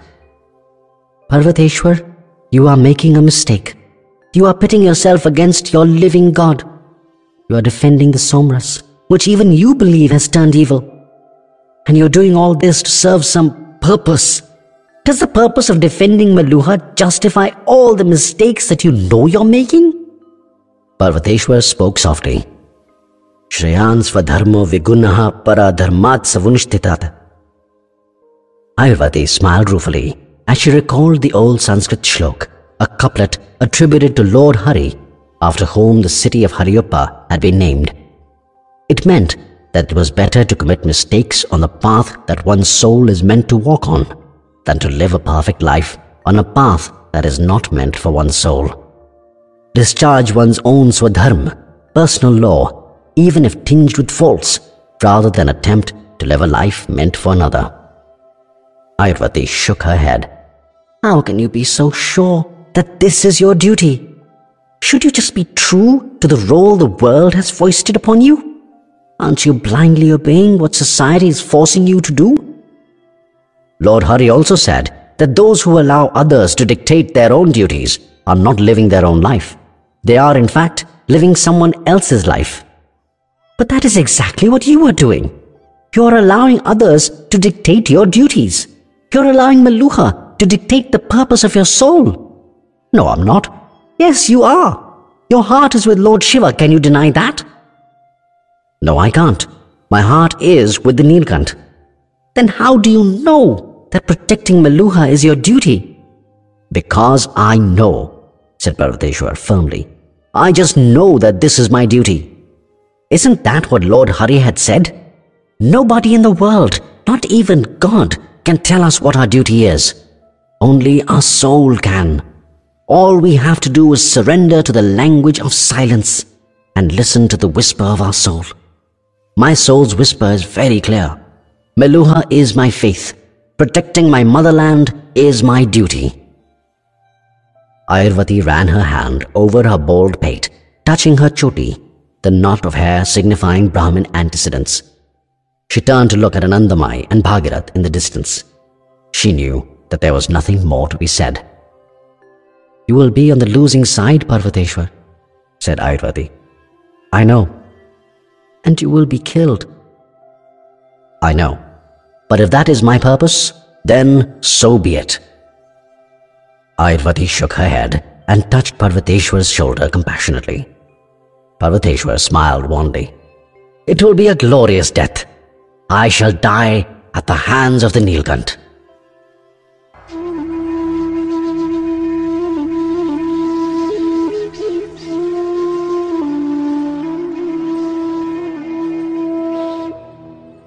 Chapter 10 His name alone strikes fear. Reclining in an easy chair, his legs outstretched on a low table, Shiva, along with Sati, contemplated the Ujjain temple from the chamber balcony. Ganesh leaned against the doorway while Kartik had balanced himself on the railing. Shiva had just related to his family his entire conversation with the Vasudevs, including the identity of their real enemy.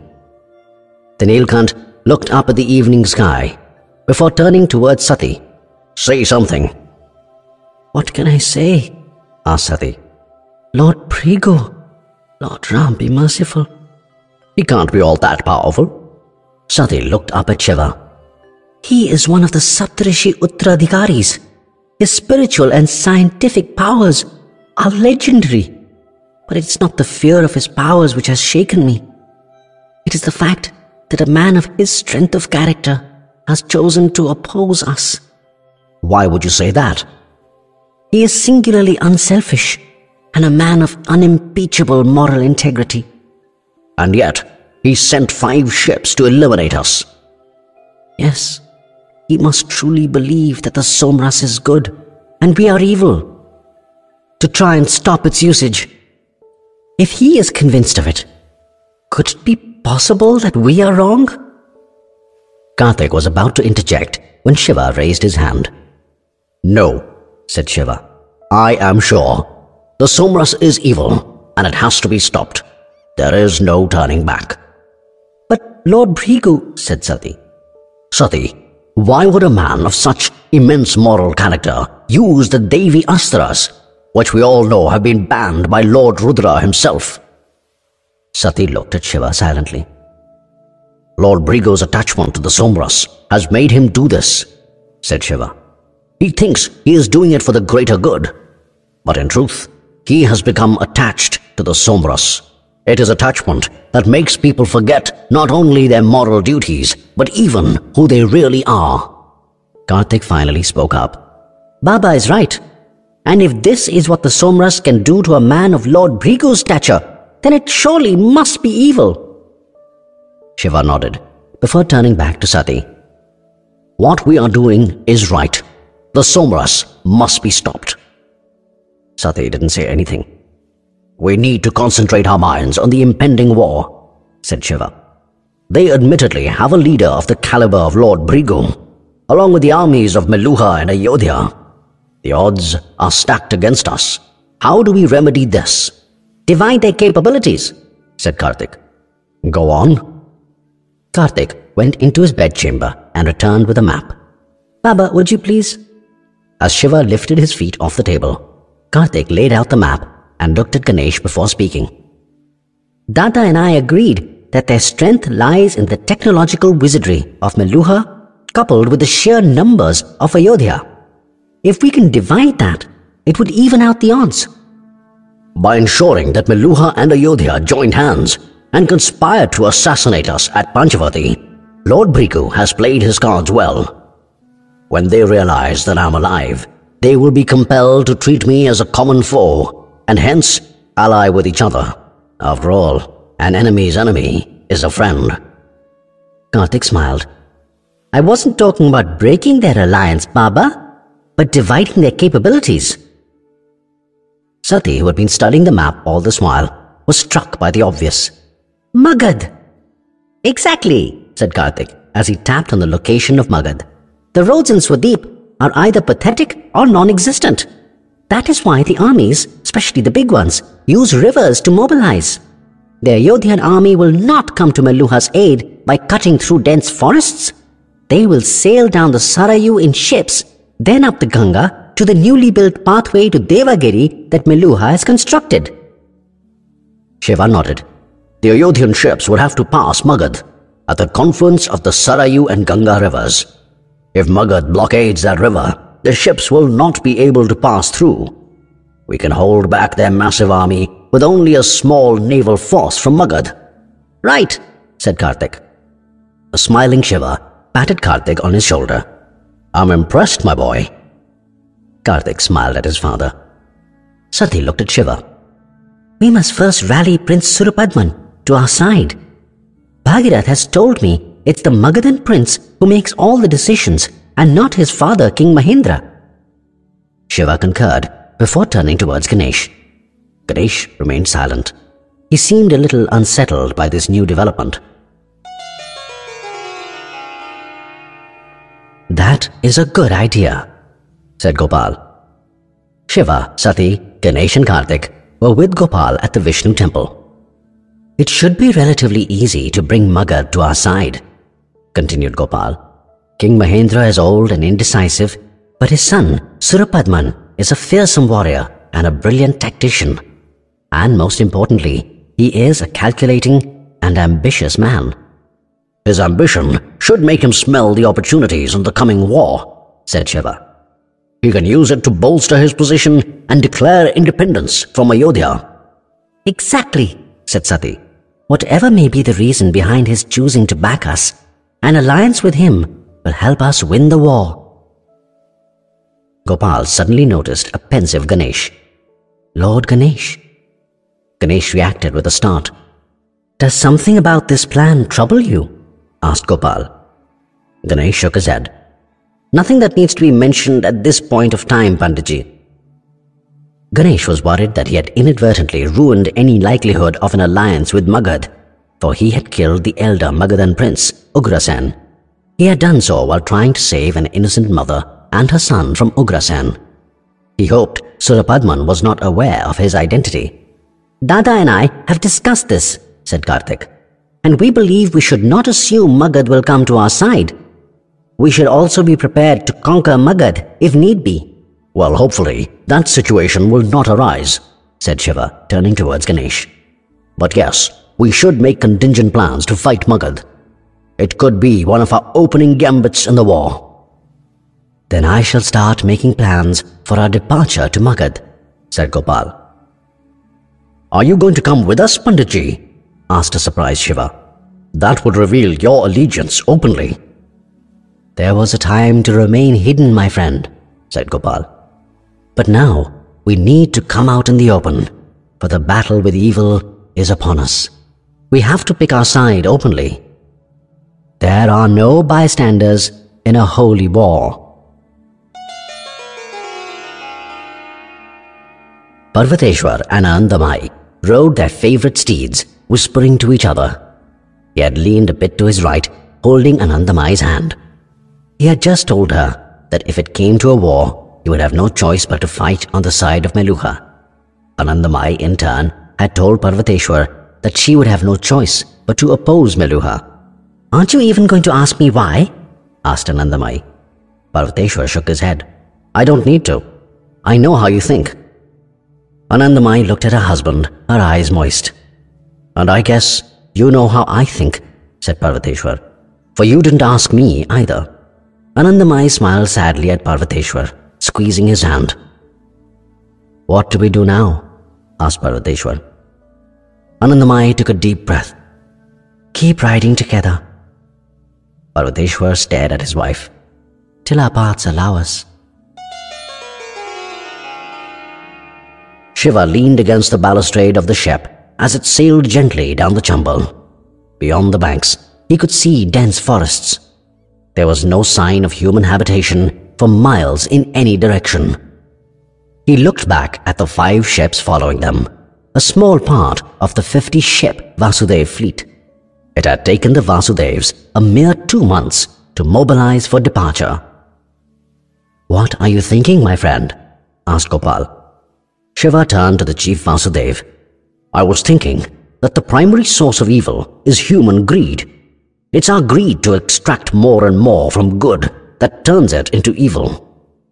Wouldn't it be better if this was controlled at the source itself? Can we really expect humans to not be greedy? How many of us would be willing to control our desire to live for 200 years? The dominance of the Somras over many thousands of years has admittedly done both good and evil, but it will soon perish for all practical purposes. Isn't it fair to say then that it has served no purpose in the larger scheme of things? Perhaps it would have been better had the Somras not been invented. Why embark on a journey when you know that the destination takes you back to exactly where you began? Are there any journeys which do not take you back to where you began? Shiva frowned. Of course there are. Gopal shook his head. If you aren't back to where you began, all it means is that the journey isn't over. Maybe it will take one lifetime, maybe many, but you will end your journey exactly where you began. That is the nature of life. Even the universe will end its journey exactly where it began, in an infinitesimal black hole of absolute death. And on the other side of that death, life will begin once again in a massive big bang. And so it will continue in a never-ending cycle. So what's the point of it all? But that is the biggest folly, great Nilkant, to think that we are on this path in order to get somewhere. Aren't we? No, the purpose is not the destination, but the journey itself. Only those who understand this simple truth can experience true happiness. So you are saying that the destination, even purpose, does not matter? That the Somras had to just experience all this, to create so much good for millennia, and then to descend into creating evil in equal measure? And then to have a Nilkant rise who would end its journey. If one believes this, then in the larger scheme of things, the Somras has achieved nothing. Let me try to put it another way. I'm sure you're aware of how it rains in India, right? Of course I am. One of your scientists had explained it to me. I believe the sun heats the waters of the sea, making it rise in the form of gas. Large masses of this water vapor coalesce into clouds, which are then blown over land by monsoon winds. These clouds rise when they hit the mountains, thus precipitating as rain. Perfect. But you have only covered half the journey. What happens after the water has rained upon us? Shiva's knowing smile suggested that he was beginning to follow. Gopal continued. The water finds its way into streams and then rivers. And finally, the river flows back into the sea. Some of the water that comes as rain is used by humans, animals, plants, anything that needs to stay alive. But ultimately, even the water used by us escapes into the rivers and then back into the sea. The journey always ends exactly where it began. Now, can we say that the journey of the water serves no purpose? What would happen to us if the sea felt that there is no point to this journey, since it ends exactly where it begins? We would all die. Exactly. Now, one may be tempted to think that this journey of water results in only good, right? Whereas a Somras has caused both good and evil. But of course, Shiva smiled wryly, you would disabuse me of any such notion. Gopal's smile was equally dry. What about the floods caused by rains? What about the spread of disease that comes with the rains? If we were to ask those who have suffered from floods and disease, they may hold that rain is evil. Excessive rains are evil, corrected Shiva. Gopal smiled and conceded. True. So, the journey of water from the sea back into the sea serves a purpose as it makes the journey of life possible on land. Similarly, the journey of the Somras served a purpose for many, including you. For your purpose is to end the journey of the Somras. What would you do if the Somras hadn't existed? I can think of so many things. Lazing around with Sati, for example. Or whiling away my time immersed in dance and music. That would be a good life. Gopal laughed softly. But seriously, Hasn't the Somras given purpose to your life? Shiva smiled. Yes, it has. And your journey has given purpose to my life. For what is the point of being a chief Vasudev if I can't help the next Mahadev? Shiva smiled and patted Gopal on his back. Rather than the destination, it is the journey that lends meaning to our lives, great Nilkant. Being faithful to our path will lead to consequences, both good as well as evil. For that is the way of the universe. For instance, my journey may have a positive effect on the future of India, but it will certainly be negative for those who are addicted to the Somras. Perhaps that is my purpose. Exactly. Lord Vasudev had held that we should be under no illusion that we are in control of our own breathing. We should realize the simple truth that we are being breathed. We are being kept alive because our journey serves a purpose. When our purpose is served, our breathing will stop and the universe will change our form to something else so that we may serve another purpose. Shiva smiled.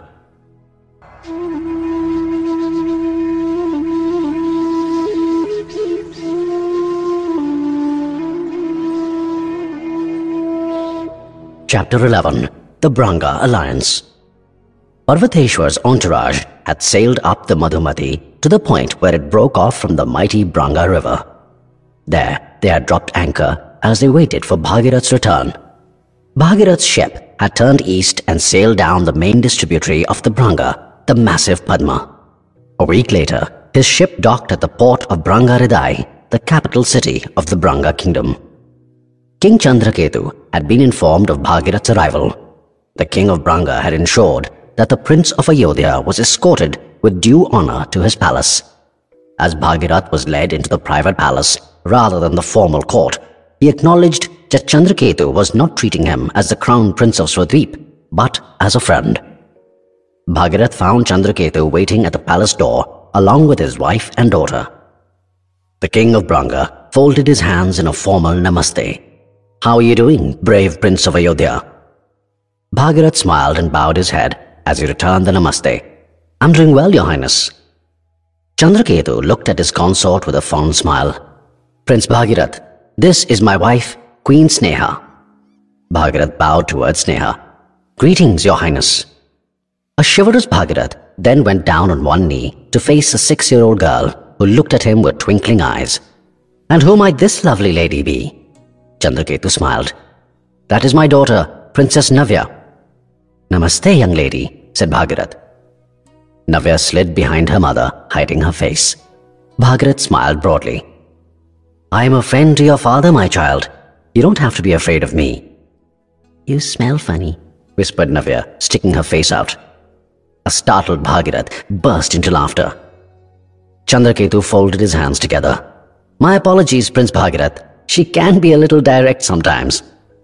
Bhagirath controlled his mirth. No, no, she's speaking the truth. He turned to Navya.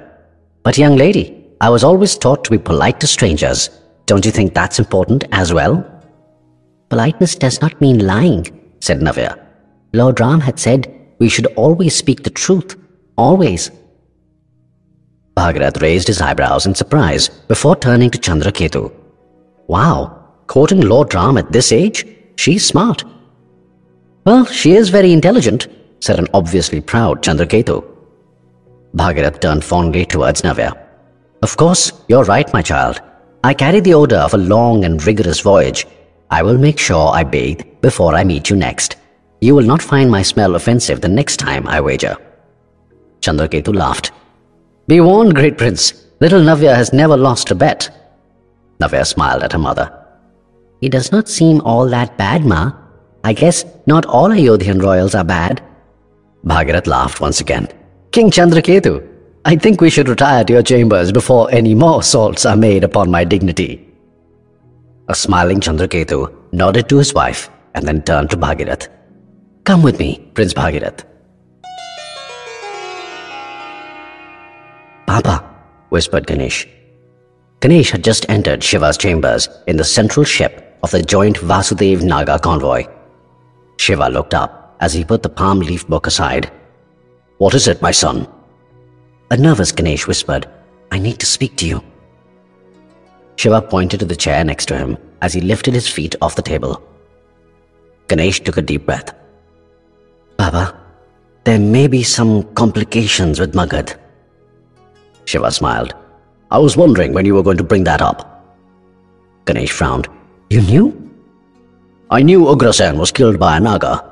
I understand that complicates things. Ganesh kept silent. Well, do you know who killed him? If it was a criminal act, then we should support Surapadman. Not only would justice be served, but it would also help pull Magad to our side. Ganesh didn't say anything. Shiva frowned. Ganesh? It was me, confessed Ganesh. Shiva's eyes widened. Well, this certainly complicates things. Ganesh stayed mute. Did you have a good reason? Yes, I did, Baba. What was it? The Chandravanshi nobility has always patronized the tradition of bull racing. In the quest for the lightest riders, the sport has degenerated to the extent that innocent young boys are being kidnapped and forced to ride the charging bulls. This cruel sport has left innumerable children maimed, and some have even died painful deaths. Shiva looked at Ganesh in horror. What kind of barbaric men would do that to children? Men like Ugrasen. I found him trying to kidnap a young boy. The boy's mother was refusing to let him go, so Ugrasen and his men were on the verge of killing her. I had no choice. Shiva recalled something that Kali had mentioned. Is that the time when you were seriously injured? Yes, Baba. Shiva breathed deeply. Ganesh had once again shown tremendous character, fighting injustice even at risk to his own life. Shiva was proud of his son. You did the right thing. I'm sorry if I have complicated the issue. Shiva smiled and shook his head. What happened, Baba? The ways of the world are really strange, said Shiva. You protected an innocent child and his mother from an immoral prince. The Magadhans, though, did not hesitate to spread a lie that Ugrasen died defending Magad from a Naga terrorist attack. And people chose to believe that lie. Ganesh shrugged his shoulders. The Nagas have always been treated this way. The lies never stop. Shiva looked up at the ceiling of his cabin. What do we do now? asked Ganesh. Nothing different. We'll stick to the plan. Let us hope that Surapadman is ambitious enough to realize where the interests of Magad lie. Ganesh nodded. And you stay in Kashi, continued Shiva. Don't come with us to Magad. Yes, Baba.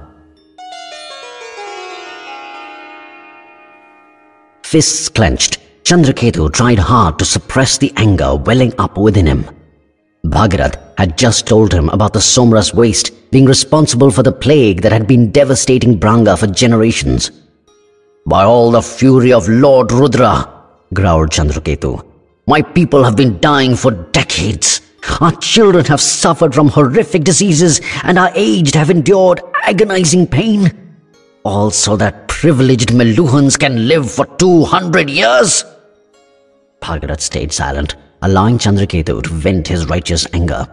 What does the Lord Nilkant have to say? When do we attack? I will send word to you, Your Highness, said Bhagirath.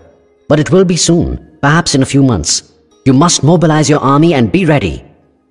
We will not only mobilize our army, but every single Branga who can fight. This is not just a war for us. This is vengeance. My sailors are unloading some gifts from the Nagas and from Parshuram at the Brangaridai docks. As promised by the Nilkant, all the materials required to make the Naga medicine are being delivered to you. A Naga scientist is also going to stay here and teach you how to make the medicine yourselves. These materials, combined with the herbs you already have in your kingdom, should keep you supplied with the Naga medicine for three years. Chandraketu smiled lightly. The Lord Nilkant has honored his word. He is a worthy successor to Lord Rudra. That he is. But I don't think we will need this much medicine. The combined might of Ayodhya and Branga will ensure the defeat of Meluha well within three years. We will stop the manufacturing of the Somras and destroy their waste facility in the Himalayas. Once the waste stops poisoning the Brahmaputra, there will be no plague and no further need for any medicine. Bhagirath narrowed his eyes, hesitating. What is it, Prince Bhagirath? Your Highness, Ayodhya is probably not going to be with us in this war. What? Are you saying Ayodhya may side with Meluha? Yes. In fact, they have already thrown in their lot with Meluha. Then why? Bhagirath completed the question. Why do I act against my own father and kingdom? Yes, why do you? I am a follower of my lord, the great Nilkant. His path is true, and I will walk on it even if it entails fighting my own kinsmen. Chandraketu rose and bowed to Bhagirath. It requires a special form of greatness to fight one's own for the ideal of justice. As far as I am concerned, you are fighting for justice for the Brangas. I shall remember this gesture, Prince Bhagirath. Bhagirath smiled, happy with the way the conversation had progressed. He had accomplished the task that Shiva had given him, but in such a manner as to win the personal allegiance of the fabulously wealthy king of Branga. This alliance would prove useful when he made his move for the throne of Ayodhya. Having heard of Chandraketu's sentimental nature, Bhagirath thought it was wise to seal the alliance in blood. He pulled out his knife, slit his palm and held it up to the king. May my blood flow in your veins, my brother. A moist-eyed Chandraketu immediately pulled out his own knife, slit his palm and held it against Bhagirath's bloodied hand. And may my blood flow in yours. Sitting aft on the deck of the lead ship of the Vasudev Naga fleet, Brahaspati, Nandi and Parshuram could make out the outlines of Ganesh and Kartik practicing their swordsmanship in the vessel behind them. Further back, Shiva sat with Sati on a higher deck. Brahaspati's emotions were tinged with bitter regret. My mission has gained a leader, but I have lost a friend. Nandi turned towards Brahaspati. Of course not, Brahaspatiji. The Lord Nilkant continues to love you. Brahaspati raised his eyebrows and smiled. Nandi, lying does not behove you. Nandi laughed softly. If it makes you feel better, I can tell you that Lord Shiva missed you dearly when he believed that you were dead. You were always on his mind. I wouldn't have expected any less, said Brahaspati. But I don't think he understands why I did what I did. To be honest, said Nandi, Neither do I. It was important to fake your death, I concede. But you probably should have revealed the truth to Lord Shiva. I couldn't have, said Brahaspati. Shiva is the son-in-law of Emperor Daksh, my prime enemy. Had Daksh known that I was alive, he would have sent assassins after me. I wouldn't have lived long enough to conduct the experiments I needed to. And I had no way of knowing whether Shiva would have enough faith in me to not reveal anything to Daksh. Parshuram tried to console Brahaspati. He has forgiven you. Trust me, he has. He may have forgiven me, but I don't think he's understood me as yet, said Brahaspati. I hope there comes a time when I will get my friend back. It will happen, said Parshuram. Once the Somras is destroyed, we will all go with the Lord to Mount Kailash and live happily ever after. Nandi smiled. Mount Kailash is far less hospitable than you imagine, Parshuram. I should know, but I've been there. It is no luxurious paradise. Any place would be paradise, so long as we sit at the feet of Lord Shiva. Have you worn kajal in your eyes? asked a surprised Shiva. Reclining in an easy chair on the raised private deck, Shiva had been gazing fondly at his children as they sparred with each other, swords at the ready. Sati seated herself and leaned close against him, briefly lost in the moment. Shiva had rarely seen Sati use makeup. He believed her beauty was so ethereal that it did not need any embellishment. Sati looked up at Shiva with a shy smile. Her pronounced Suryavanshi personality had been subtly influenced by Chandravanshi women, particularly Anandamai. She was discovering the pleasures of beauty, especially when experienced through the appreciative eyes of the man she loved. Yes, I thought you hadn't noticed. The kohl accentuated Sati's large almond-shaped eyes, and a bashful smile made her dimples spring to life. Shiva was mesmerized as always. Wow, it looks nice. Sati laughed softly as she edged up to Shiva's face and then kissed him lightly. Ganesh and Kartik were engaged in a furious duel on the foredeck. As had become a tradition with them, they fought with real weapons instead of wooden swords. They believed that the risk of serious injury would focus their minds and improve their practice. They would halt just before a killer strike and demonstrate to the other that an opening had been found. Converting his smaller size to his advantage, Kartik pressed close to Ganesh, cramping him and making it difficult for his taller opponent to strike freely. Ganesh stepped back and swung his shield down in a seemingly defensive motion, but halted the movement inches from Kartik's shoulder. Kartik, my shield has a knife, said Ganesh as he pressed a lever to release it. This is a strike on my account. I've said this to you before. Fighting with two swords is too aggressive. You should use a shield. You ended up leaving an opening for me. Kartik smiled. No, Dada. The strike is mine. Look down. Ganesh's eyes fell on his chest as he felt a light touch of metal. Kartik was holding his left sword the other way round, with a small blade sticking out of the hilt end. He had managed to turn the sword around, release the knife and bring it in close, all the while giving the feint of an open right flank to Ganesh. Shiva's elder son had assumed that Kartik had pulled his left sword out of combat. Ganesh stood with his eyes wide open, seriously impressed with his brother. How in Lady Bhumi Devi's name did you manage that? Shiva, who had seen the entire maneuver from his upper deck, was equally impressed with Kartik. He pulled back from Sati and shouted out, Bravo, Kartik! Sensing angry eyes boring into him, Shiva immediately turned towards Sati. She was glaring at her husband, holding her breath irritably, her lips still puckered. I'm so sorry, I'm so sorry, said Shiva, trying to draw close and kiss Sati again. Sati pushed Shiva's face away with mock irritation. The moments passed. I'm so sorry, it's just that what Kartik did was... Of course, whispered Sati, shaking her head and smiling. It will not happen again. It better not. I'm sorry. Sati shook her head and rested it on Shiva's chest. Shiva pulled her close. I love the kajal. I didn't think it was possible for you to look even more beautiful. Sati looked up at Shiva and rolled her eyes. She slapped him lightly on his chest. Too little, too late.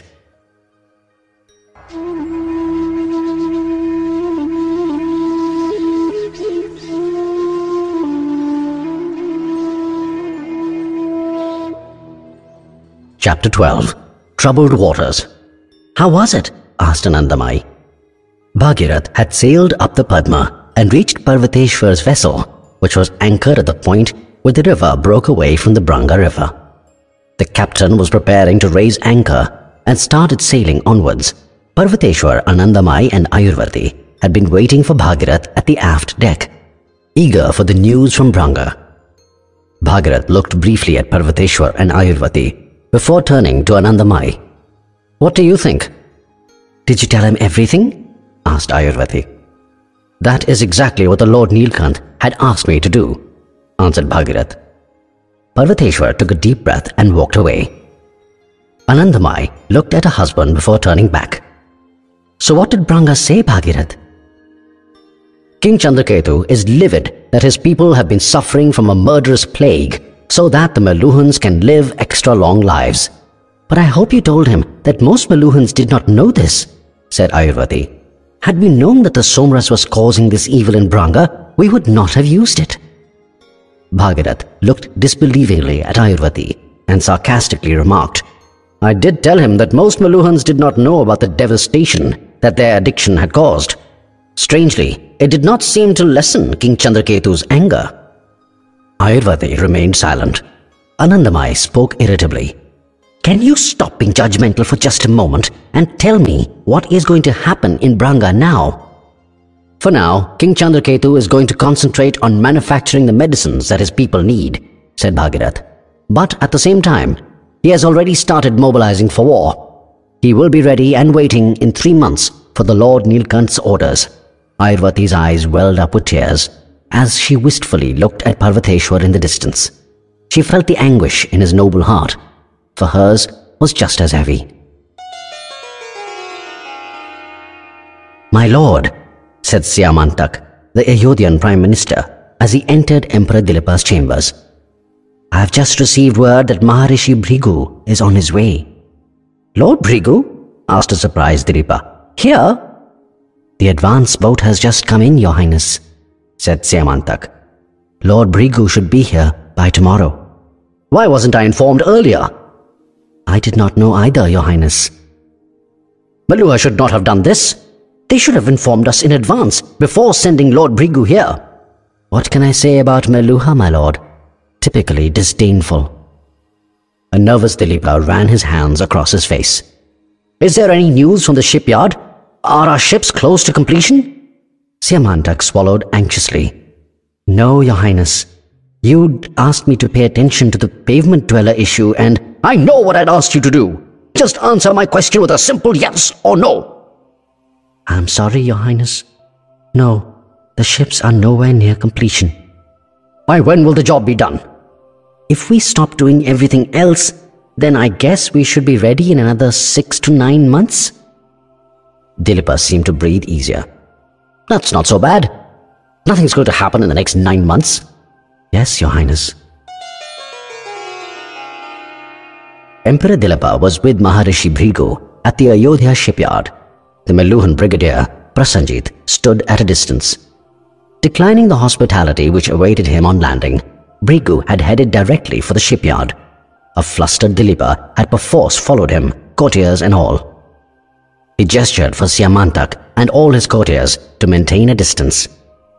He knew that Bhrigu was angry and expected an earful. Your Highness, said Bhrigu slowly, keeping his temper on a tight leash. You had promised me that your ships would be ready. I know, my lord, said Dilipa softly. But honestly, a few months' delay is not going to hurt us. It has been many months since our attack on Panchavati, and there has been absolutely no news of the Nilkant. I- I'm sure we have succeeded. We don't really need to be nervous. I honestly think that the likelihood of a war is substantially reduced. Bhrigu turned to Dilipa. Your Highness, may I request that you leave the thinking to me? Dilipa immediately fell silent. Was it not your suggestion to commandeer your trade ships and refit them for war? Yes, it was, my lord, said Dilipa. I had suggested that we are not likely to fight naval battles on the Ganga. I had told you that we will only need transport ships, for which your trade ships were good enough. Yes, you had, my lord. Yet, you had insisted that in the likelihood of there being river battles, it would be a good idea to have battleships. Yes, my lord. And I agreed on one condition alone, that the battleships would be ready in six months. Correct? Yes, my lord. It has been seven months now. You have stripped down the trade ships, but have still not refitted them. So now, seven months later, not only do we not have any battleships, but we also don't have any trade transport ships. I know it looks very bad, my lord, said Dilipa, wiping his brow with his fingers. But the pavement dwellers here had gone on a hunger strike. A confused Bhrigu raised his hands in exasperation. What does that have to do with the ships? My lord, explained Dilipa patiently, in my benevolence, I had decreed that no Ayodhyan should be roofless. Of course, this onerous task was assigned to the Royal Committee of Internal Affairs, which looks after both housing as well as a royal shipyard. The committee has been seriously debating the execution of this grand scheme over the last three years. Following our last conversation, though, I thought it fit to direct the committee to focus on building ships. The resultant neglect of the free housing scheme angered the pavement dwellers to the point of mass agitation. Public order being paramount, I redirected the committee to concentrate on the housing scheme. I'm glad to say that the seventh version of the housing report, which judiciously takes into account the views of all the citizens, should be ready soon. Once accepted, obviously, the committee can then give its undiluted attention to the matter of building ships. Bhrigu was staring wide-eyed at Dilipa, stunned. So you see, my lord, said Dilipa, I know this is not looking good, but things will be set right very soon. In fact, I expect the committee to start debating the shipyard issue within the next seven days. Bhrigu spoke softly, but his rage was at boiling point. Your Highness, the future of India is at stake, and your committee is debating? But my lord, debates are important.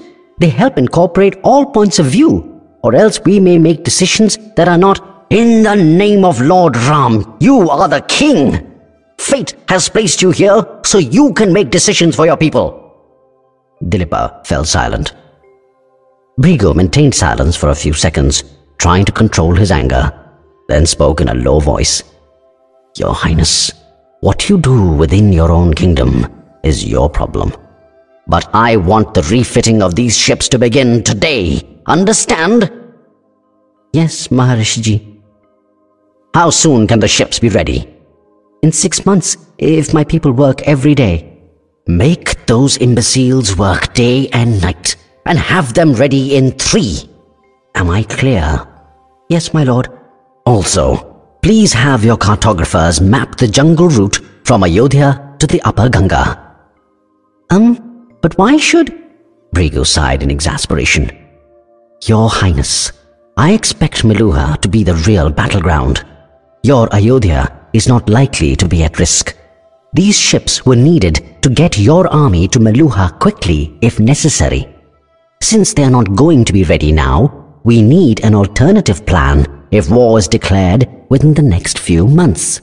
I would need your army to cut through the jungles in a northwesterly direction and reach the upper Ganga close to Dharmakhet. Further on, you can use the new road built by the Meluhans to reach Devagiri. Obviously, since you will be cutting through jungles, this route will be slow and could take many months. But it's better than reinforcements not getting to Meluha at all. And to ensure that your army does not get lost in the jungles, it would be good to have clear maps. I'm sure your commanders would want to reach Meluha in time to help your allies? Dilipa nodded. Also, I will be surprised if Ayodhya is attacked directly. Of course. Why should anyone attack Ayodhya directly? asked Dilipa. We have not harmed anyone. In truth, Bhrigu was not sure that Ayodhya would not be attacked, but he did not care. His only concern was the Somras. Meluha had to be protected in order to protect the Somras. Had it been possible to convince Dilipa to order the Ayodhyan army to leave for Devagiri right away, Bhrigu would not have hesitated to do so. I will order the cartographers to map the route through the jungles, my lord, said Dilipa. Thank you, your highness, smiled Bhrigu. By the way, I notice that even your wrinkles are disappearing. Has the blood in your cough reduced? Disappeared, my lord? Your medicines are miraculous. A medicine is only as good as a patient's responsiveness. All the credit is due only to you, your highness. You are being too kind. What you have done to my body is magical. But my lord, my knee continues to trouble me. It still hurts when I... We'll take care of that as well. Don't worry. Thank you. Bhrigu gestured behind him. Also, I have brought the Meluhan Brigadier Prasenjit here. He will train your army on modern warfare. Um, but please ensure that your soldiers listen to him, your highness. Yes, my lord. The two ships carrying Parvateshwar and his team had just docked at the river port of Vaishali, the immediate neighbor of Branga. Shiva had asked Parvateshwar to speak to the king of Vaishali, Matali, and get his support for the Nilkant. However, keeping in mind his decision to oppose the Mahadev and protect Meluha, Parvateshwar was of the opinion that it would be unethical of him to approach the king. Therefore, he had requested Anandamai to carry out the mission. Bhagirath, Anandamai and Ayurvati were standing aft while they waited for the gangplank to be lowered onto the Vaishali port. Parvateshwar, having opted to stay back, had decided to practice his sword skills with Uttanka on the lead ship. The waiting party gazed at the exquisite Vishnu temple dedicated to Lord Matsya built very close to the river harbor. They bowed low towards the first Lord Vishnu. You will have to excuse me, said Bhagirath, turning towards Anandamai. Are you planning on leaving for Ayodhya right away? asked Anandamai. Yes, why delay it? I intend to take the second ship and sail up the Sarayu to Ayodhya. The Vaishali king's allegiance is a given. He is blindly loyal to the Nilkant. Your meeting him is a mere formality. I may as well concentrate on the other task that the Lord Nilkant has given me. All right, said Anandamai. Go with Lord Ram's blessings, Bhagirath, said Ayurvati. You too, said Bhagirath. While the lead ships of Shiva's convoy berthed at the main Assi Ghat of Kashi, the others docked at the Brahma Ghat nearby. Along with a large retinue, King Athithigva waited in attendance for the ceremonial reception. On cue, drummers beat a steady rhythm and conches blared as Shiva stepped onto the gangplank. Ceremonial artis and a cheering populace added to the festive air. Their living god had returned. King Athithigva bowed low and touched Shiva's feet as soon as he stepped onto the Assi Ghat. Ayushman Bhava, Your Highness, said Shiva, blessing King Athithigva with a long life. Athithigva smiled, his hands folded in a respectful namaste. A long life is not of much use if we are not graced with your presence here in Kashi, my lord. Shiva, always uncomfortable with such deference, quickly changed the subject. How have things been, Your Highness? Very well. Trade has been good. But rumors have been going around that the Nilkant is to make a big announcement soon. I- is that so, my lord? Let us wait till we get to your palace, Your Highness. Of course, said Athithigva. I should also tell you that I have received word through a fast sailboat that Queen Kali is on her way to Kashi. She is just a few days' journey behind you. She should be here soon. With raised eyebrows, Shiva instinctively looked upriver from where Kali's ship would inevitably sail. Well, it would be good to have her here as well. We have a lot to plan for.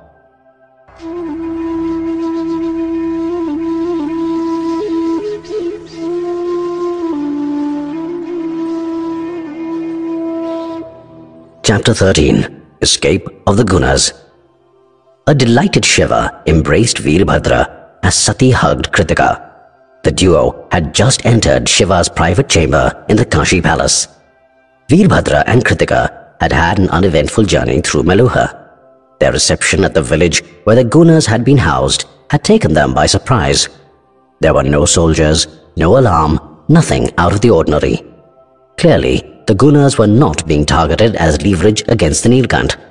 The system-driven Meluhans had achieved what their system had conceived, everybody being treated in accordance with the law, with no special provisions for any particular people.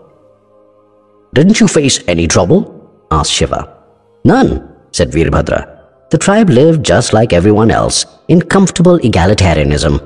We quickly bundled them into a caravan and quietly escaped.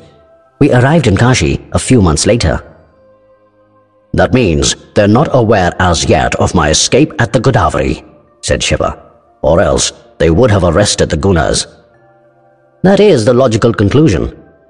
But it also means that if any Meluhan happens to check the Guna village and finds them missing, they will assume that I'm alive and am planning a confrontation. That is also a logical conclusion, but there's nothing we can do about that, can we? No, there isn't, agreed Shiva.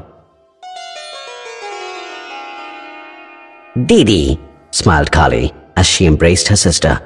How are you doing, Kali? asked Sati. I'm tired. My ship had to race down the Chambal and Ganga to catch up with you. Nice to meet you after so many months, Kali, said Shiva. Likewise, said Kali. How was Ujjain? A city that is worthy of Lord Ram, said Shiva. Is it true that some of the Vasudevs have accompanied you here? Yes, including the chief Vasudev himself, Lord Gopal. Kali whistled softly. I was not even aware of the chief Vasudev's name till just the other day. Hm, and now it looks like I will be meeting him soon. The scenario must be really grim for him to emerge from his seclusion like this. Change doesn't happen easily, said Shiva. I don't expect the supporters of the Somras to fade into the sunset. The Vasudevs, in fact, believe the war has already begun regardless of whether it has been declared or not. That it's just a matter of time before actual hostilities break out. I agree. Is that why my ship was dragged into the Assi River? asked Kali. I was worried that it might not make it into the harbor. This river is so small that it should actually be called a culvert. That is for the ship's protection, Kali, said Shiva. It was Lord Athithigva's idea. The Kashi harbor, just like the city, is not protected by any walls. Our enemies may hesitate to attack the city itself due to their faith in Lord Rudra's protective spirit over Kashi. But any ships anchored on the Ganga would be fair game. Hence the decision to move the ships into the Assi, which as you know, flows into the Ganga, said Sati.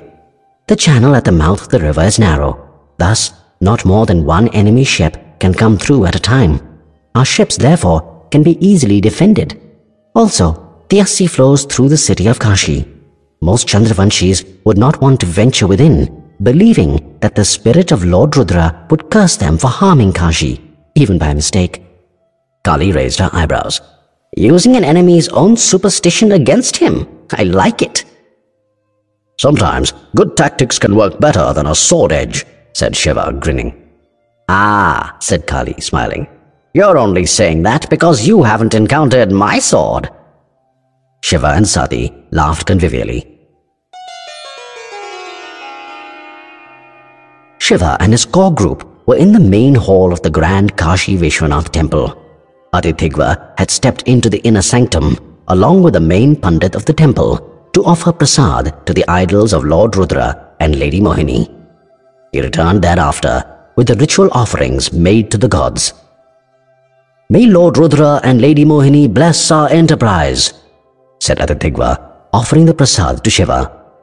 Shiva took the prasad with both hands, swallowed it whole, and ran his right hand over his head, thus offering his thanks to the Lord and Lady for their blessings. Meanwhile, the temple pandit distributed the prasad to everyone else. The ceremonies over, Athithigva sat down with the group to discuss the strategy for the war ahead. The Pandit was led out of the temple by Kashi policemen and the entrance sealed. No one was to be allowed into the premises for the duration of the meeting. My lord, my people are forbidden any acts of violence except if it is in self-defense, said Athithigva. So we cannot join the campaign actively with you. But all the resources of my kingdom are at your command. Shiva smiled. The peace-loving Kashi people would, in any case, not really make good soldiers. He had no intention of leading them into battles. I know, King Athithigva. I would not ask anything of your people that they would be honor-bound to refuse. But you must be able to defend Kashi if attacked, for we intend to house many of our war resources here. We will defend it to our last breath, my lord, said Athithigva. Shiva nodded. He did not really expect the Chandravanshis to attack Kashi. He turned towards Gopal. Panditji, there are many things that we need to discuss. To begin with, how do we keep the Chandravanshis out of the war theatre in Meluha? Secondly, what strategy should we adopt with Meluha? I think what Lord Ganesh and Kartik suggested is an excellent idea, said Gopal. Let us hope we can rope in Magad to our side. Easier said than done, said Kali. Surapadman would be compelled by his father to seek vengeance for his stupid brother Ugrasen. And I don't propose handing over Ganesh for what was, in fact, a just execution. So what are you suggesting, Kali? asked Sati. Well, I'm suggesting that we either fight Magad right away, or we tell them that we will investigate and hand over the Naga culprit as soon as we lay our hands on him. Sati instinctively held Ganesh's hand protectively. Kali laughed softly. Didi, all I'm suggesting is that we make Surapadman think that we are going to hand him over. That way, we can buy some time and attack Ayodhya. Are you saying that we lie to the Magadhans, your highness? asked Gopal. Kali frowned at Gopal. All I'm saying is that we be economical with the truth, great Vasudev. The future of India is at stake. There are so many who are counting on us. If we have to taint our souls with a sin for the sake of greater good, then so be it. I will not lie, said Shiva. This is a war against evil. We are on the side of good. Our fight must reflect that. Baba, said Ganesh, you know I would agree with you under normal circumstances. But do you think the other side has maintained the standards that you are espousing? Wasn't the attack on us at Panchavati an act of pure deception and subterfuge? I don't believe it is wrong to attack an unprepared enemy. Yes, the using Daivi Astras can be considered questionable. Even so, two wrongs don't make a right. I will not lie to win this war. We will win it the right way. Kartik remained silent. Whereas he agreed with the pragmatism of Ganesh's words, he was inspired by the moral clarity in Shiva's. Gopal smiled at Shiva. Satyam vada, asatyam mavada. What? asked Shiva. Kali spoke up. It's old Sanskrit. Speak the truth, never speak the untruth. Sati smiled. I agree. Well, I know some old Sanskrit too, said Kali. Satyam bruyat priyam bruyat, na bruyat satyam apriyam. Shiva raised his hands in dismay. Can we cut out the old Sanskrit one-upmanship? I don't follow what you people are saying. Gopal translated for Shiva. What Queen Kali said means, speak the truth in a pleasing manner, but never speak that truth which is unpleasant to others. It's not my line, said Kali, turning to Shiva. It can be attributed to a sage of yore, I'm sure. But I think it makes sense. We don't have to reveal to Surapadman that we know who his brother's killer is. All we need to motivate him to do is to wait till after we have attacked Ayodhya before choosing his friends and his enemies. His ambition will guide him in the direction that we desire. The walls of Ayodhya are impregnable, warned Gopal, drawing attention to another factor. We might be able to bog them down, but we won't be able to destroy the city. I know, said Ganesh, but our aim is not to destroy Ayodhya. It is to ensure that their navy is unable to sail their forces over to Meluha. Our main battle will be in Meluha. But what if Surapadman attacks from the rear after we have laid siege on Ayodhya? asked Gopal. Caught between Ayodhya in front of us and Surapadman behind us, we could get destroyed. Actually, no, said Ganesh. Surapadman attacking us from behind would make things easier for us. It's when he moves out of Magad that we'll make our move. Shiva, Kartik and Sati smiled. They understood the plan. Brilliant! exclaimed Parashuram. The rest turned to Parashuram for a whispered explanation on the side. You don't have to lie, continued Kali to Shiva. Refrain from telling Surapadman the entire truth, except for those portions which will make him pause. Let his ambition play out the rest. We require him to allow our ships to pass through the confluence of the Sarayu and Ganga towards Ayodhya. Once that is done, we will achieve our objective one way or the other, either by holding Ayodhya back or by destroying the Magadhan army. Shiva's brief nod acknowledged his assent. But what about Meluha? Should we launch a frontal attack with all our might? Or should we adopt diversionary tactics to distract their armies while a small group searches for the secret Somras facility and destroys it? Abhranga and Vaishali forces will battle in Magad and Ayodhya, leaving the Vasudevs and the Naga armies for the Meluhan campaign, said Sati. So we will have much smaller forces in Meluha. Of course, they will be exceptionally well trained and will have superb technological skills like the fire-spewing elephant corps that the Vasudevs have developed recently. But we have to respect the Meluhan forces. They're equally well-trained and technologically adept. So are you suggesting that we avoid direct attack? asked Shiva. Yes, said Sati. Our main aim has to be to destroy the Somras manufacturing facility. It will take them years to rebuild it. That much time is more than enough for your word to prevail amongst the people. The average Meluhan is devoted to the legend of the Nilkant. The Somras will die a natural death. But if we attack directly, the war with Meluha will drag on for a long time. The more it drags on, the more innocent people will die. Also, the Meluhans will begin to look upon the war as an attack on their beloved country and not the Somras. I'm sure there will be large numbers of Meluhans who will be willing to turn against the Somras. But if we challenge their patriotism, then we have no chance of winning. Kali was smiling. What? asked Sati. I noticed that you said they instead of we when you referred to the Meluhans, said Kali. Sati seemed perplexed. She still believed Meluha was her own land. Um, that's unimportant. It's still my country. Sure it is, smiled Kali. Gopal cut in.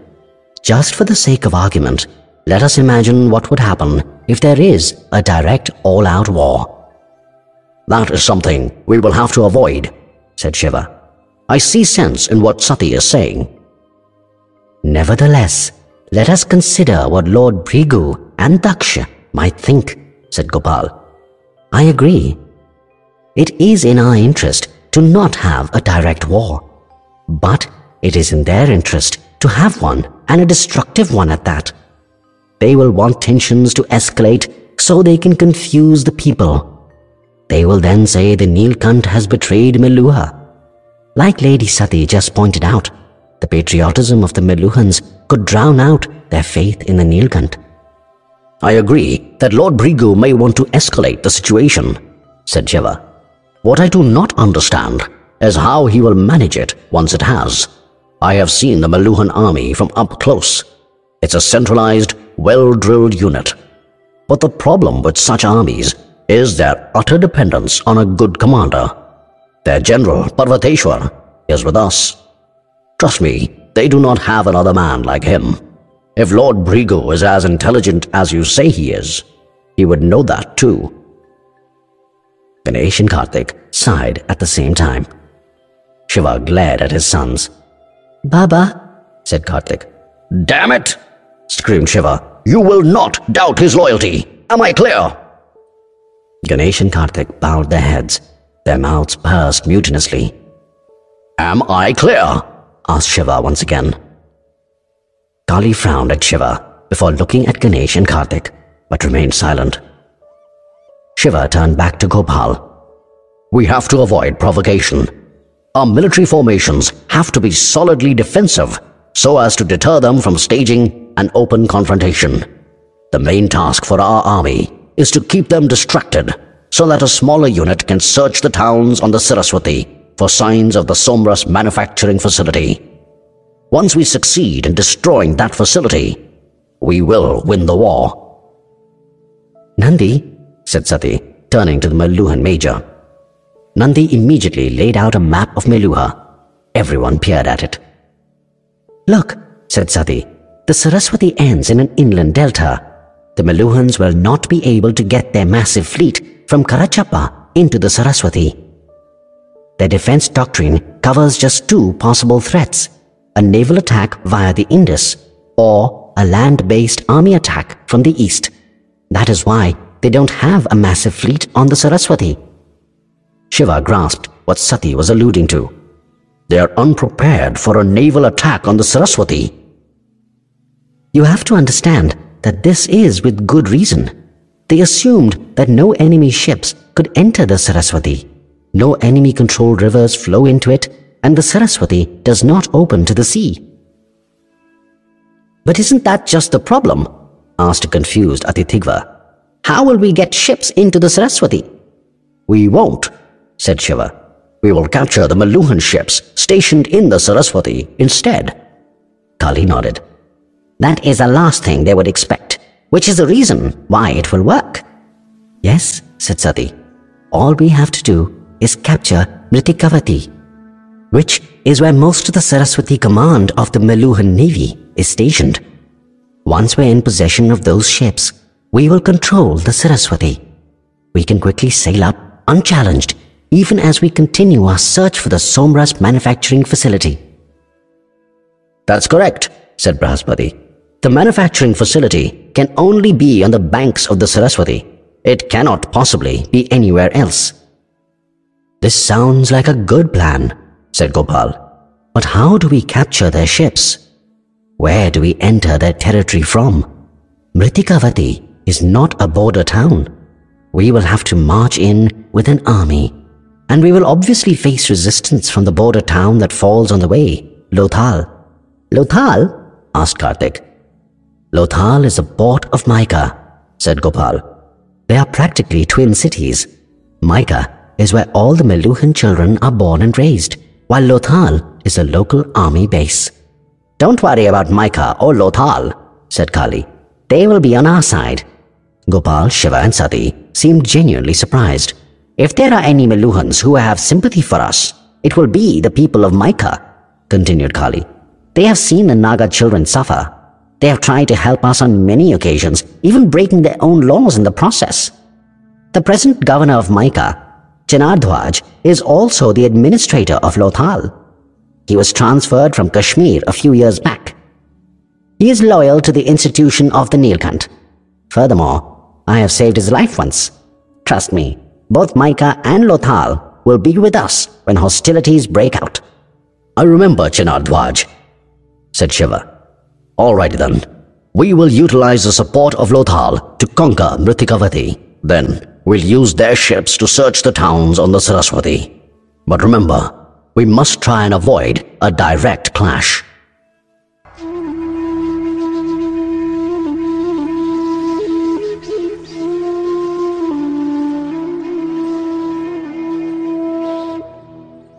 Chapter 14 The Reader of Minds Do you believe we can convince him? asked Shiva. The Vasudev chief, Gopal, had just walked into Shiva's chamber. Sati and the Nilkant were preparing to leave for Magad with him. Ganesh and Kartik had come to say goodbye to their parents. I would have been worried had we been meeting Lord Bhrigu, said Gopal. But it's only Surapadman. What is so special about Lord Bhrigu? asked Shiva. He's only human. Why are all of you so wary of him? He is a Maharishi, Shiva, said Sati. In fact, like Gopalji had mentioned, Lord Bhrigu is believed by many to be beyond a Maharishi. He is a Saptrishi Uttradhikari. You should respect a man, not his position, said Shiva, before turning to Gopal. Once again I ask, my friend, why are you so nervous about him? Well, for starters, he can read minds, said Gopal. So? asked Shiva. You and I can do that too. Every Vasudev Pandit can, in fact. True, but we can only do so while we're in one of our temples. Lord Bhrigu can read the mind of anyone around him, regardless of where he is. Ganesh looked genuinely surprised. How? Well, said Gopal, our brains transmit radio waves when we think. These thoughts can be detected by a trained person, provided he is within the range of a powerful transmitter. But it is believed that Maharishis can go a step further. They do not need to wait till our thoughts are converted into radio waves to be able to detect them. They can read our thoughts even as we formulate them. But how? Thoughts are nothing but electrical impulses in our brain, said Gopal. These impulses make the pupils of our eyes move minutely. A trained person, like a Maharishi, can decipher this movement in our pupils and read our thoughts. Lord Ram, be merciful, whispered a stunned Kartik. I still do not understand how this is possible, remarked a skeptical Shiva.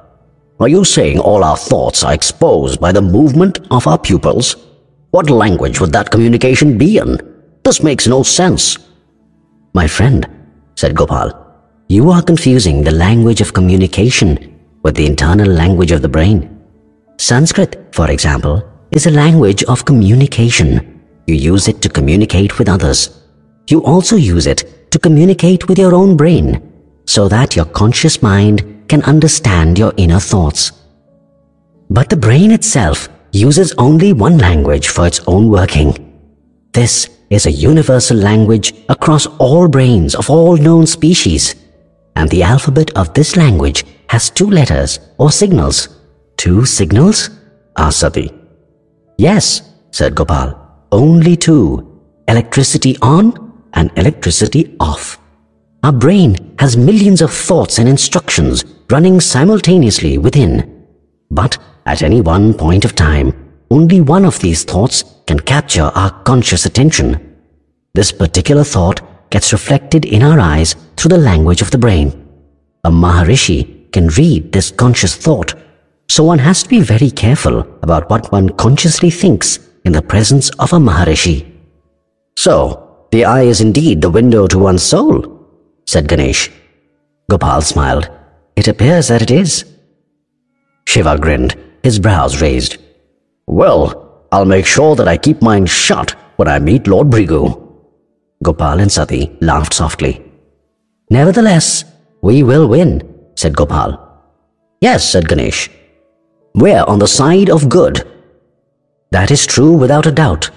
But that is not the reason, Lord Ganesh. We will win because of your father, said Gopal. No, said Shiva. It cannot be only me. We will win because we're all in this together. It is you who brings us together, great Nilkant, said Gopal. Lord Bhrigu may be as intelligent as you are, maybe more. But he is not a leader like you. He uses, rather misuses his brilliance to cow down his followers. They don't idolize him. They are scared of him. You, on the other hand, are able to draw out the best in your followers, my friend. Don't think I did not understand what you did a few days back. You had decided upon your course of action already. But that did not stop you from having a discussion, allowing us to be a part of the decision. Somehow, you guided us all into saying what you wanted to hear. And yet, you made each one of us feel as if it was our own decision. That is leadership. Lord Bhrigu may have a bigger army than ours, but he fights alone. In our case, our entire army will fight as one. That, great Nilkant, is a supreme tribute to your leadership. Shiva, embarrassed as always when complimented, quickly changed the topic. You are being too kind, Gopalji. In, in any case, I think we should leave. Magad awaits us. Bhagirath is here? Siamantak nodded at his stunned emperor. Yes, my lord. But how did he? Prime Minister Siamantak, said Bhrigu, interrupting Dilipa. I would be delighted to meet him. Have Princess Anandamai and her husband accompanied him. No, my lord, said Siamantak. He has come alone. That is most unfortunate, said Bhrigu. Please, show him in with complete honor into our presence. As you wish, my lord, said Siamantak, as he bowed to Bhrigu and Dilipa before leaving the room. As soon as he had left, Bhrigu turned towards Dilipa. Your Highness, you must learn to control yourself. Siamantak is unaware of the attack at the Godavari. I'm sorry, my lord, said Dilipa. It's just that I'm shocked. I'm not. Dilipa frowned. Why, my lord? Did you expect this? I can't say that I expected this specifically, but I had strong suspicions that our attack had failed. The only question was, how would they be confirmed? I don't understand, my lord. Our ships could have got destroyed in so many ways. It wasn't only the destruction of our ships. There is something else. I had asked Kanakhala to try and locate the Gunas. Who are the Gunas? They are the tribe of that fraud Nilkant. The Gunas were immigrants in Meluha. There are standard policies in Meluha for immigrants, one of them being that their records are kept strictly secret. This system ensures that they are not targeted or oppressed and are in fact treated well. But the upshot was that the royal record keeper was refusing to tell his own prime minister where the Gunas were settled. How can the record keeper do that? The prime minister's word would be the order of the emperor, and his word is law. Well, smiled Bhrigu, Meluha is not like your empire, Lord Dilipa. They have this irritating habit of sticking to rules. Bhrigu's sarcasm was lost on Dilipa. So what happened, my lord? Did, did you find the Gunas? At first, Kanakhala seemed quite sure that the Gunas were in Devagiri itself. When that initial search yielded nothing, she had no choice but to approach Emperor Daksh. He passed an order through the Rajya Sabha that would force the Meluhan record keeper to reveal the location of the Gunas. By the time we reached their village, they were gone. Gone where? I don't know. I was told this happens quite often. Many immigrants are not able to adapt to the civilized but regimented life in Meluha and choose to return to their homelands. So I was asked to believe that the Gunas must have gone back to the Himalayas. And did you believe that? Of course I didn't. I suspected the fraud Nilkant must have spirited his tribe away before declaring war. But what could I do? I didn't know where the Gunas were. But why is Bhagirath here? Why would the Nilkant reveal his hand? Fraud, Nilkant, your highness, said Bhrigu, correcting Dilipa. I'm sorry, my lord, said Dilipa. Bhrigu looked up at the ceiling. Yes, why has Shiva sent him here? My god, whispered Dilipa. Could he have been sent here to assassinate me? Bhrigu shook his head. That is unlikely. I don't think killing you, your highness, would serve any larger purpose. Dilipa opened his mouth to say something, but decided instead to remain silent. Yes, continued Bhrigu, narrowing his eyes. We do need to know why Prince Bhagirath is here. I look forward to meeting him. Father, said Bhagirath, as he walked confidently into Dilipa's chamber. Dilipa smiled as best he could. He didn't really like his son. How are you, Bhagirath? I'm all right, father. How was your trip to Panchavati? Bhagirath glanced at Bhrigu, wondering who the old Brahmin was, before turning back to his father. It was an uneventful trip, father. Perhaps the Nagas are not as bad as we think. Some of us have returned early. The Lord Nilkant will join us later. Dilipa frowned, as if surprised, and turned towards Bhrigu. Bhagirath arched his eyebrows before turning towards Bhrigu as well, with a namaste and quick bow of his head. Please accept my apologies for my bad manners, Brahmin. I was overwhelmed with emotion on seeing my father. Bhrigu looked deep into Bhagirath's eyes. Bhagirath is consumed with curiosity about who I am. I better put this to rest so that his conscious mind can move on to more useful thoughts. Perhaps it is I who should apologize, said Bhrigu. I have not introduced myself. I'm a simple sage who lives in the Himalayas and goes by the name of Bhrigu. Bhagirath straightened up in surprise. Of course he knew who Bhrigu was, although he hadn't met him.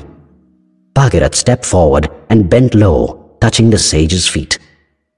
Maharishi Bhrigu, it is my life's honor to meet you. I'm fortunate to have the opportunity to seek your blessings.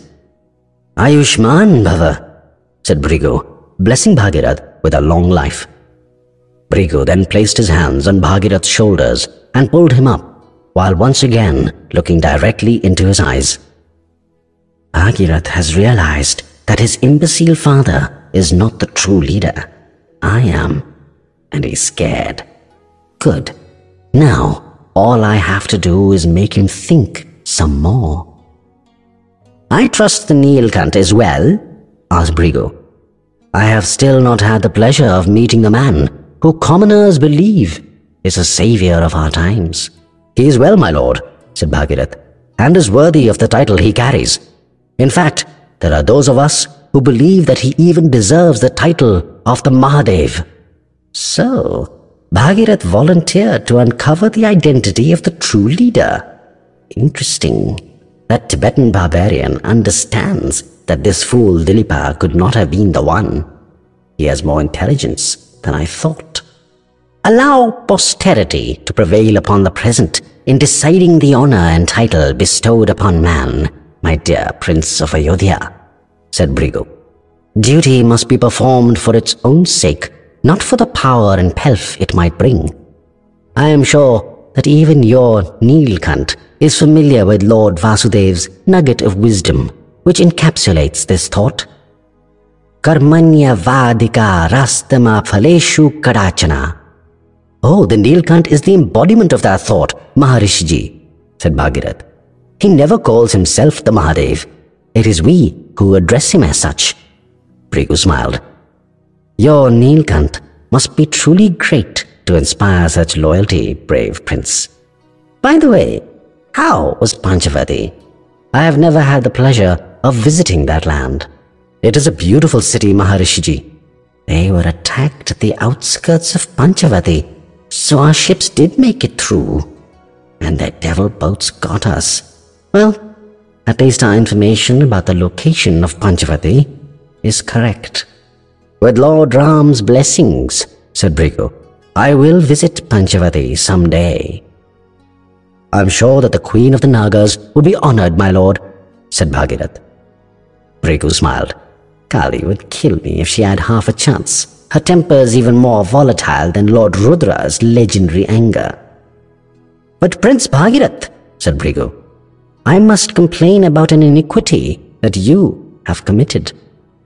An astonished Bhagirath folded his hands together in an apologetic namaste. I apologize profusely if I have offended you in any way, my lord. Please tell me how I can set it right. It's very simple, said Bhrigu. I was really looking forward to meeting the Emperor's daughter and her new husband, but you have not brought Princess Anandamai along with you. Apologies for my oversight, my lord, said Bhagirath. I overlooked this only because I rushed here to pay obeisance to my respected father, whom I have not met for a long time. And Princess Anandamai has dutifully accompanied her husband, General Parvateshwar, to Kashi. Bhrigu suddenly held his breath as he read Bhagirath's thoughts. Parvateshwar wants to defect. He wants to return to Meluha?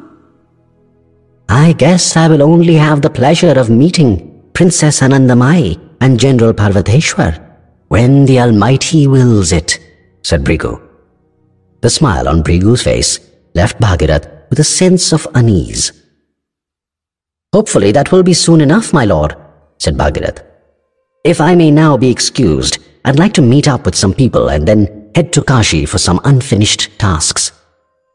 Dilipa was about to say something when Bhrigu raised his hand and placed it on Bhagirath's head. Of course, brave prince. Go with Lord Ram. Why did you let him go, my lord? said Dilipa as soon as Bhagirath had left. We could have arrested him. The interrogation would surely have revealed what happened in Panchavati.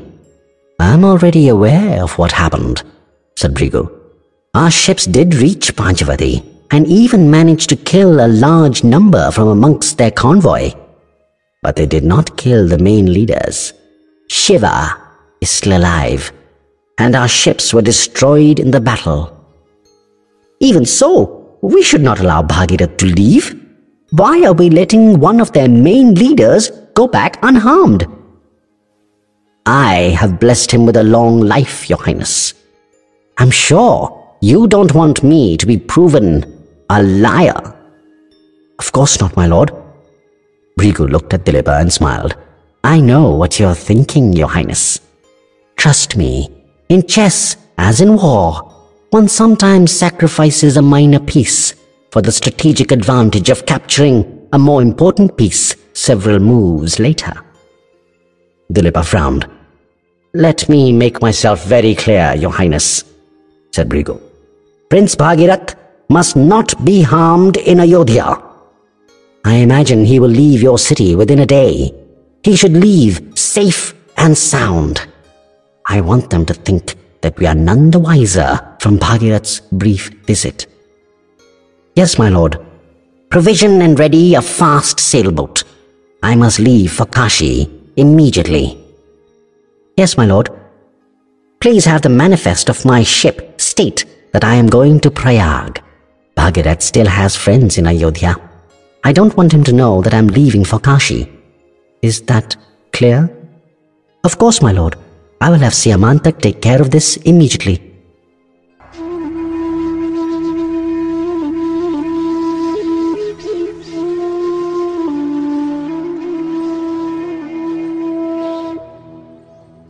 Chapter 15 The Magadhan Issue Shiva, Sati and Gopal had just been led into the guest chambers of Surapadman's royal palace by Andhak, the Magadhan minister for ports.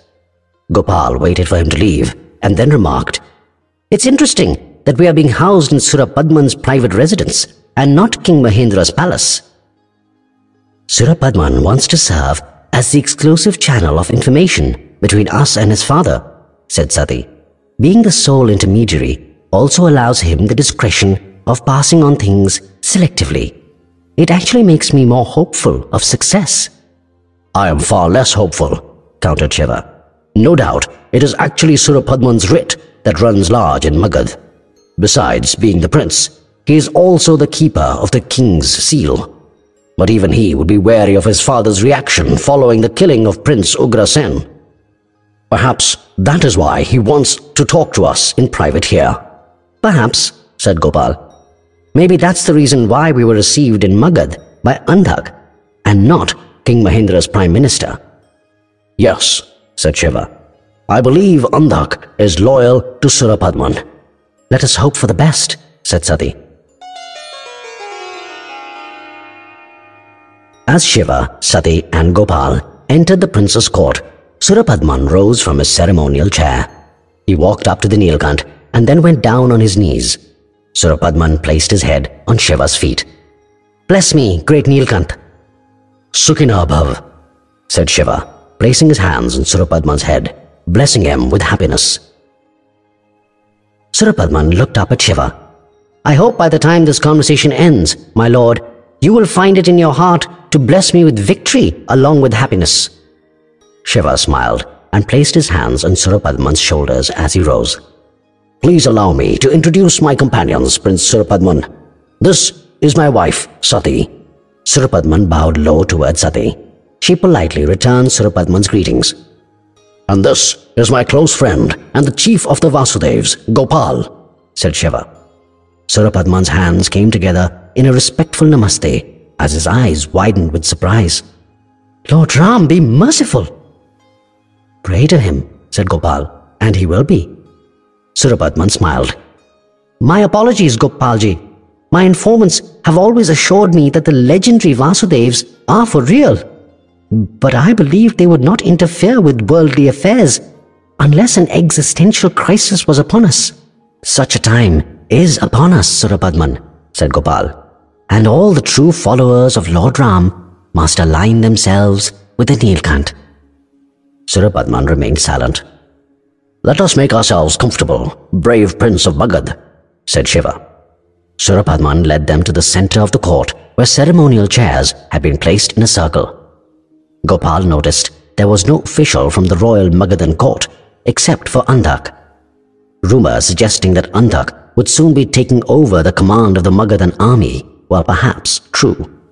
It could also be deduced that the rest of the Magadhan court was not really aligned with the Nilkant.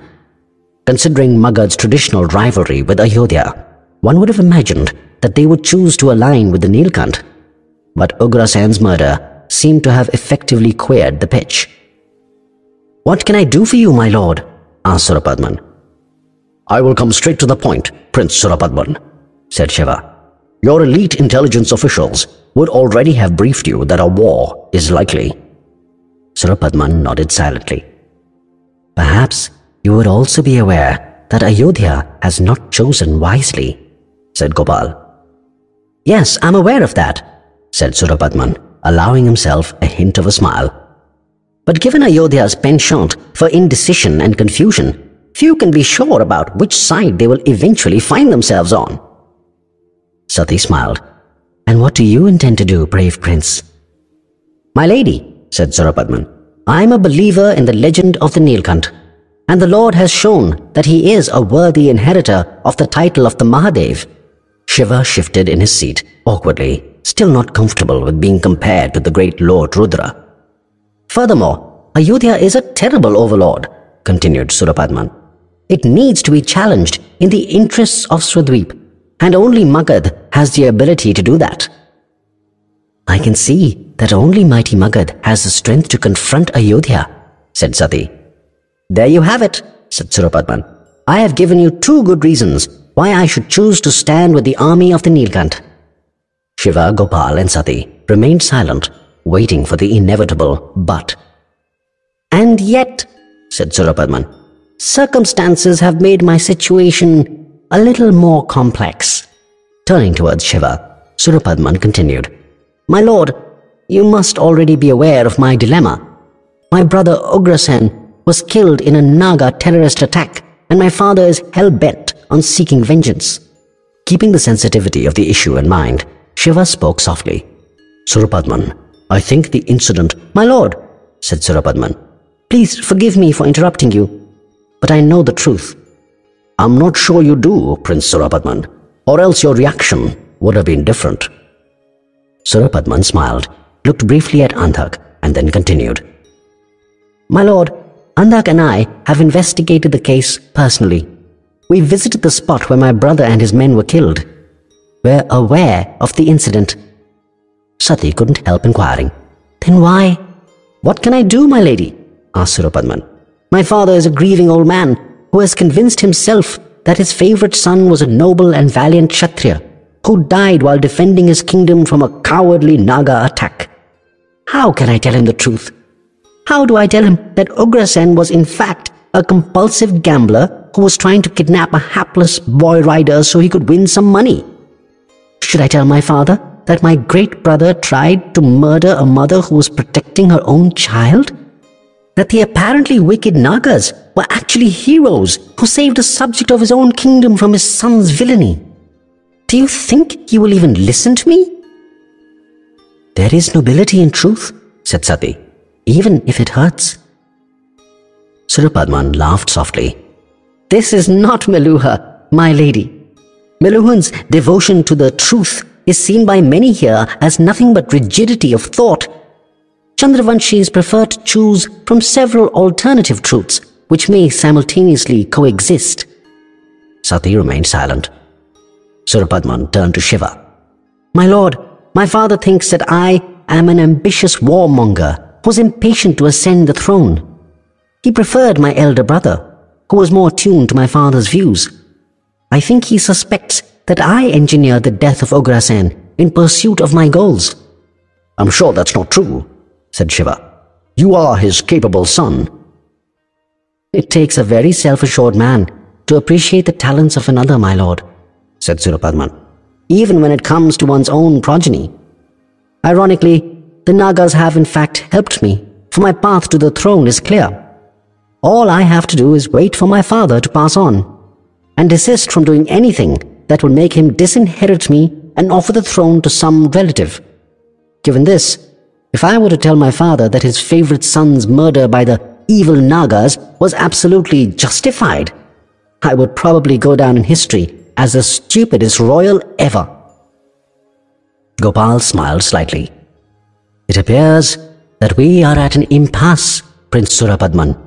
What do we do? Surapadman narrowed his eyes. Just give me a naga. I can't, said Shiva. I'm not asking for the one who actually killed Ugrasen, my lord, said Surapadman. I guess he is someone important. All I'm asking for is a random naga. I will present him to my father as Ugrasen's killer and will have him executed forthwith. My father will then happily retire and go into sannyas to pray for my brother's soul. And I, along with all the resources of Magad, will stand beside you. I know the Brangas are with you. Victory is assured if Magad and Branga are on the same side. You will win the war, my lord, and evil will be destroyed. All you need to do is sacrifice an insignificant Naga who's suffering for the sins of his past lives in any case we will actually be giving him an opportunity to earn good karma. What do you say? Shiva did not hesitate even for a second. I cannot do that. My lord, I will not do that. But no. Surapadman leaned back in his chair. We indeed seem to be at an impasse, great Vasudev. My father will not allow me to fight in an army that includes the Nagas unless we can assuage his thirst for vengeance. Shiva spoke up before Gopal could respond. What if you did not pick any side at all? Surapadman frowned, intrigued. Convince your father to remain neutral, continued Shiva. Allow my ships to proceed to battle with the Yodhya. If we are able to beat them, then your primary enemies are weakened, If they beat us, our army, including the Nagas, would be in retreat. Your imagination can fill in the rest. You win both ways. Surapadman smiled. That does have an attractive ring to it. Parvateshwar and Anandamai were housed in a separate wing of the massive Kashi palace, having arrived in the city recently. Anandamai and Ayurvati had gone to meet Veerbhadra and the Gunas. The Meluhan general was sitting in his chamber balcony, looking out towards the Ganga flowing in the distance. My lord, called out the doorman. Parvateshwar turned. Yes? A messenger has just delivered a note for you. Hand it to me. Yes, my lord.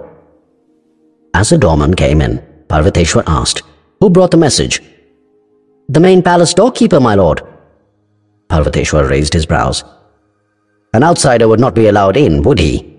What I wanted to know was who gave the message to the palace doorkeeper. The doorman looked lost. How would I know, my lord? Parvateshwar sighed. These Swadweepans had no sense of systems and procedures. It's a wonder that an enemy didn't just stroll into their key installations. He took the neatly sealed papyrus scroll from the doorman and dismissed him. Parvateshwar couldn't recognize the symbol on the seal. It appeared to be a star, the kind used in ancient astrological charts. He shrugged and broke it open. The script surprised him. It was one of the standard Meluhan military codes. This one was used exclusively by senior Suryavanshi military officers. It was meant for top secret messages during times of war. For all others, the words in the scroll would have been absolute gibberish. Lord Parvateshwar, it's time to prove your loyalty to Meluha. Meet me in the garden behind the Sankat Mochan temple at the end of the third prahar. Come alone. Parvateshwar caught his breath. He instinctively looked towards the door. He was alone. He tucked the scroll into the pouch tied to his waistband. He knew what he had to do.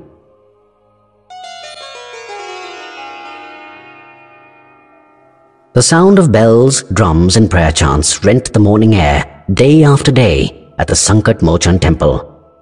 Having thus awoken Lord Hanuman, the devotees then sing bhajans as Lord Hanuman would do to gently wake his master, Lord Ram. At the end of this elaborate puja, the great seventh Vishnu proceeds to grant darshan, the divine pleasure of beholding him. The silence at dusk, however, belied the exuberance of the dawn. This was the time when Parvateshwar strode into the great temple. Parvateshwar looked back to ensure that nobody was following him. Then he walked swiftly towards the garden behind the temple. It was quiet. Parvateshwar approached a tree at the far end of the garden and sat leaning against it. How are you, General? asked a soft, polite voice. Parvateshwar looked up. I'll do a lot better when I see you. Are you alone? I wouldn't have come had I not been alone.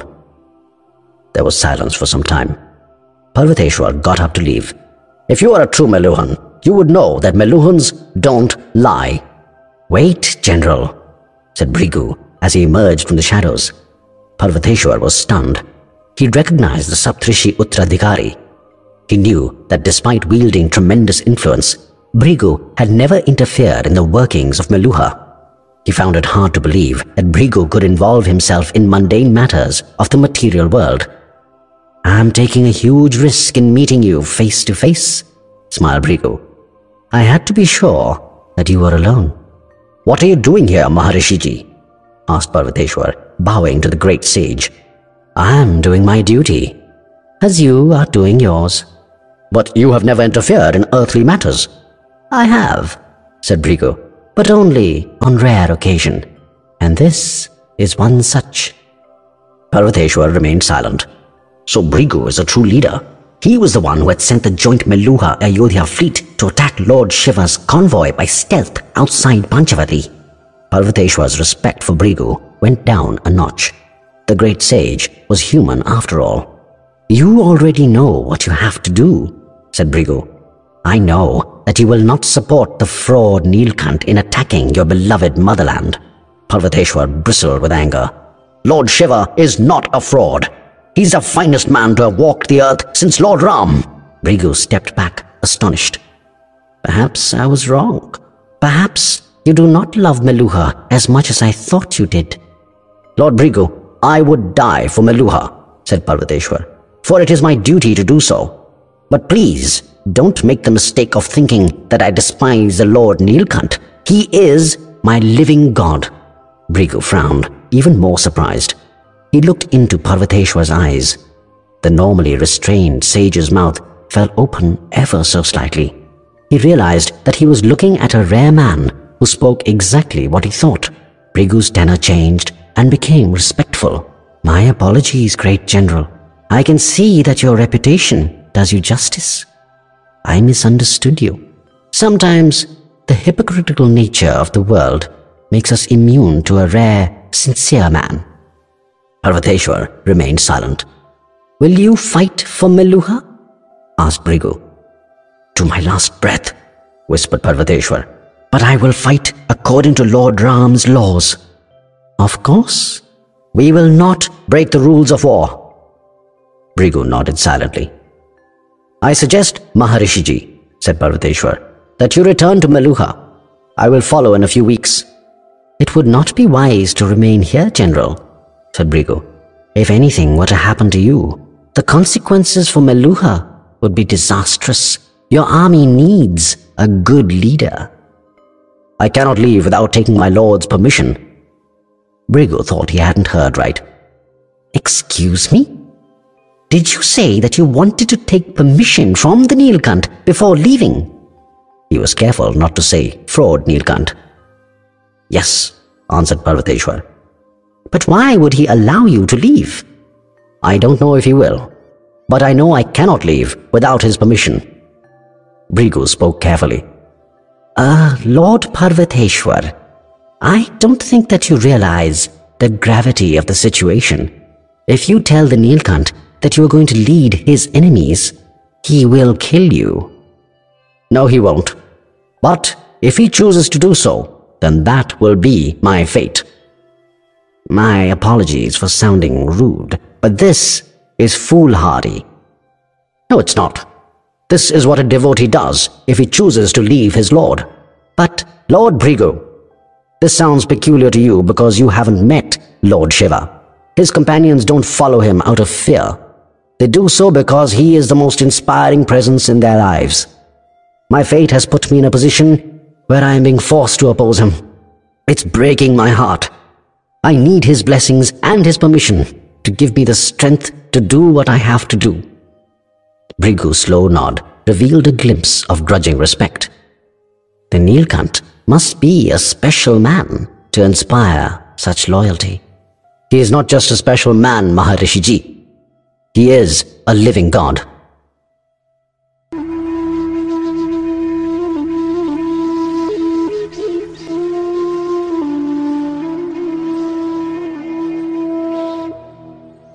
Chapter 16 Secrets Revealed I think we've achieved what we came here for, said Sati.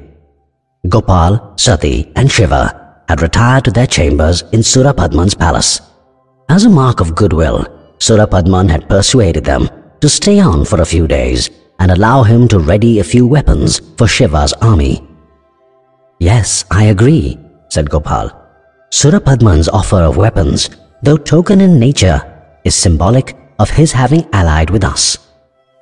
Not one other person from the Magadhan court has visited us though, said Shiva. I hope that King Mahendra doesn't prevail upon Surapadman to do something unwise.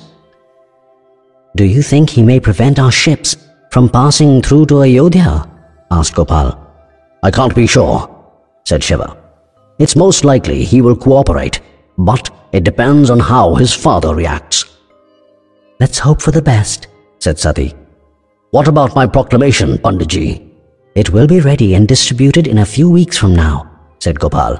Vasudev Pandits from across the country will give us constant updates as to the reaction of the people as well as the nobility. But what if the Vasudev Pandits are discovered? No, they won't. The royals may know that the Vasudev tribe has allied with the Nilkant, but they will never know the identity of the Vasudevs within their kingdoms. Shiva let out a long drawn breath.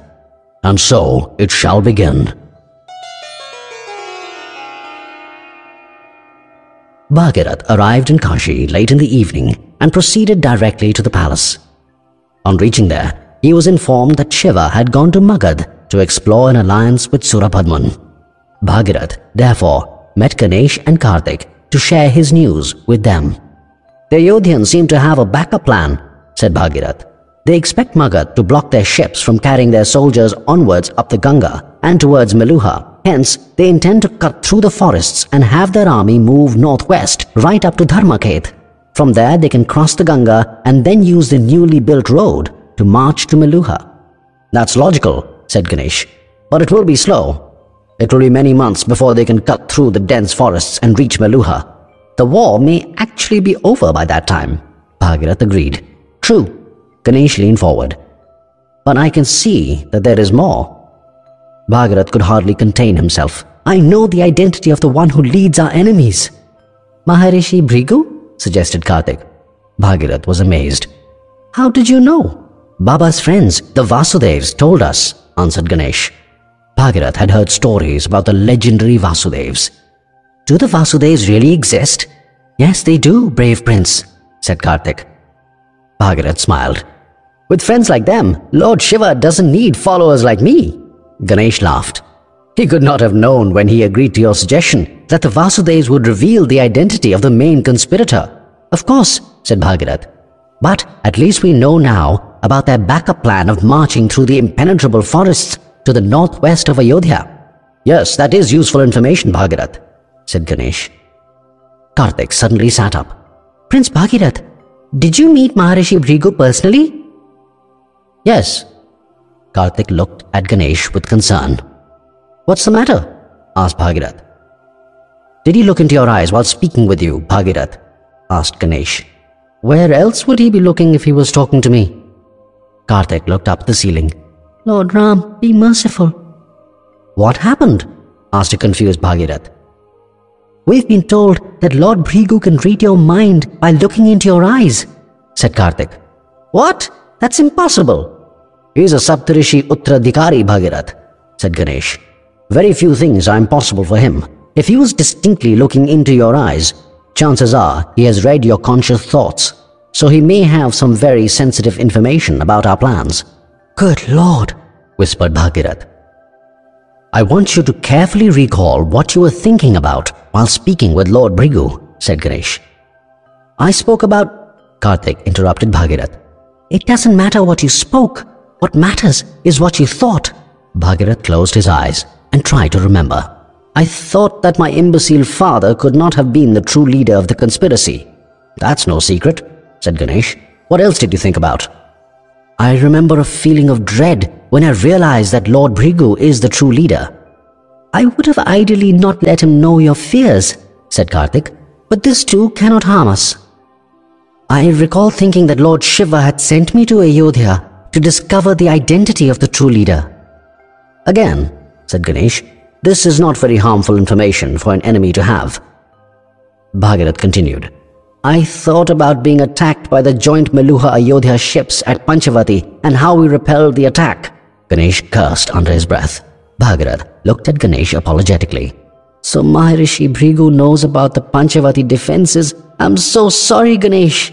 Kartik patted Bhagirath reassuringly on his arm. You did not intend this to happen, Prince Bhagirath. Was there anything else? Oh, Lord Rudra, whispered Bhagirath. Ganesh's eyes narrowed. What? I thought about Parvateshwar wanting to defect to Meluha, said Bhagirath. Ganesh stopped breathing while Kartik held his head. What now, Dada? Get Mausi here, Kartik, said Ganesh, asking his brother to fetch the queen of the Nagas, Kali. We know what we have to do, but Baba's wrath will be terrible. Mausi can stand up to him. We need to know if she agrees with us. Kartik immediately left the room. A shocked Bhagirath stared at Ganesh. I hope you're not thinking what I fear. Do we have a choice, Bhagirath? Maharishi Bhrigu will try and contact Parvateshwar at the first opportunity and whisk him away. Ganesh, Parvateshwar is my sister's husband. We cannot kill him. Ganesh raised his hands in exasperation. Kill him? What are you talking about, Bhagirath? Bhagirath remained silent. I only want to arrest General Parvateshwar so that he cannot escape. Bhagirath was about to say something when Ganesh interrupted him.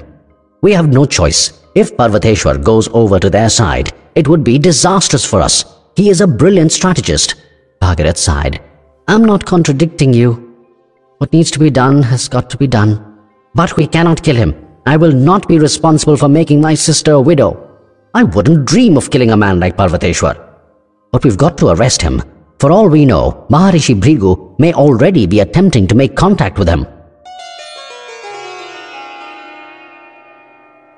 A moonless night hung over an eerily quiet Assi in Kashi. The normally busy port of 80 did receive a small number of ships at night, but the darkness had kept away even the few brave captains who attempted night dockings.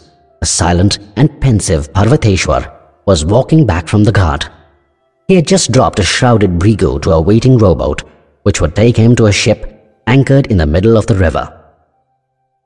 Bhrigu intended to stop at Prayag for a short while and then proceed to Meluha. General Parvateshwar! Parvateshwar looked up to see Kali. The flickering light from the torches revealed that she was accompanied by Ganesh, Kartik, and about 50 soldiers. Parvateshwar smiled. You've brought 50 soldiers to down one man, asked Parvateshwar, his hand resting on his sword hilt. You think too highly of me, Queen Kali. Were you planning to escape, General? asked Kali. The soldiers rapidly surrounded Parvateshwar, making escape impossible. Parvateshwar was about to answer when he saw a familiar figure next to Kartik. Bhagirath?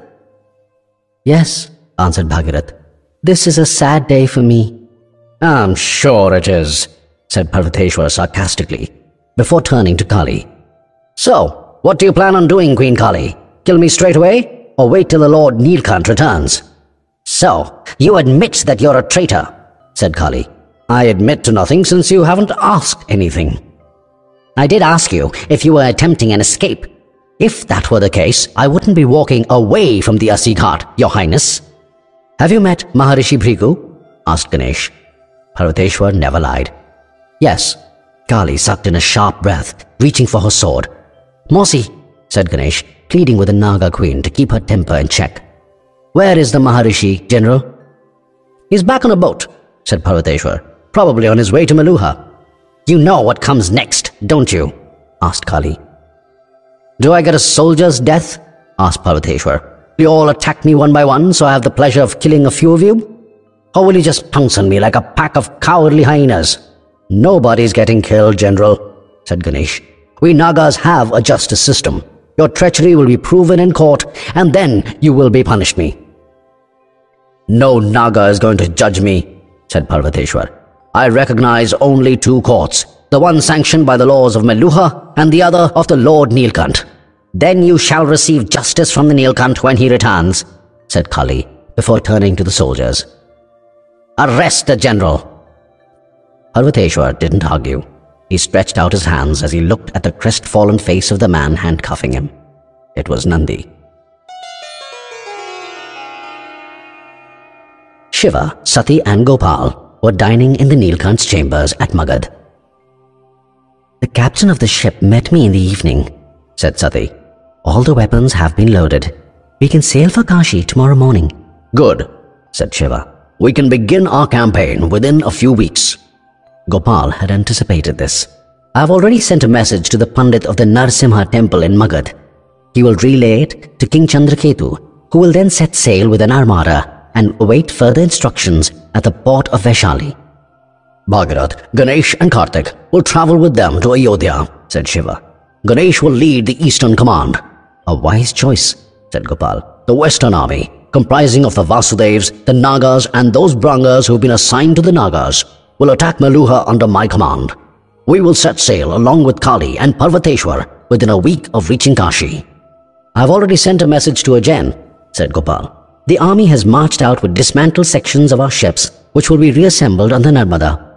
We will sail together to the Western Sea and further up the coast to Lothal. What about your war elephants, Panditji? asked Sati. How will they reach Meluha?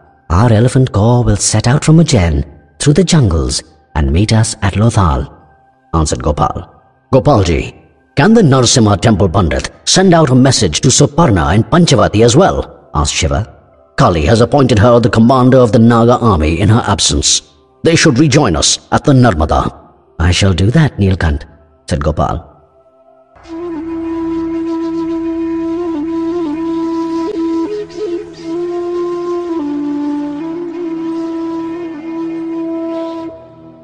Chapter 17 Honor Imprisoned An underground chamber beneath the royal palace had been converted into a temporary prison for General Parvateshwar.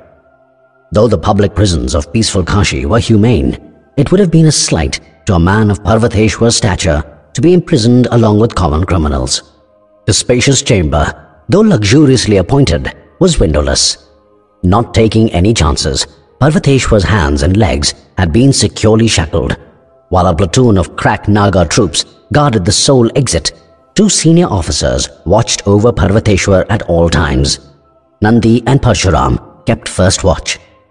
My apologies, General, said Parshuram. Parvateshwar smiled. You don't need to apologize, Parshuram. You're following orders. That is your duty. Nandi sat opposite Parvateshwar, but kept his face averted. Are you angry with me, Major Nandi? asked Parvateshwar. What right do I have to be angry with you, General? If there's something about me that's troubling you, then you have every right to be angry. Lord Ram had asked us to always be true to ourselves. Nandi remained silent. Parvateshwar smiled ruefully and then looked away. Nandi gathered the courage to speak. Are you being true to yourself, General? Yes, I am. Forgive me, but you are not. You're betraying your living God. With visible effort, Parvateshwar kept his temper in check. It is only the very unfortunate who must choose between their God and their swadharm. Are you saying that your personal dharma is leading you away from good? I'm saying no such thing, Major Nandi, but my duty towards Meluha is most important to me. Rebelling against your God is treason. Some may hold that rebelling against your country is a greater treason. I disagree. Of course, Meluha is important to me. I would readily die for it, but I wouldn't fight my living God for the sake of Meluha. That would be completely wrong. I'm not saying that you're wrong, Major Nandi. Then you admit to being wrong yourself. I didn't say that either. How can that be, General? asked Nandi. We're talking about polar opposites. One of us has got to be wrong. Parvateshwar smiled. It is such a staunch Surya Vanshi belief. The opposite of truth has to be untruth. Nandi remained silent. But Anandamai has taught me something profound, said Parvateshwar. There is your truth, and there is my truth. As for the universal truth, it does not exist. The universal truth does exist, though it has always been an enigma to human beings, smiled Parshuram. And it will continue to remain an enigma for as long as we are bound to this mortal body.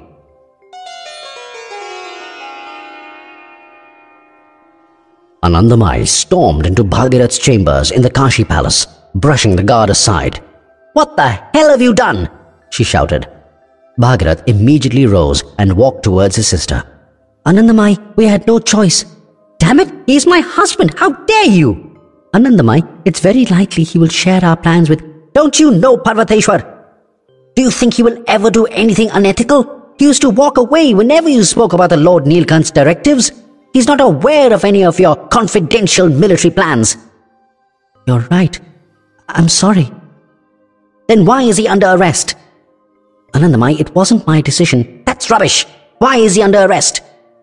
He might escape if... Do you think he couldn't have escaped had he wanted to? He was waiting to meet the Lord Nilkant.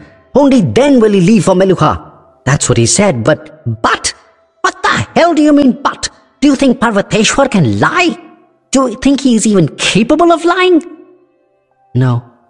If he has said that he will not leave till Lord Shiva returns, then believe me, he's not going anywhere. Bhagirath remained silent. Anandamai stepped up to her brother. Are you planning to assassinate him? No, Anandamai, cried a shocked Bhagirath. How can you even think I would do such a thing? Don't pull this injured act on me, Bhagirath. If anything were to happen to my husband, even an accident, you know that the Lord Nilkant's anger will be terrible. You and your allies may discount me, but you are scared of him. Remember his rage before you do something stupid. Anandamai, we are not. The Lord Nilkant will be back in a week. Until then, I'm going to keep a constant vigil outside the chamber where you have imprisoned him. If anyone wants to harm him, they'll have to contend with me first. Anandamai, nobody is going to. She turned and strode away swiftly, causing Bhagirath to trail off mid sentence. She pushed aside the diminutive Kashi soldier standing in her path and slammed the door behind her, even as a soldier fell. Ayurvati placed a hand on Anandamai's shoulders. The Ayodhyan princess was sitting outside the chamber where Parvateshwar had been imprisoned. She had refused to move for the last few days. Why don't you go to your room and sleep? said Ayurvati. I'll sit here. A determined Anandamai shook her head. Wild horses couldn't drag her away. Anandamai? They aren't even letting me meet him, Ayurvati, sobbed Anandamai. Ayurvati sat down next to Anandamai. I know. Anandamai turned towards the Naga soldier standing guard at the door. My husband is no criminal! Ayurvati took Anandamai's hand in hers. Calm down. These soldiers are only following orders. He's no criminal. He's a good man. I know. Anandamai rested her head on Ayurvati's shoulders and began to cry. Calm down, said Ayurvati soothingly. Anandamai raised her head and looked at Ayurvati. I don't care if the entire world turns against him. I don't care even if the Nilkant turns against him. I will stand by my husband. He's a good man, a good man. Have faith in the Nilkant. Have faith in his justice. Speak to him the moment he arrives in Kashi. The sun was directly overhead as Shiva's ship prepared to dock at Assi Ghat. Shiva, Sati, and Gopal were at the balustrade. I do not understand why King Athithigva has to organize a grand reception every time I come here, said Shiva as he looked at the giant canopy and vast throngs of people waiting. Gopal smiled. I don't think the Lord Athithigva orders his people to assemble, my friend. The people gather of their own accord to welcome their Nilkant. Yes, but it's so unnecessary, said Shiva. They shouldn't be taking a break from their work to welcome me. If they really want to honor me, they should work even harder at their jobs. Gopal laughed. People have a tendency to do what they want to do rather than what they should be doing. The ship was now close enough for them to see the expressions of the people on the dock, even the nobility standing further away on higher ground. Something is not right, said Sati. Why is everyone looking troubled? asked Gopal. Shiva studied the crowds carefully. You're right. Something's wrong. King Athithigva seems disturbed, said Sati. Kali, Ganesh, Kartik, and Bhagirath are in a heated discussion, said Shiva. What's troubling them so much? Sati tapped Shiva lightly. Look at Anandamai. Where? asked Shiva, not finding her in the area cordoned off for the nobility. She's in the crowd, said Sati, gesturing with her eyes right where the ship's gangplank will land.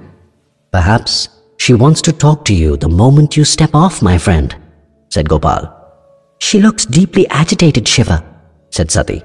Shiva scanned the entire port area, and he softly asked, Where's Parvateshwar?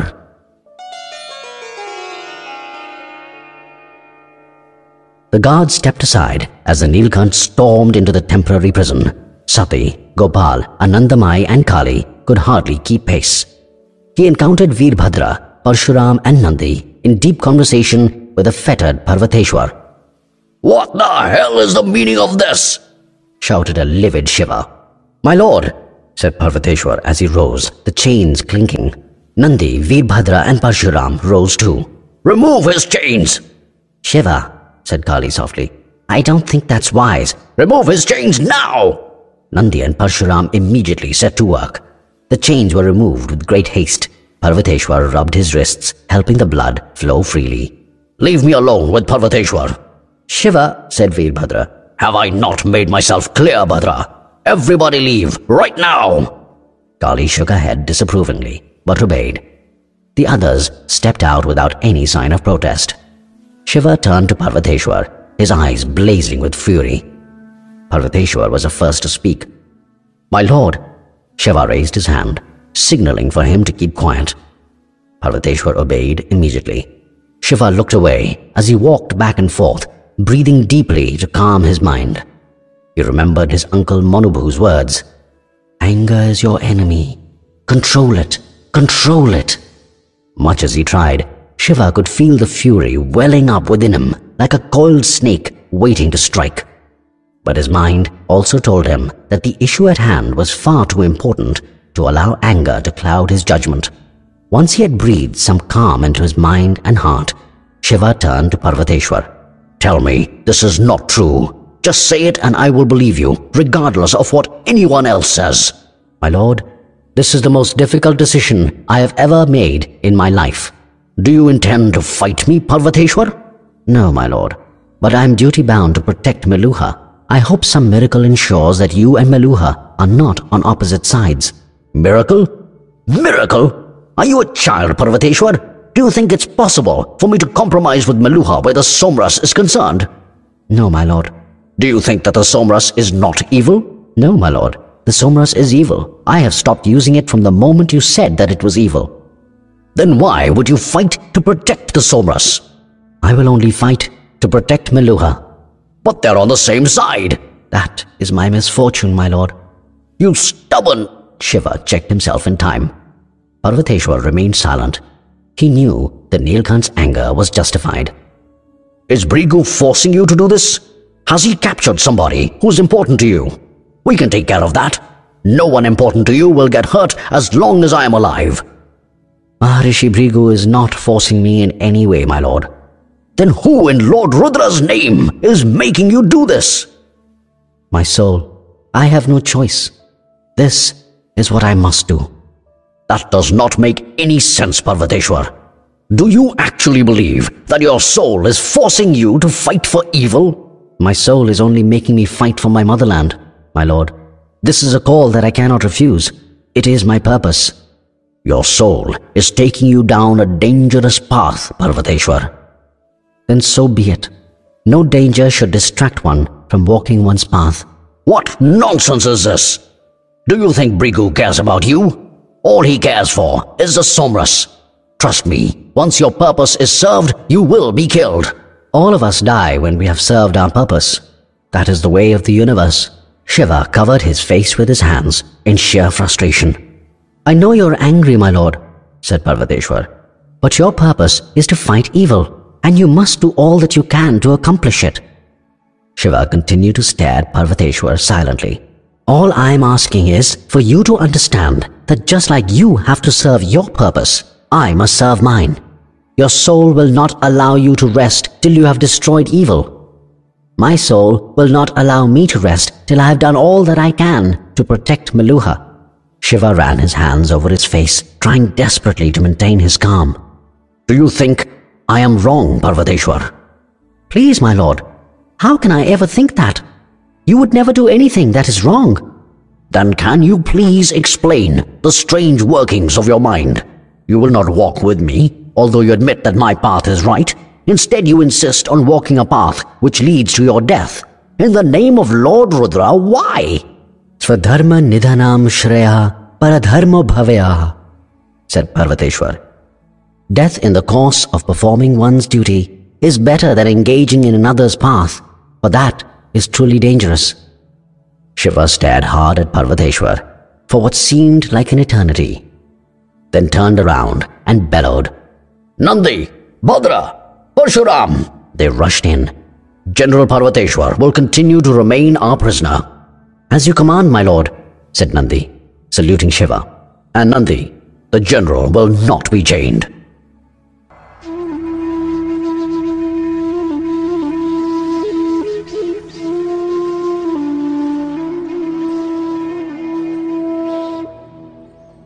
Chapter 18 Honor or Victory I say that we have no choice, said Kali. I agree we cannot kill him, but he must remain our prisoner here till the end of the war. Shiva and his family, along with Gopal, were assembled in the Nilkant's private chambers at the Kashi palace. Ganesh glanced at the seething Sati and decided to hold his counsel. Kartik, however, had no such compunctions. I agree with the Mausi. Shiva looked at Kartik. I know that it is a difficult decision, continued Kartik. Parvateshwarji has behaved with absolute honor. He was not privy to any of our strategy discussions.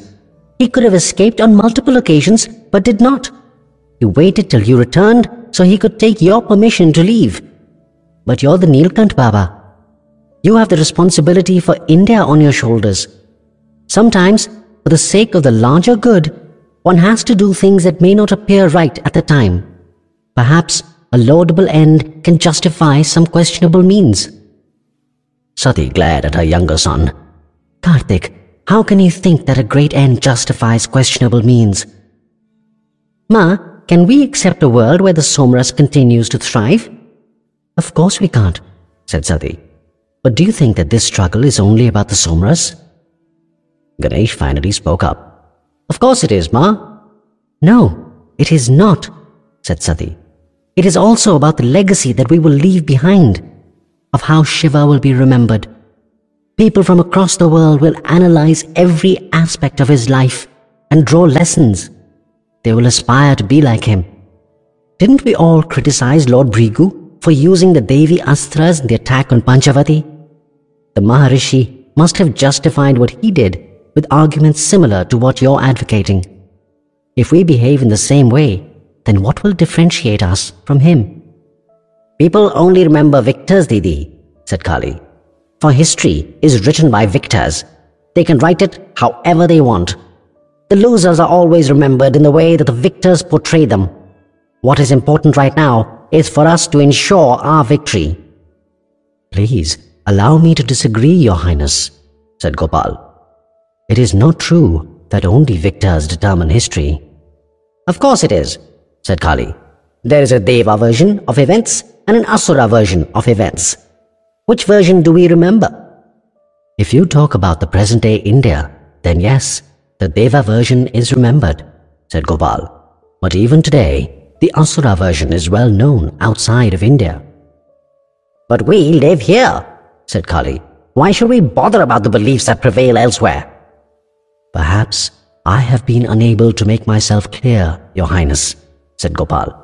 It's not just about the place, but also about the time. Will the Deva version of history always be remembered the way it is? Or is it possible that different versions will emerge? Remember, if there's a victor's version of events, then there's a victim's narrative that survives equally. For as long as the victors remain in command, their version holds ground.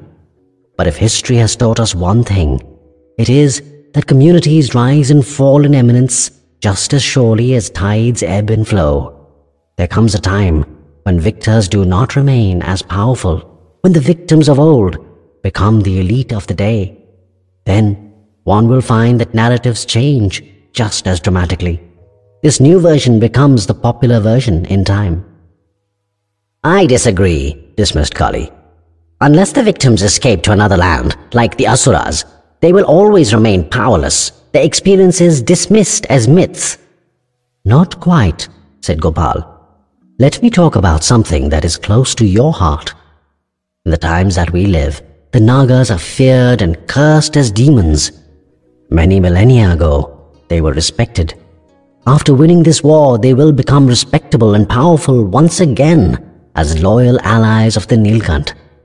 Your version of history will then begin to gain currency once again, won't it? An unconvinced Kali chose to remain silent. An interesting factor is the conduct of the erstwhile victims in the new era, said Gopal. Armed with fresh empowerment, will they seek vengeance on the surviving old elite? Obviously, the victims will nurse hatred in their hearts. Would you expect them to be filled with the milk of human kindness?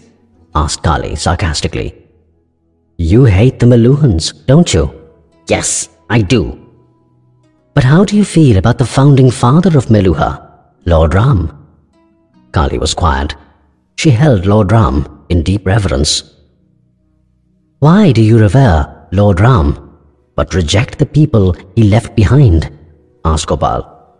Sati spoke up on her sister's behalf.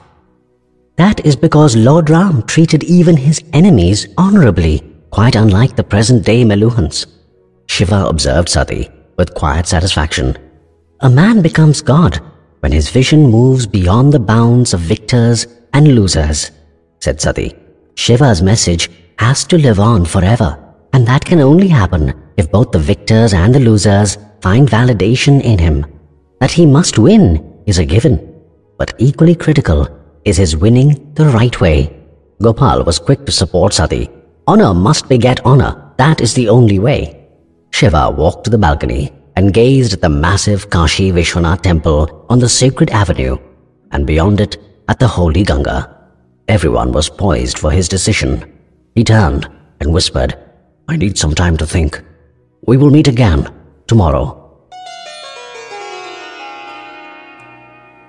Sati looked down. The clear waters of the lake lay below her. The fish swam rapidly, keeping pace with her as she flew over the water towards the banks in the distance.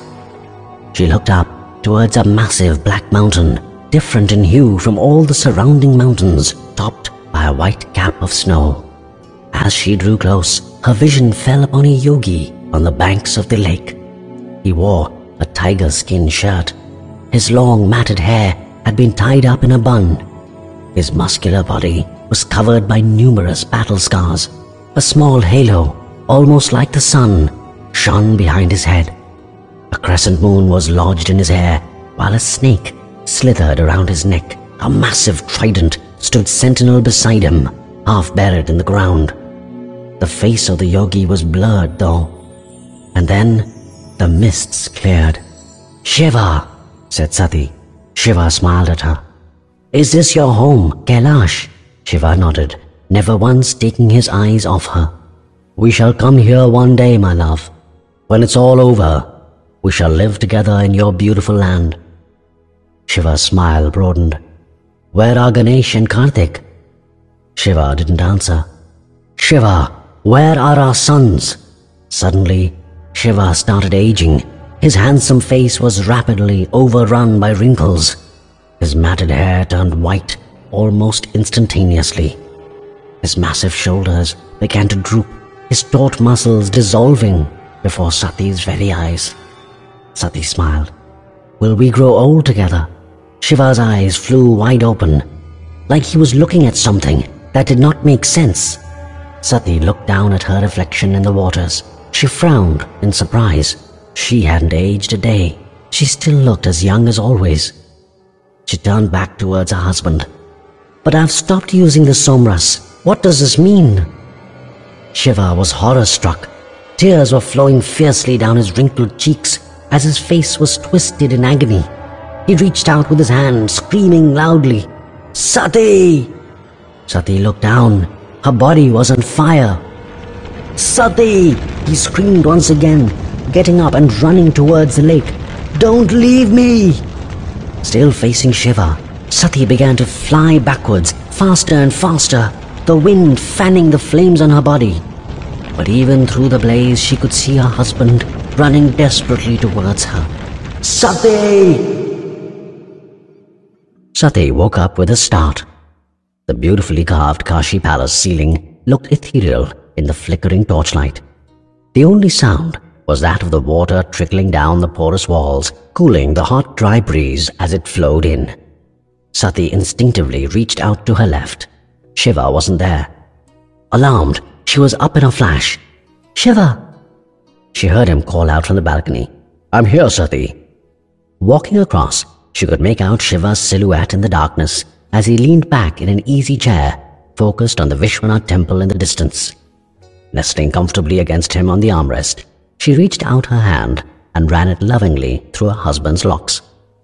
It wasn't a full moon night, but there was enough light for Shiva to clearly see his wife's expression. What's the matter? asked Shiva. Sati shook her head. Nothing. Something's wrong. You look disturbed. I had a strange dream. Hmm? I dreamt that we were separated. Shiva smiled and pulled Sati close to him, embracing her. You can dream all you want, but you're never getting away from me. Sati laughed. I don't intend to. Shiva held his wife close, turning his gaze back to the Vishwanath temple. What are you thinking? asked Sati. I'm just thinking that marrying you was the best thing I ever did. Sati smiled. I'm not going to disagree with that. But what specifically brought that up at this time? Shiva ran his hand along Sati's face. Because I know that for as long as you're with me, you will always keep me centered on the right path. So, you've decided to do the right thing with. Yes, I have. Sati nodded in satisfaction. We will win, Shiva. Yes, we will. But it has to be the right way. Absolutely, said Sati, and quoted Lord Ram. There is no wrong way to do the right thing. A select assembly awaited the arrival of Parvateshwar, who was to be produced in the court of Kashi during the second Prahar. The Kashi nobility was represented by Athithigva alone. Shiva sat impassively, his closest advisers around him in a semicircle. Gopal, Sati, Kali, Ganesh and Kartik. Bhagirath and Ayurvati stood at a distance. Anandamai was missing. Shiva nodded towards Athithigva. Athithigva called out loudly, Bring the general in! Parashuram, Veerbhadra and Nandi escorted Parvateshwar into the hall. The Meluhan general was unchained, keeping in mind Shiva's explicit orders. He glanced briefly at Sati before turning to look at Shiva. The Nilkant's rigid face was inscrutable. Parvateshwar expected to be put to death. He knew Shiva would not have wanted to do it, but the others would have convinced him of the necessity of getting rid of the general. Parvateshwar also knew that regardless of what happened to him, he would treat the Nilkant with the honor that the Lord deserved. The general clicked his heels together and brought up his bald right fist up to his chest. And then, completing the Meluhan military salute, he bowed low towards the Nilkant. He did not bother with anyone else. Parvateshwar, said Shiva. Parvateshwar immediately looked up. I do not want to drag this on for too long, said Shiva. Your rebellion has shocked me. But it has also reinforced my conviction that we are fighting evil, and it'll not make things easy for us. It can lead even the best amongst us astray, if not through inducements, then through dubious calls of honor. Parvateshwar continued to stare at Shiva, waiting for the sentence. But when one fights against evil, one has to fight with good, said Shiva. Not just on the side of good, but with good in one's heart. Therefore, I have decided to allow you to leave. Parvateshwar couldn't believe his ears. Go now, said Shiva. Parvateshwar was only half listening. This magnificent gesture from the Nilkant had brought tears to his eyes.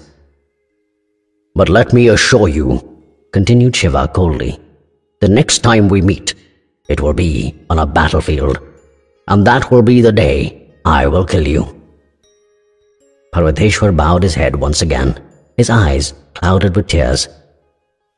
That will also be the day of my liberation, my lord. Shiva stayed stoic. Parvateshwar looked up at Shiva. But for as long as I live, my lord, I shall fight to protect Meluha. Go, said Shiva. Parvateshwar smiled at Sati.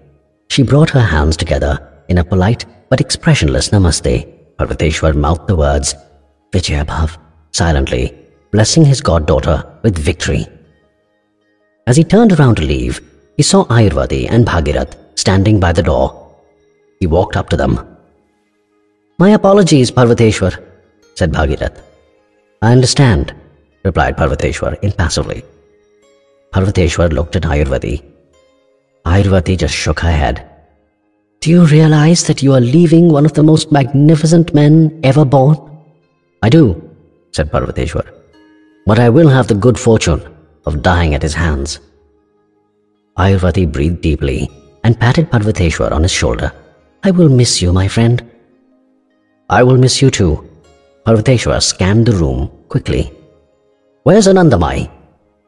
She's waiting for you at the port, said Bhagirath, beside the ship that will take you away. Parvateshwar nodded.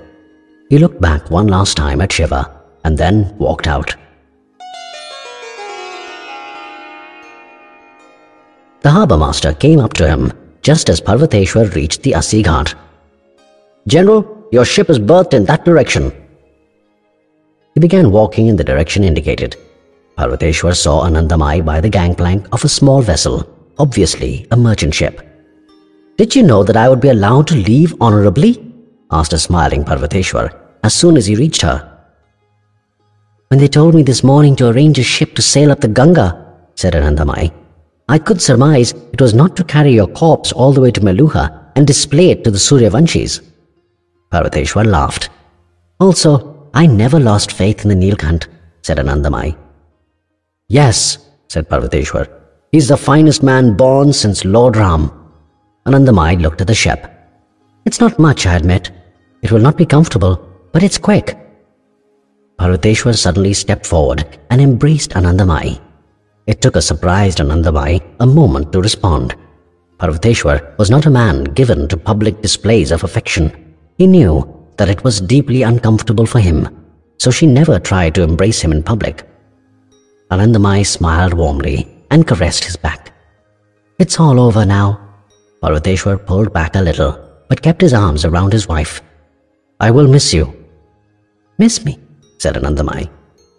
You have been the best thing that ever happened to me, said an emotional Parvateshwar, tears in his eyes. Anandamai raised her eyebrows and laughed. And I will continue to happen to you. Let's go? Yes. Where? Meluha. You're coming to Meluha? Yes. Parvateshwar stepped back. Anandamai, the path ahead is dangerous. I honestly don't think that Meluha can win. So? I cannot permit you to put your life in danger. Did I seek your permission? Anandamai, you cannot. Parvateshwar stopped speaking as Anandamai held his hand, turned around, and started walking up the gangplank. Parvateshwar followed quietly, with a smile on his face and tears in his eyes.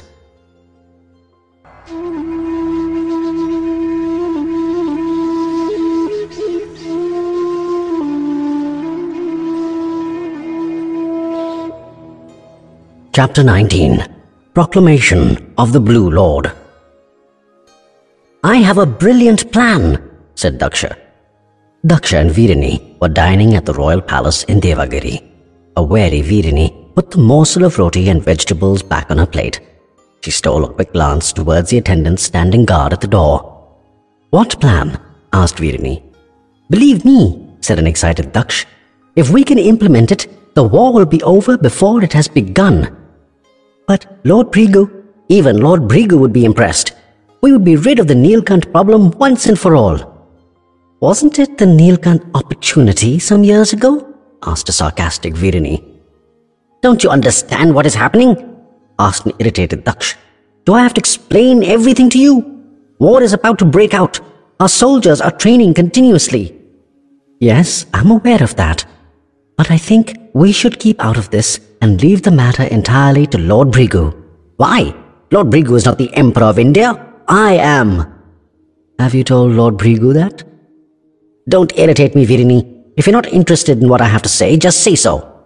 I'm sorry, but I think it's better to leave all the decision making to Lord Bhrigu. All we should be concerned about is our family. There you go again, said Daksh, raising his voice. Family, family, family. Don't you care about how the world will see me? How history will judge me? Even the greatest men cannot dictate how posterity will judge them. Daksha pushed his plate away, shouting, You are the source of all my problems. It is because of you that I haven't been able to achieve all that I could have. Virini looked at the attendants and turned back towards her husband. Keep your voice down, Daksh.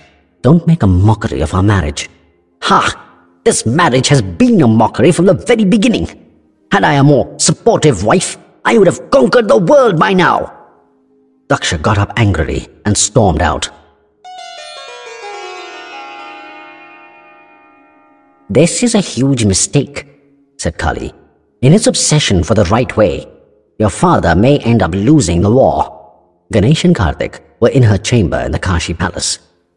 I disagree, Mausi, said Karthik. I think Baba did the right thing. We have to win, but we must do it the right way. I thought you were in agreement with us, said a frowning Kali. I was, but Ma's words convinced me otherwise. In any case, Mausi, said Ganesh, It has happened. Let us not fret over it. We should focus on the war instead. Do we have a choice? asked Kali. Baba told me that I will lead the war effort in Ayodhya, said Ganesh. Kartik, you will be with me. We'll destroy them, Dada, said Kartik, raising his clenched right fist. That we will, said Ganesh. Mausi, are you sure about Lothal and Maika? I've already asked Suparna to send ambassadors to Governor Chinardhwaj, said Kali. Trust me, he is a friend. Kartik bent and touched his mother's feet. Vijayabhav, my child, said Sati as she applied the red tilak on Kartik's forehead for good luck and victory. Sati, Ganesh and Kartik were in the Nilkant's chamber. Ganesh, whose forehead already bore the tilak, looked at his brother with pride. Kartik was still a child, but was already universally respected as a fearsome warrior. The two sons of Shiva were to set sail down the Ganga and meet their allies in Vaishali. From there, they were to turn back, sail up the Sarayu, and attack Ayodhya. Ganesh turned towards his father and touched his feet. Shiva smiled as he pulled Ganesh up into an embrace. My blessings are not as potent as those that emerge from your mother's heart, but I know that you will make me proud. I'll try my best, Baba, smiled Ganesh. Kartik turned and touched Shiva's feet. Shiva embraced his younger son. Give them hell, Kartik. Kartik grinned. I will, Baba. You should smile more often, Kartik, said Sati. You look more handsome when you do. Kartik smiled broadly. The next time we meet, I will certainly be grinning from ear to ear, for our army would have defeated Ayodhya by then. Shiva patted Kartik on his back before turning to Ganesh. If Ayodhya is willing to break ranks with Meluha after my proclamation is made public, then I would rather we don't attack them. I understand, Baba, said Ganesh. This is why I am taking Bhagirath along with me. His father may hate the Ayodhyan prince, but Bhagirath still has access to many members of the nobility. I'm hoping he'll be able to convince them. When will the proclamation come out, Baba? asked Kartik. Next week, answered Shiva. Stay in touch with the Vaishali Vasudev Pandit for the reactions from across different kingdoms in Swadweep. You will know then what to expect in Ayodhya also. Yes, Baba, said Kartik. Shiva turned to Ganesh. I've been told that you have recruited Divodas and the Branga soldiers into the army. Yes, said Ganesh. We'll leave on board five ships and meet the combined Branga Vaishali army at Vaishali. I'm told they have 200 ships. 50 of them have been deputed to the Western Army under your command and are on their way to Kashi. The remaining 150 ships will be with me. We will attack Ayodhya with 150,000 men. That won't be enough to conquer them, said Sati. But we should be able to tie them down. Yes, answered Ganesh. We'll hold them back, Baba, said Kartik. I promise you. Shiva smiled. How is she now? asked Kali. Kali was at the river gate of the eastern palace of the Kashi king Athithigva. The palace had been built on the eastern banks of the Ganga, which was considered inauspicious for any permanent construction. The kings of Kashi had bought this land to ensure that no Kashi citizen lived on that side. It was in this palace that Athithigva had housed his Naga sister, Maya. Ganesh and Kali's open presence had given Athithigva the courage to let his sister come out of hiding. Your medicines have helped, Your Highness, said Athithigva. At least she's not in terrible pain anymore. The Paramatma has sent you as an angel to help my sister. Kali smiled sadly. She knew it was a matter of time before Maya, a singular name for conjoined twins who were fused into one body from the chest down, would die. It was a miracle that Maya had lived for so long. On discovering her presence, Kali had immediately supplied Naga medicines to lessen her suffering. Since she was to leave with the Western Army the next day, she had come over to leave the rest of her medicines with Maya. I'm no angel, said Kali. If the Paramatma had any sense of justice, he wouldn't make an innocent person like Maya suffer so much. I'm doing all I can to set right his injustices. Athithigva shrugged in resignation, but was too pious to curse God. Kali's gaze turned towards the Ganga, where the fifty ships of the Branga Armada had dropped anchor just the previous day. The mighty fleet covered the width of the river, stretching to the opposite bank. A nervous excitement was palpable throughout Kashi. The smell of war was in the air. The flotilla's initial progress would be slow, but they would first sail west against the current and then southwards up the Chambal. After disembarking, the soldiers would then march towards the Narmada. The second voyage would take them along the course of the Narmada out to the western sea and then north towards Meluha. Let's go in, said Kali. I'd like to see Maya before I leave. Your Highness, said Kanakhala, running into Daksha's private office. Daksha looked up at his Prime Minister as he slipped the papyrus he was reading back into the drawer of his desk. Where's the fire, Kanakhala? Your Highness, said a frantic Kanakhala, obviously carrying something within the folds of her Angavastram. You need to see this. Kanakhala placed a thin stone tablet on her emperor's desk. What's this? asked Daksha. You need to read it, Your Highness. Daksha bent over to read. To all of you who consider yourselves the children of Manu and followers of the Sanatan Dharma, this is a message from me, Shiva, your Nilkant. I have traveled across our great land, through all the kingdoms we are divided into, met with all the tribes that populate our fair realm. I have done this in search of the ultimate evil. That is my task. Father Manu had told us evil is not a distant demon. It works its destruction close to us, with us, within us. He was right. He told us evil does not come from down below and devour us. Instead, we help evil destroy our lives. He was right. He told us good and evil are two sides of the same coin that one day the greatest good will transform into the greatest evil. He was right. Our greed in extracting more and more from good turns it into evil. This is the universe's way of restoring balance. It is the Paramatma's way to control our excesses. I have come to the conclusion that the Somras is now the greatest evil of our age. All the good that could be wrung out of the Somras has been wrung.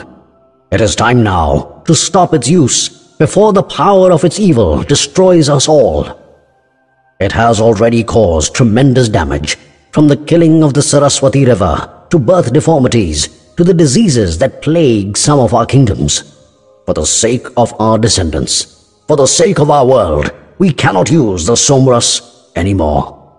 Therefore, by my order, the use of the Somras is banned forthwith. To all those who believe in the legend of the Nilkant, follow me. Stop the Somras.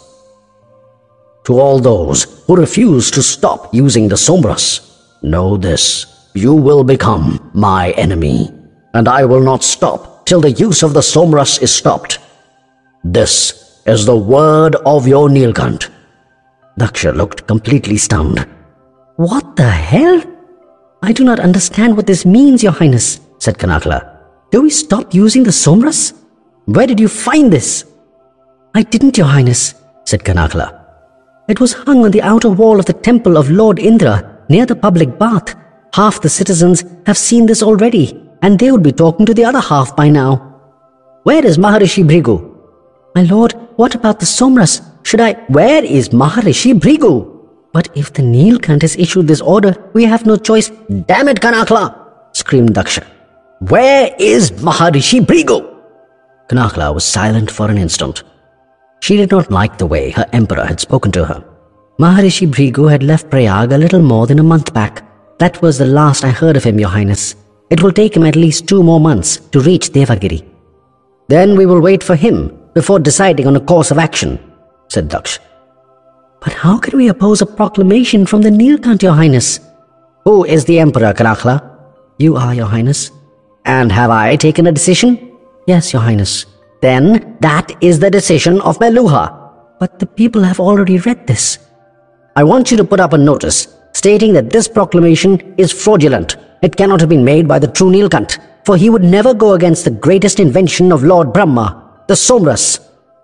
But is that true, Your Highness?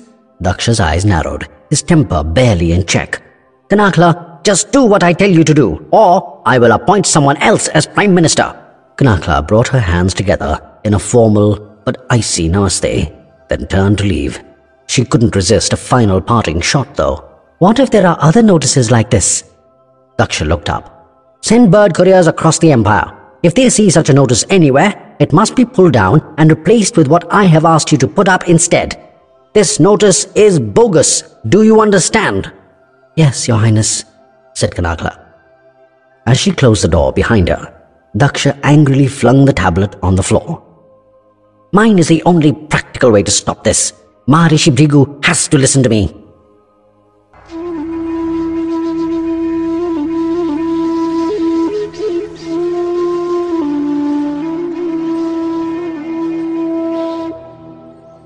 Chapter 20 The Fire Song Gopal was shown into Shiva's private chamber the moment he arrived.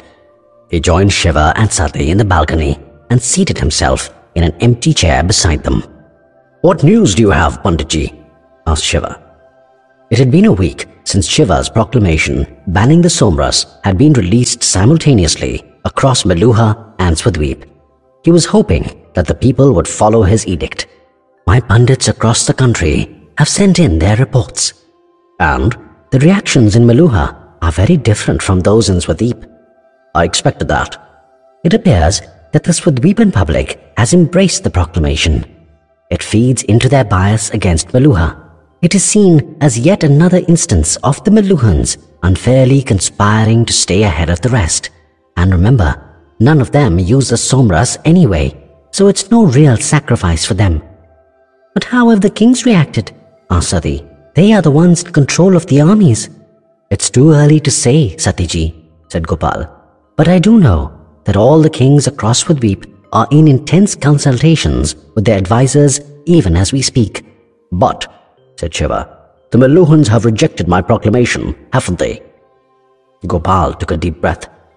It's not so simple. My pundits tell me that the Meluhan public seemed genuinely disturbed by your proclamation initially. There were serious discussions in city squares, and a lot of them believed that they needed to follow their Nilkant's words. Then what happened? The Meluhan state is supremely efficient, my friend. The notices were taken down within the first three days, at least in all the major cities. They were replaced by a Meluhan royal order stating that they had been put up by a fraud Nilkant. And the people believed it? The Meluhans have learned to trust their government completely over many generations, Shiva, said Sati. They will always believe everything that their government tells them. Also, said Gopal, you have been missing from Meluha for many years, my friend. There are some who genuinely beginning to wonder if the Nilkant has forgotten Meluha. Shiva shook his head. It looks like a war is inevitable. Daksh, and most importantly, Lord Bhrigu, will ensure that, said Gopal. But at least our message has reached most Meluhans. Hopefully, some of them will start asking questions. Shiva looked at the ships of the Brangas, Vasudevs, and Nagas anchored on the Ganga. We set sail in two days.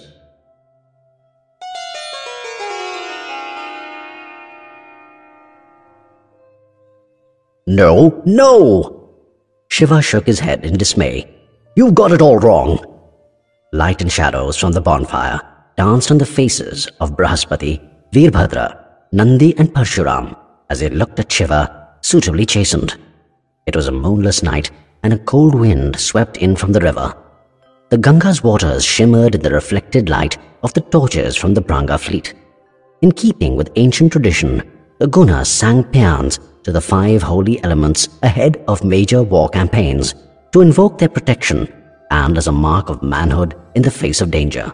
The friends of the great Guna, Shiva, had gathered to honor this custom, but they would set sail at the crack of dawn tomorrow. Shiva passed his chillam to Parashuram and decided to teach his friends the fine art of singing. The real trick is in here, said Shiva, pointing towards his diaphragm. I thought it was in here, said Veerbhadra playfully, pointing to his throat. Shiva shook his head. Bhadra, the vocal cords are basically a wind instrument.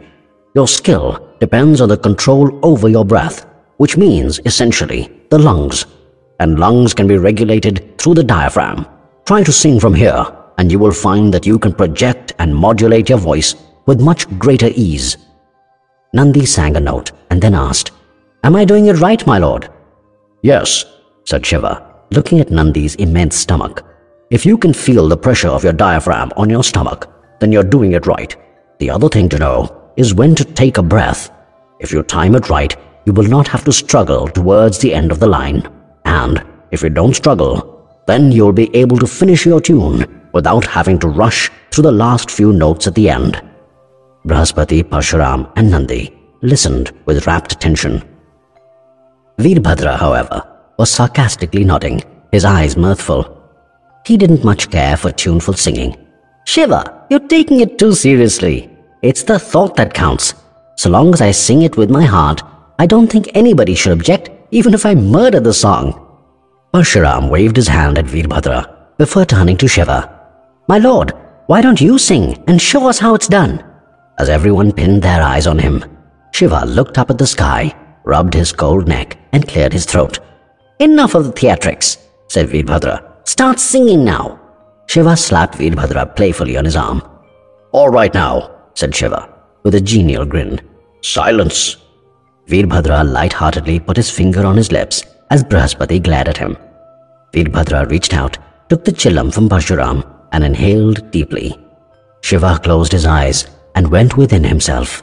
A sonorous hum emerged from within his very being as he hit the perfect note right away. A lilting melody of words followed, and the enraptured audience understood their significance. It was the prayer of a warrior to Agni, or fire, imploring it for a blessing. The warrior would repay this honor by feeding his enemies in combat to the hungry flames of a cremation pyre. The listeners intrinsically understood that Shiva's Prakriti was closest to fire rather than the other four elements, each of which had Guna war songs dedicated to them. It was a short song, but the audience was spellbound. Shiva ended his performance to a robust round of applause. You still have it in you, smiled Veerbhadra. That cold throat hasn't thrown your voice off. Shiva smiled and took the chillam from Veerbhadra. He was about to take a drag when he heard someone cough softly near the entrance of the terrace. All the friends turned to find Sati standing there.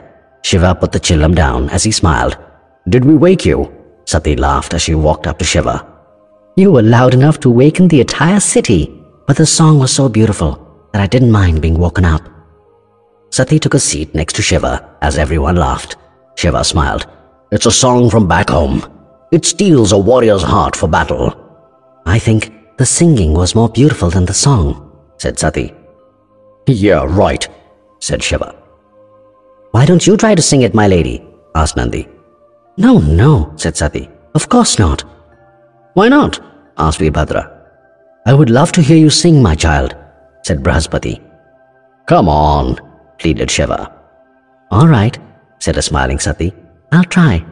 Shiva picked up the chillam and offered it to Sati. She shook her head. Sati had been paying close attention to Shiva's singing. The song, its melody and lyrics, had already been committed to memory.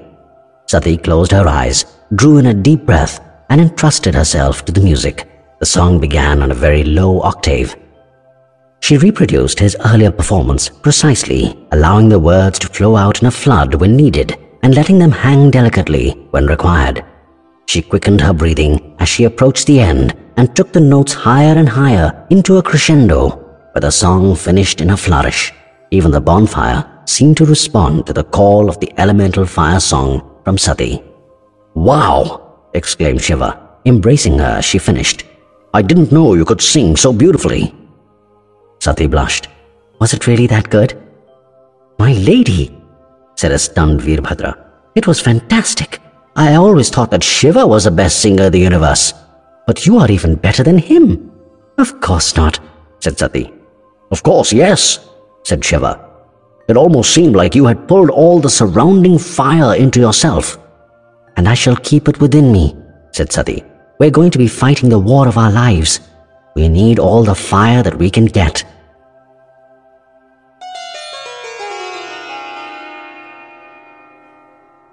Ganesh and Kartik had been housed in the private chambers of King Matali of Vaishali. They were accompanied by the Ayodhyan prince Bhagirath and the Branga king Chandraketu. their information was that Magadh was not preparing a blockade to stop their ships from sailing to Ayodhya. But the Magadhan army had been put on alert and training sessions had been doubled. Either this was a precautionary step taken by Surapadman or the Magadhans planned on attacking them once they had exhausted themselves against the Ayodhyans. We cannot afford to lose either men or ships as we pass Magadh, said Ganesh. We've got to be prepared for the worst. The way I see it, said Bhagirath, pointing to the river map on the table, their primary catapults will be in the main fort on the west bank of the Sarayu. They have a small battlement on the east side as well, from where they can load catapults and throw fire barrels at us. But considering the size of this battlement, I don't think that the range will be long. So my suggestion is that we sail our ships closer to the eastern bank of the Sarayu. But not too close though, said Chandraketu. Of course, said Bhagirath. We don't want to be the casualties of the smaller catapults from the east either.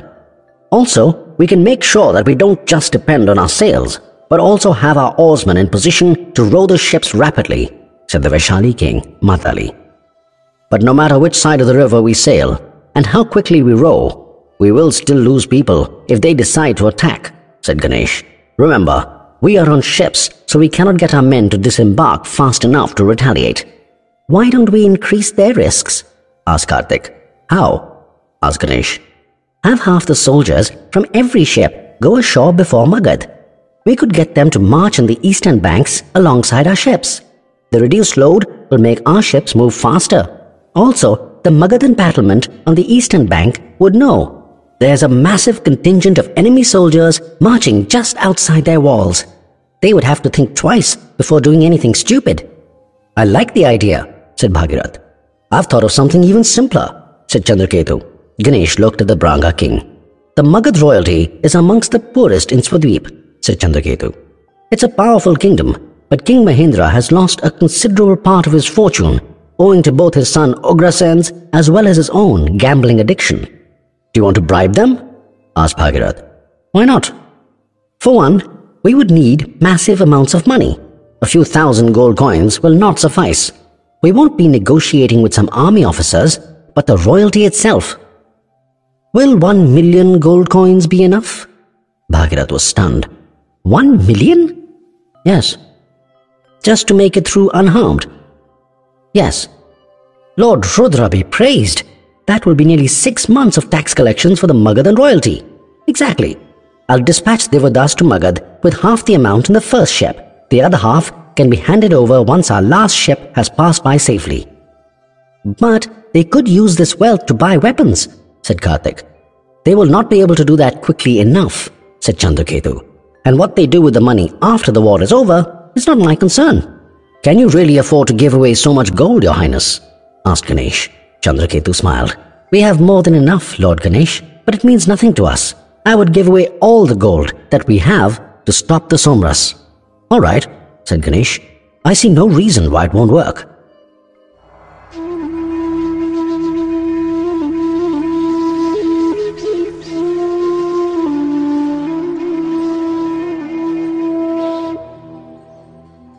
Chapter 21 Siege of Ayodhya the cool northerly wind was a welcome relief for Shiva as he sat on the deck of the lead ship with Gopal, Sati, and Kali clustered around him. As the 56 vessel armada made steady progress upriver, he knew that in just a few weeks they would reach close to the headwaters of the Chambal, from where the soldiers would disembark and march to the Narmada. Panditji, do your ships that wait for us at the Narmada have the additional capacity to carry the 55,000 soldiers who accompany us? asked Kali. Yes, Your Highness, said Gopal. Our ships have been specially designed to handle this additional load since we knew that we would not be able to use the ships we're currently on. Judging by the maps we've seen, said Sati, we should reach Lothal in three months, right, Panditji? Yes, Satiji, said Gopal. If the winds favor us, we may even make it earlier. Have you received word from the Lothal governor, Kali? asked Shiva. My ambassador will be waiting with the information at the Narmada, answered Kali. Trust me, we will gain easy entry into Lothal. But don't expect a huge addition of troops into our army. Lothal doesn't have more than two or three thousand soldiers. We don't really need their soldiers, said Shiva. We have enough troops of our own, along with the Vasudev army that waits for us at the Narmada, your own Naga army, and this Branga force. We have more than a hundred thousand men. That's equal to the strength of the Meluhan army. We can easily defeat them, said Kali. I do not intend to attack, said Shiva. I think you should. All we need to do is destroy the Somras manufacturing facility, Kali. But you have the Nagas with you. You shouldn't be afraid of a direct confrontation. I'm not afraid. I just don't see the sense in it. It will distract us from our main purpose, the destruction of the Somras. We do not want to destroy Meluha. Don't forget that. I'll count on you to remind me of that every time I forget, said Kali. Shiva smiled and shook his head.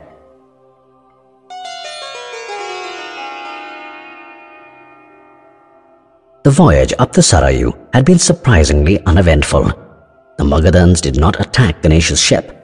The massive convoy was so long that the guards on the Magadhan towers spent an entire day watching ships go by. A little over a week later, Ganesh ordered his ships to drop anchor. Kartik, Bhagirath, Chandraketu and Ganesh got into a small boat and rowed ashore. The forest had been cleared up to a fair distance. Divodas, the leader of the Branga immigrants in Kashi, waited there along with 20 men. Ganesh jumped off as soon as the boat beached and waded through the shallow water to the river bank. The others followed. He touched his head to the ground as he reached the shore. He looked deep into the forest, remembering a time long ago when he had hidden behind the trees and observed his mother. Kartik, this is the Bal Atibal Kund. This is where Saptrishi Vishwamitra taught Lord Ram his legendary skills. Kartik's eyes were wide open in awe. He bent down and touched the ground with his hand and whispered, Jai Shri Ram. The others around him repeated it, Jai Shri Ram. Kartik, said Ganesh, this ground was blessed by Saptrishi Vishwamitra and Lord Ram. But its greatness has been forgotten by many. We may have to redeem the honor of this land with blood. Kartik took a moment to understand. Do you think Surapadman might chase us? Ganesh smiled. He will chase us. Trust me, I see the siege of Ayodhya as a bait to draw Surapadman out of Magadh. Once he's out, we will destroy his army and capture his city. We'll be able to stop Ayodhyan ships easily with Magadh blockading the Ganga. And the battle to decide the fate of Magadh should be fought here. For this is where I would like you to attack him. I would have thought that Surapadman would prevail on his father. He's a clever man, Kartik. From what I've understood, his instinct was to support us, but in the face of so much opposition, he will do what is now in his best interest. And he does have much to gain. He'll win the favor of his father and his countrymen by taking revenge for his brother's death. He will come as a savior for Ayodhya, albeit a little late, so that Ayodhya is weakened. And who knows, he may even capture the sons of the Nilkant. Wouldn't that make him a strong ally of Bhrigu? asked Ganesh with an ironic smile. Yes, brother. He will attack and he will learn that clever men should always listen to their instincts. Kartik took a deep breath and looked up at the sky before turning back to Ganesh with resolve writ large in his eyes. We will turn the river red with blood, Dada. Bhagirath looked at Kartik with a familiar sense of fascination and fear. Why this ground, Lord Ganesh? asked Chandraketu. Your Highness, answered Ganesh, as you can see, this stretch is long and narrow. That will lure Surapadman into anchoring his ships along the banks, thus stretching his army thin. The forest is not too far from the shore, which means our main army can remain hidden behind the trees. We leave only a small contingent on the beach. Bhagirath smiled. That will be a very juicy bait. Surapadman will probably imagine that this is a small brigade that has deserted the siege of Ayodhya. He'll want to kill them to give his soldiers a taste of victory. Right, said Ganesh. But the main battle will not be on land. We just have to pin him down here, which will, in all honesty, take a lot of courage, since he will have a large force. That is why I want Kartik here. But Surapadman will be defeated in the river itself. How? asked Chandraketu. I'll move back from Ayodhya and ram his ships from the front, said Ganesh. I've also asked King Matali to wait in the Sharda River along with 30 ships. The Sharda meets the Sarayu downriver. The Vaishali fleet will sail up the Sarayu once Surapadman's ships have passed, placing them behind the Magadhans. My contingent will attack from in front, while the Vaishali forces will hit them from behind. Kartik has to hold Surapadman in position for long enough to make his fleet of ships immobile. He'll be sandwiched between King Matali's ships and yours, said Chandraketu. He won't stand a chance. Exactly. Sounds like a good plan, said Bhagirath. The success of the battle hinges on two points, said Ganesh. Firstly, Kartik has to entice Surapadman to anchor his ships and attack our soldiers on shore. In the absence of that, he will keep moving, and his larger boats will ram through my smaller ships and possibly turn the tide in his favor. Our ships are light, maneuverable, and built for speed. The Magadhan ships are bigger and have been built for strength. If Kartik fails to lure Surapadman ashore, my side of our fleet may face heavy casualties. I must be in command to take care of that possibility. And the second point? asked Bhagirath. King Matali must be positioned to block Surapadman's escape back to Magadh. That will close the pincer trap. Chandraketu doubted neither Kartik's courage nor his strategic mind. His words to the young warrior bespoke respect. You're on your own, Kartik. It's all up to you now. Kartik narrowed his eyes, his hand on his sword hilt. I'll draw him in, King Chandraketu.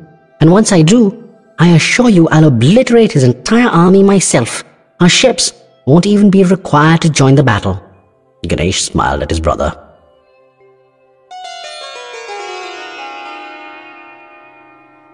Ganesh reached for another document from the stack on the desk and began to read, then paused to rub his tired eyes.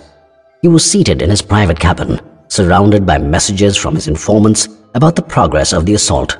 There were dozens of missives telling him every aspect from the mood of the Ayodhyan populace to the progress of the armorers in meeting the archers' demand for arrows. He had hardly slept in the weeks since the battle had begun, and his body ached for rest. But these reports could not wait. It appeared that Ayodhya stood poised on the brink of surrender, and any misstep now could spell disaster. Kartik and Chandraketu sat patiently by his side, assisting Ganesh with the endless stream of messages. The three sat together in silence as they awaited Bhagirath's return to hear news of his mission. The siege of Ayodhya had begun over a month ago. Ganesh's navy had assaulted the city in the classical manner of the ancient war manuals. A large part of the fleet had been anchored along the west banks of the Sarayu in a double line, out of the range of the catapults on the fort walls of the eastern banks. The line ships had extended up to the north of Ayodhya, just shy of the sheer cliff upriver where the Sarayu descended in a waterfall. Small lifeboats had been tied to the right of the ships in Ganesh's convoy, with guards present round the clock. This was to prevent devil boats from attempting to set fire to the vessels from the Ayodhya end. A section of the army had camped to the left of the ships, on the shore itself, to thwart guerrilla action from the Ayodhyans. Further to the south, Ganesh had anchored his ships and tied them together across the river in rows of ten. Another lineup was just behind the first level of the blockade ships. Behind these, five fast-moving cutters would patrol the river further downstream to attack any Ayodhyans who attempted to escape. Thus, any Ayodhyan ship attempting to run the river blockade had to battle through a thick line of 20 enemy ships and five quick cutters. The forest around Ayodhya had been cleared by the defending army to give it a clear line of sight in case of an attack. Prasenjit, the Meluhan brigadier who'd been left behind by Bhrigu, had tried hard to convince the Ayodhyans to extend the clearing area further, but he had been unsuccessful. Ganesh had got his troops to cut a second line of trees beyond the clearing as a precautionary fire line.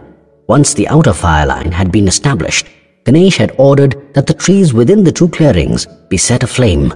The intense heat generated would have resulted in the collapse of any tunnels around Ayodhya that could have served as passages for food to be smuggled into the city.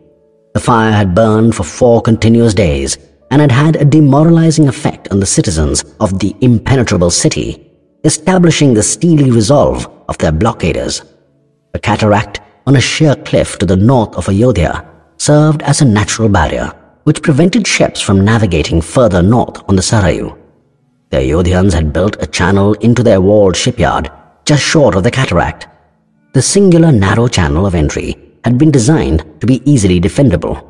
While this channel, passing through a gated wall, protected the Ayodhyan shipyard, it also allowed the enemy to block the exit route of their ships. Ganesh had used the leftover logs from the forest clearing to block this channel, effectively extending the siege of the city to the shipyard as well. All he had wanted was to box them in, and blocking the channel had ensured that he did not have to divert too many ships to blockade the shipyard. Ganesh had known that the Meluhans had set up a bird courier system for the Ayodhyans. He had hit upon a very simple strategy to destroy this. He had placed 600 archers on various treetops outside Ayodhya and along the Sarayu. These archers worked in 8-hour shifts, changing three times a day, maintaining a continuous 24-hour vigil. The orders had been very simple. Shoot any and every bird that they saw in the sky. Most of these dead birds were retrieved by trackers. In doing so, not only did they retrieve messages exchanged between Meluha and Ayodhya, but the dead pigeons and other game birds were also a source of fresh meat for the soldiers. Ayodhya drew fresh drinking water from the Sarayu through channels that extended from the river to within the city walls. The channels were fed by ingeniously designed giant water wheels constructed along the Sarayu. These wheels used the flow of the river to rotate. A series of buckets tied around the diameter would fill up with water and disgorge into the channels as they reached the top. Tall walls had been built around the wheels to protect them from any attack. However, there was a breach in the wall just below the water surface, from where the buckets filled up with water. This opening was fortified with bronze bars that were wide enough to allow water to run through, but not so wide as to allow a man to swim in between. But that hadn't stopped Ganesh. Ganesh had deployed soldiers to swim across the Sarayu at night, pulling small floating wooden barrels. Within these barrels were smaller iron cans filled with oil. Water in the space between the wooden barrel and the iron can, and a slow fuse made of hemp completed the device. Once lit, the fuse would ignite the oil, bringing the water to a boil.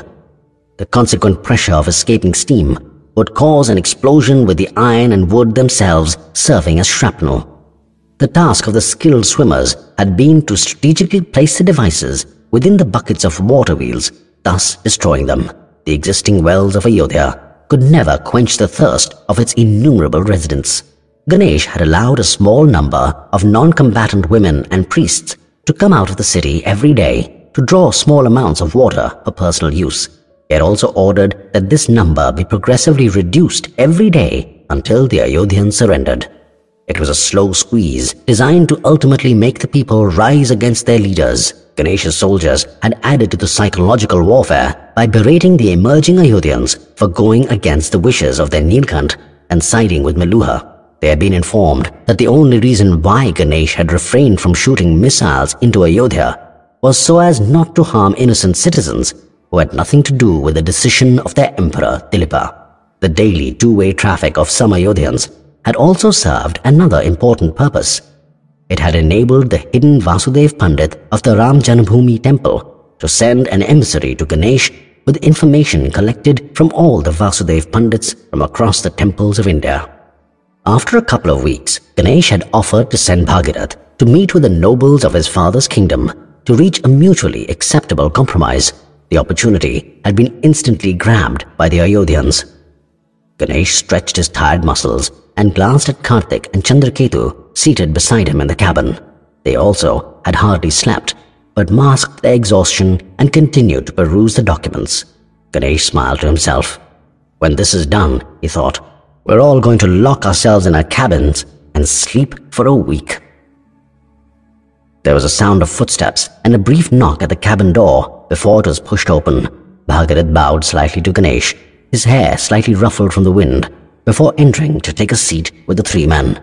What news, Bhagirath? asked Ganesh, pushing the pile of messages to one side. I'm afraid it's not good. Really? asked Chandraketu. I thought the Ayodhyan army must be deeply divided. I cannot think of any other reason why we were able to lay siege on the city so easily. No skirmishes, no guerrilla attacks, nothing. It could only mean that the army doesn't intend to fight. Bhagirath shook his head. You don't know Ayodhya, King Chandraketu. It was not the cowardice of their army, but the indecisiveness of their nobility which worked in our favor. They have not been able to agree on the best way to attack us. Furthermore, Maharishi Bhrigu had brought in a Meluhan brigadier, Prasenjit, to oversee the Ayodhyan war preparations. All it achieved was further divisions within the city. By the time they agreed upon a strategy, we were already in control of the river. There was not much that they could do after that. So? asked Ganesh. Haven't their troubles opened the eyes of some, at least? No, said Bhagirath. There is tremendous confusion within the city. Many Ayodhyans are fanatical devotees of Lord Shiva and are certain that the Nilkant will not harm them. They refuse to believe that he has ordered this attack. This blind devotion seems to be working against us. So who do they think has ordered this attack? Asked Chandraketu. Seeing the number of Brangas in the army, they think that it's you, said Bhagirath. Chandraketu raised his hands. Why would I attack Ayodhya? They believe that Branga wants to be the overlord of Swadweep, said Bhagirath. In the absence of Lord Shiva, there's nothing we can do to convince them otherwise. There are a few who do believe in the proclamation that was put up, but they are in a minority. They are outshouted by a very simple logic. We have never used a Somras, so why would the Nilkant attack us? He should attack Meluha. Of course, a few members of the nobility do use the Somras, but the people do not know that. It is the opinion of the nobility that is more important right now, said Kartik. The people do not need to control the army. So what do the nobles think? The nobility is sharply divided. Some of them actually want us to succeed, which would give them a plausible reason to refuse to help Meluha. Others believe surrendering will mean terrible loss of face. These people want the army to gallantly strike out and sail to Meluha, if only to prove to the rest of Swadweep that Ayodhya has the strength to do what it chooses to do. How do we assist those who do not want to come to the aid of Meluha? asked Ganesh. It's difficult, said Bhagirath. My father made a brilliant move last week. He promised all of them a lifetime supply of the Somras. What? Yes, he told them that Lord Bhrigu has promised to supply the Somras powder to Ayodhya in massive quantities. But how can Maharishi Bhrigu promise that? asked Kartik. Where will it come from? Is the manufacturing facility capable of producing so much more? It clearly must be, said Bhagirath. In any case, this offer is open only to the nobility, so the numbers will be small. Damn, said Ganesh. My thoughts precisely, said Bhagirath. This will allow them to remain alive for a hundred more years. No amount of gold can compete with that. What do we do now? asked Chandraketu. Prepare for war, said Ganesh. They will make earnest attempts to break the siege.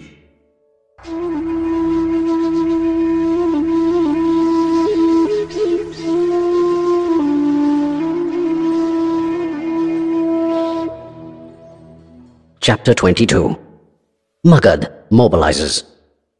Shiva, along with Sati, Gopal, and Kali, watched the massive army board the Vasudev and Naga ships on the banks of the Narmada. The Vasudevs had tied some logs together to create floating platforms for the army to reach the anchored ships. A viewing platform had been built on a banyan tree near the banks. The leaves had been shorn off to afford a panoramic view of the boarding operations. The line of ships stretched as far as the eye could see. Over 100,000 soldiers, comprising the Brangas, Vasudevs, and Nagas, were boarding the vessels in an orderly manner. The voyage would be uncomfortable with 2,000 men on every ship, but fortunately, the journey to Lothal would be short. We should be ready to sail out by tomorrow, Shiva, said Kali. Has Suparna boarded? asked Shiva. Suparna, a fearsome warrior, was the leader of the Garuda Nagas. Not yet, said Kali. May I meet her? I'd like to exchange some thoughts on the Nagas under her command. Kali raised her eyebrows. She had expected to lead the Nagas into the war. I'd like you to be with me, Kali, said Shiva, mollifying her. I trust you. I'm going to be leading the search party into Meluhan cities to try and locate the Somras manufacturing facility. We'll have to work quietly and anonymously while our army outside the city keeps the Meluhans busy. You are very tactful, Shiva. Shiva frowned. You know how to get your own way without making one feel that one has been cut down to size, said Kali. Shiva smiled, once again silent. But I understand that the search for the Somras facility is crucial, said Kali. So it will be my honor to accompany you. Excellent, said Shiva, turning to Gopal. Any news from the Vasudevs, Panditji? The siege of Ayodhya has been surprisingly easy, said Gopal. The Ayodhyans have not fought back. Ganesh has a stranglehold over the city. But has King Dilipa changed his stance? Not yet, and Ganesh is, very wisely, not resorting to violence, since that may rally the citizens around their king. We will have to be patient. As long as the Ayodhyan army doesn't come to Meluha's aid, I'm happy. What about Magadh? His ships are ready, said Gopal. But Surapadman's army has not been mobilized as yet. Shiva raised his brows, clearly surprised. I didn't think that Surapadman would let go of an opportunity like this. I would also imagine that his father, King Mahendra, would pressure him to attack us. Let us see, said Sati. Maybe Surapadman wants Ayodhya and our army to battle first. He would then be attacking a weakened enemy. Shiva nodded. Perhaps.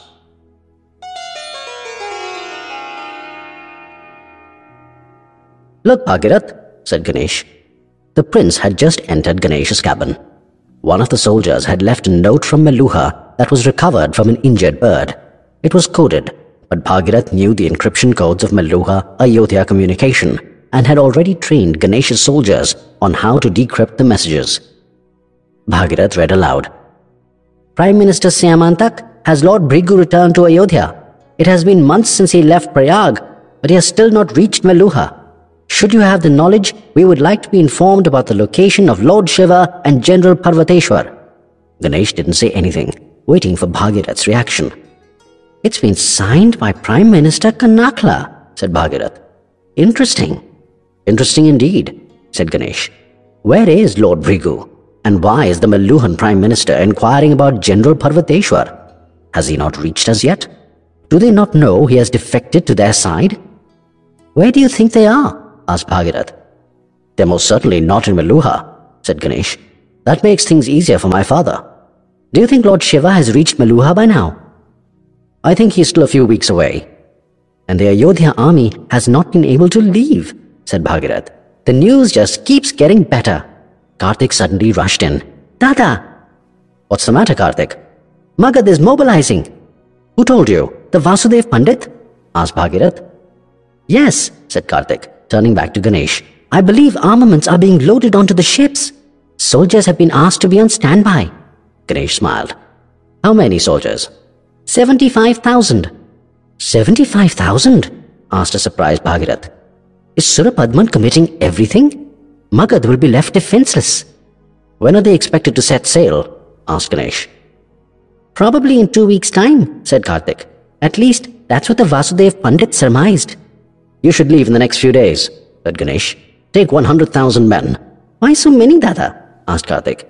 Don't you need some men here with you?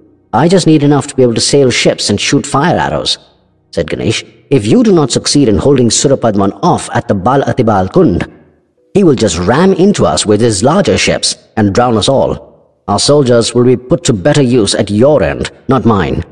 I'll prepare to leave right away, said Kartik.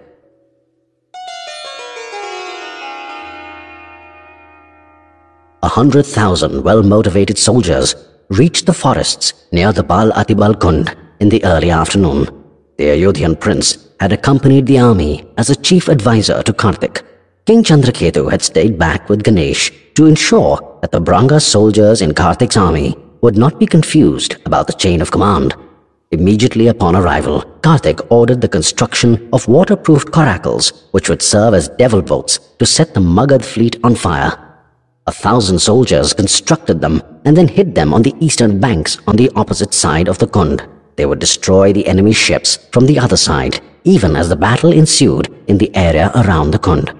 Hidden platforms had been constructed atop the trees to facilitate the relay of information back and forth between the two sides.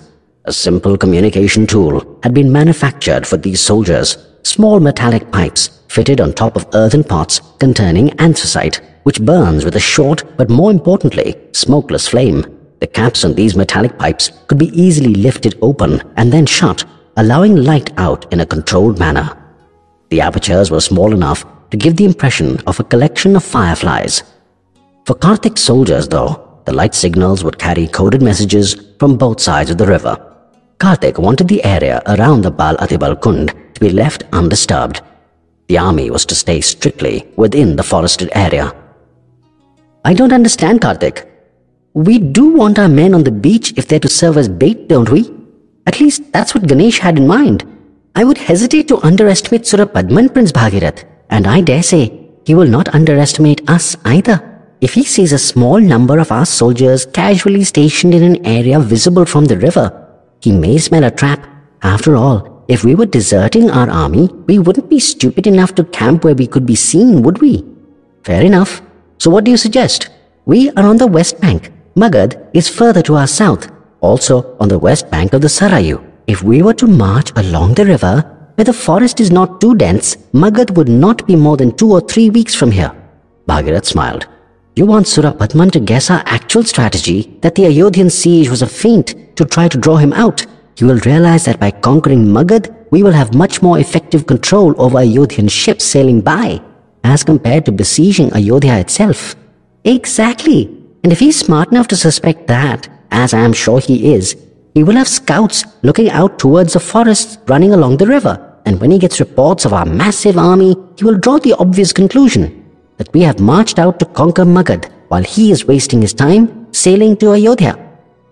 Leave your home defenses to conquer another land, and you may find your own home getting conquered instead. You got it, said Kartik. Also, it will have credibility in Surapadman's eyes, for that's what he would expect a smart enemy to do. I do not see him underestimating us. But what would stop him from just turning around and sailing back to Magadh?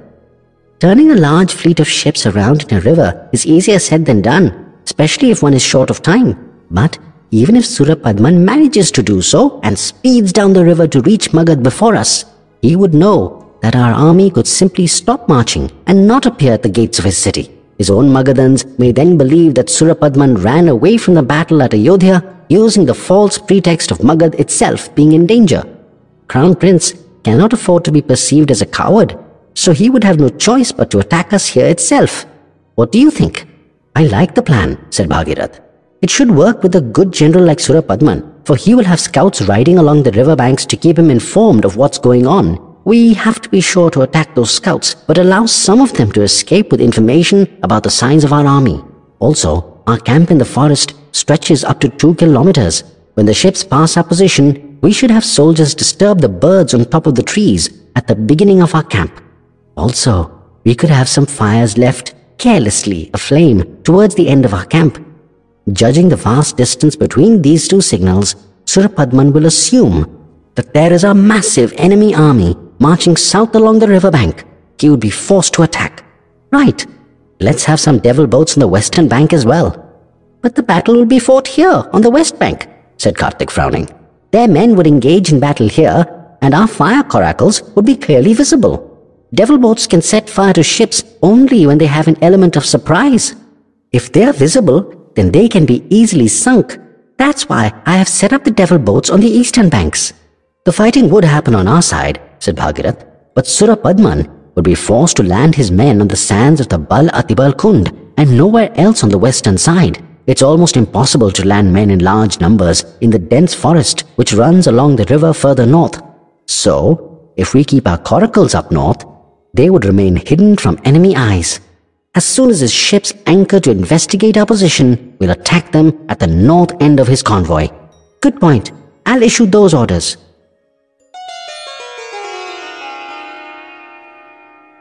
Kartik's army was ready and poised for action as they heard the sounds of a massive navy rowing up the Sarayu.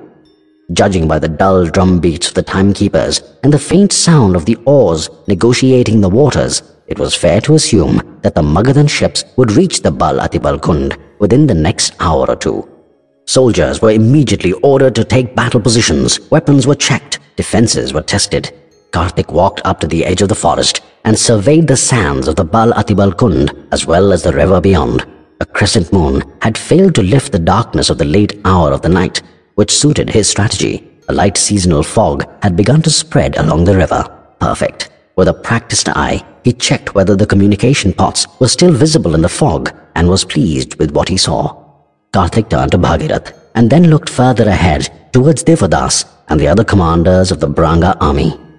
My friends, said Kartik, unlike my father, I'm not good with words, so I will keep this short.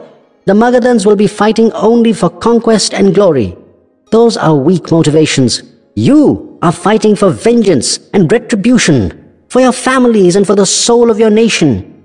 You are fighting to stop the Somras that has killed your children and crippled your people. You are fighting to stop the scourge of this evil. You have to fight to the end until they are finished. I don't want prisoners.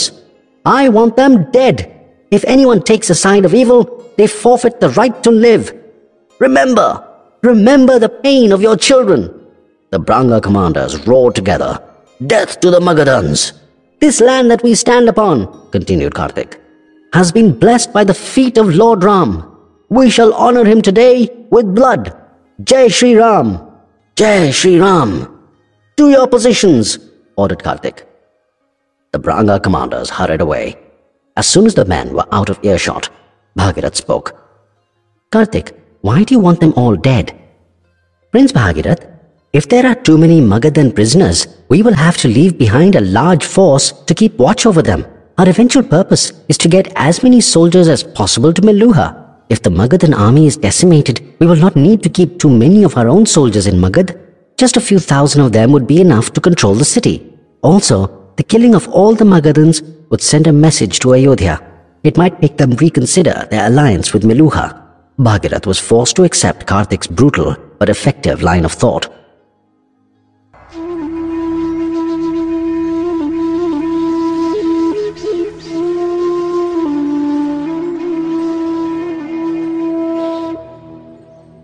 Chapter 23 Battle of Bal Atibalkund The lead ship of the Magadhan army passed the Bal Atibalkund.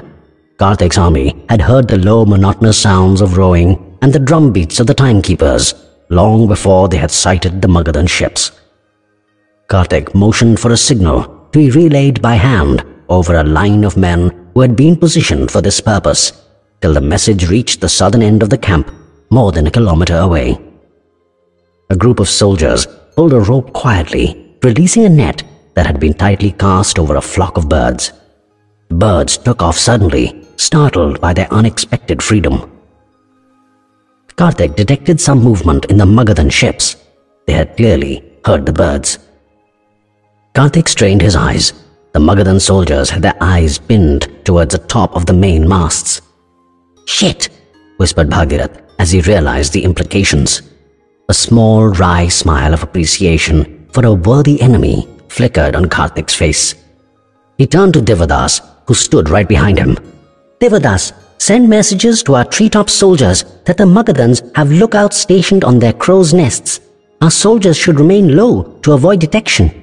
A crow's nest is built on top of the main masthead of the ship, where sailors would be stationed as lookouts to survey far and wide so as to report to the captain below on deck. This was a common practice on seafaring ships, but was rarely used in river ships. Surapadman was obviously a cautious man, for he had built crow's nests on his ships. Divodas left quietly to carry out Kartik's orders. The ships are pulling back their oars, said Bhagirath, pointing forward. As they were sailing against the natural flow of the river current, the Magadhan ships slowed down quickly. The sails were readjusted to bring the ships to a halt their earlier speed was such, though, that at least ten ships passed the area where Kartik stood before Surapadman's fleet came to a standstill. The soldiers on the ships stared hard into the dense forests on the western banks. Now, we wait, said Kartik.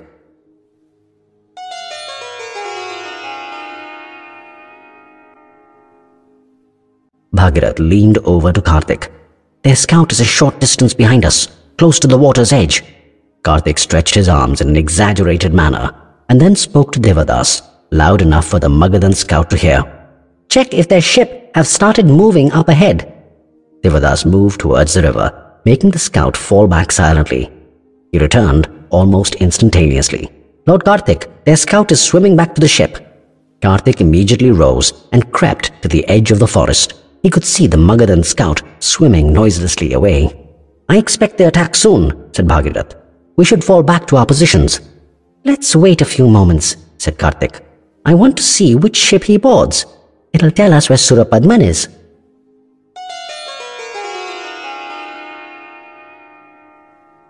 It It's been almost half an hour, said Bhagirath. What is he waiting for? Kartik and his army remained behind the forest line. They wanted to give Surapadman the impression that the Brangas did not wish to engage in a battle. They hoped he would be lulled into believing that he could launch a surprise attack. Kartik suddenly exclaimed, Son of a bitch! Lord Kartik? asked Divodas. Send a message to our lookouts, said Kartik. Tell them to communicate with those on the other side. I want to know what is happening there. Bhagirath slapped his forehead. Oh my god, we'd asked our lookouts to stay low. Divodas rushed off and messages were soon relayed across the Sarayu using light signals. He was back in no time with worrying news. They're mobilizing on the other side, hidden by their massive vessels. Rowboats are being lowered quietly into the river and soldiers are boarding it even as we speak. It looks like they're preparing to row down river. That cunning son of a flea-bitten dog, said Bhagirath. He intends to row down river, hidden by his own ships, and attack us from the south. What do we do, Lord Kartik? asked Divodas. Ask our lookouts if the Magadhans are disembarking from their tenth ship. That's where Surapadman is. Turning to Bhagirath, Kartik continued. Prince Bhagirath, I suspect he will launch a two-pronged attack. There will be one at Balatibal Kund.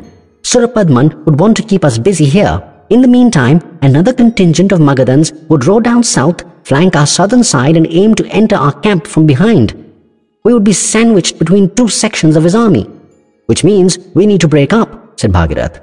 One of us will stay here at Balatibal Kund, and the other will ride out to meet their southern force. Exactly, said Kartik. Meanwhile, Divodas returned. Lord Kartik, they are disembarking from Surapadman's ship. Prince Bhagirath, said Kartik, you will lead our main force here. We have to ensure the Magadhans don't get past Balatibal. I want this to be a death trap for them. It'll be so, Kartik, I assure you, but do not leave too many from our forces with me. You will need a large number of soldiers to battle Surapadman in the south. No, I won't, said Kartik. He's rowing down river. He will not have any horses. I will. Bhagirath understood immediately. A single mounted cavalry warrior was equal to ten foot soldiers. He had the advantage of height as well as his horse's fearsome kicks. All right. Kartik snapped orders to Divodas even as he rose. Ride down south. Inform our forces to expect a Magadhan charge soon. You will be leading them. I'm going to ride out with 2,000 cavalrymen in a giant arc from the west. I intend to attack Surapadman's forces from behind. Between my horses and your troops, we will crush them. Divodas smiled. That we will. You bet, said Kartik. Har Har Mahadev. Har Har Mahadev, said Divodas. Divodas ran to his horse, swung into the saddle, and rode away. Kartik appeared to be running over the instructions in his mind, not wanting to miss out a single detail. I have fought many battles, Kartik, said Bhagirath with an amused look. Go fight yours. Let me take care of mine. Kartik smiled. We'll gift my father a famous victory. That we shall, said Bhagirath. Kartik walked up to his horse, stretched up to put his left foot into the stirrup, for he was still quite short, and swung his right leg over to the other side, mounting his horse. Bhagirath, who had followed Kartik, saw the same steely look in the boy's eyes that he had seen many times during the animal hunts. A familiar sense of fear and fascination entered Bhagirath's heart. He smiled nervously and whispered, God have mercy on Surapadman. Kartik heard the remark and chuckled softly. He will have to be the one, for I won't. The son of the Neelkanth turned his horse and galloped away into the dark.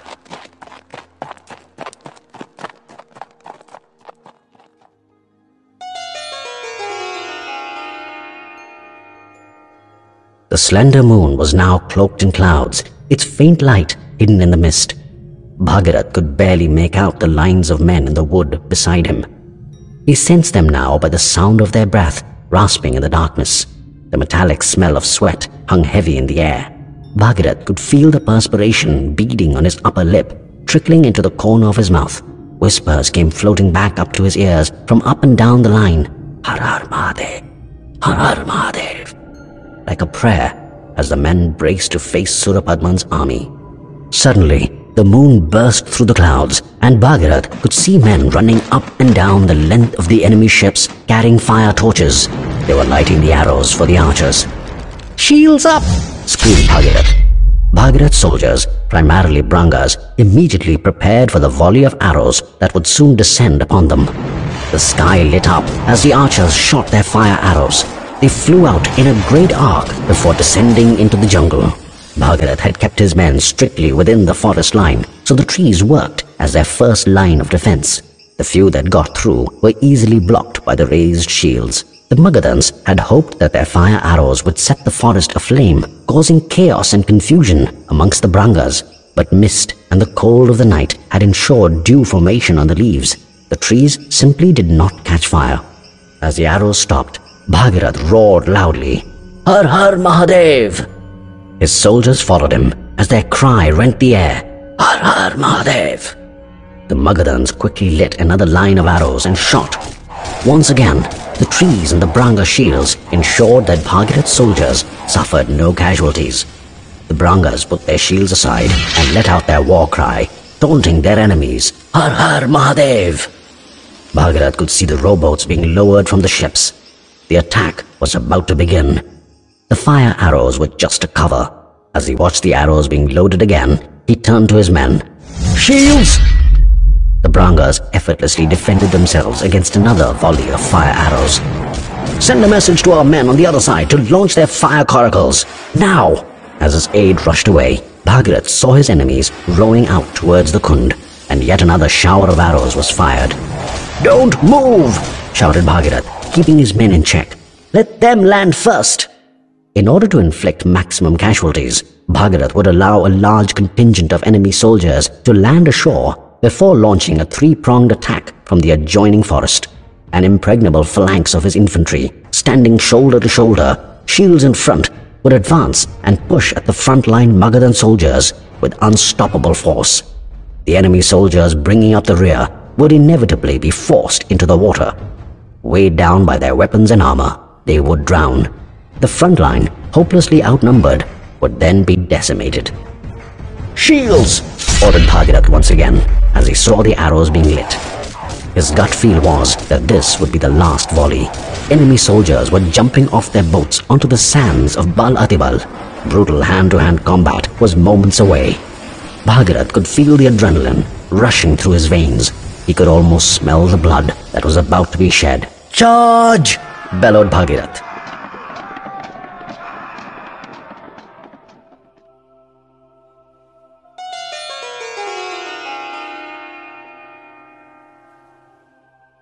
Kartik rode furiously with his 2,000 strong cavalry.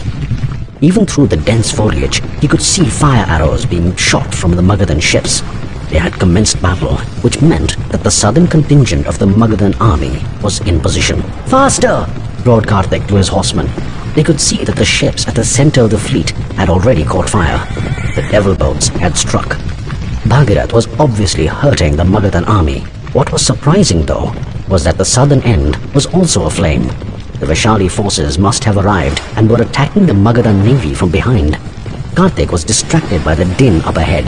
It was a sound of a fierce battle between the southern contingent of the Magadhans and Divodas's Brangas. Tried harder! Surapadman's men had probably shot fire arrows here as well, for parts of the camp were on fire. But this served as a beacon for Kartik's horsemen.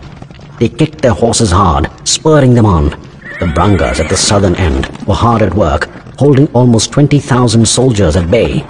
The Magadhans, who had expected to decimate an unprepared enemy, were shocked by the fierce resistance they were facing. Things would get a lot worse, though, for the Magadhans did not expect danger from the back as well.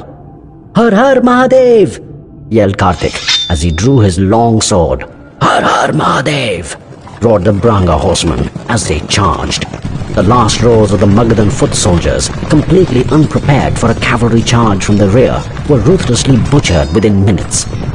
Kartik and his cavalry cut a wide swath through the Magadhan units, their horses trampling hapless soldiers, their swords slicing all those who stood in their path. Initially, the rear attack of the Branga cavalry went unnoticed due to the massive size of the rival armies and the brutal din and clamor of a battle well joined. Quickly overcoming their surprise, many brave Magadhan soldiers leapt at the horsemen, stabbing at the beasts, and even fearlessly holding onto the stirrups, hoping to bring them down. Sensing that he led the cavalry charge, a clutch of infantrymen tripped Kartik's steed, bringing them both down in a crash. They would soon wish that they hadn't. With cat-like reflexes, Kartik sprang to his feet, viciously drawing his second sword as well, and cutting at the first of the soldiers pressing onto him. The Magadhan crumpled in mid-step and fell silently to the ground, his windpipe severed, a gush of air bursting from his slit throat, splattering blood on those around him. A second soldier charged and was cut down before he'd taken two steps, a single stroke of Kartik's blade slicing through his torso, almost to his spine. The remaining soldiers paused, cautious now of this boy who could kill with such ease. They spread out in a circle around him, swords at the ready. Kartik knew they would charge together from all sides and waited for them to make their move. The charge came, two from the front, one from the back and a fourth from the left. Kartik crouched and with near inhuman speed sidestepped to the left and swung fiercely. Generating fearful blade speed through his swinging strikes, he brutally sliced limb, sinew, head and trunk all around him. Blood and entrails were splattered all over. He paused, panting, the swords in his hand dripping red with blood. He looked around him, selected an opponent, and charged again. As the Bhagavad Gita would say, Kartik had become death, the destroyer of worlds. The fighting raged for half an hour as the tide of the battle tipped more and more against the Magadhans. But they fought on as no quarter was given either by Kartik or his army. Slowly, the screams of the dying lessened and then were silenced as Surapadman's army perished. Soldiers stopped their slaughter and stood quietly on the battlefield, leaning exhausted on their swords and panting. But Kartik did not slacken, pressing attack after attack on all those that remained standing. Divodas tried to run as he approached Kartik, but his legs were weak and trembling, and he could scarcely manage more than a stumbling trot. He was covered in blood from a dozen small cuts, and a deep gash on his shoulder left his right arm dangling limply to his side. My lord, he called out, breathless and hoarse. My lord! Kartik swung viciously, the speed of his movement building formidable power in his curved blade. Divodas took the blow on his shield as his hand reverberated with the shock of blocking the brutal blow, numbing his left arm to the shoulder. My lord, he pleaded in desperation. It is I, Divodas. Kartik suddenly stopped, his long sword held high in his right hand, his curved blade held low in his left, his breathing sharp and heavy, his eyes bulging with bloodlust. My lord, shrieked Divodas, his fear palpable. You have killed them all. Please stop. As Kartik's breathing slowed, he allowed his gaze to take in the scene of destruction all around him. Hacked bodies littered the battlefield. A once proud Magadhan army completely decimated. Divodas's frontal attack, combined with the rear cavalry charge, had achieved Kartik's plan.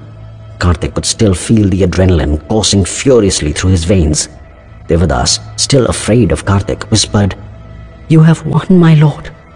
Kartik raised his long sword high and shouted, Har Har Mahadev!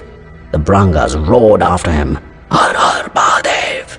Kartik bent down and flipped a Magadhan's decapitated head with his sword, and then turned to Divodas.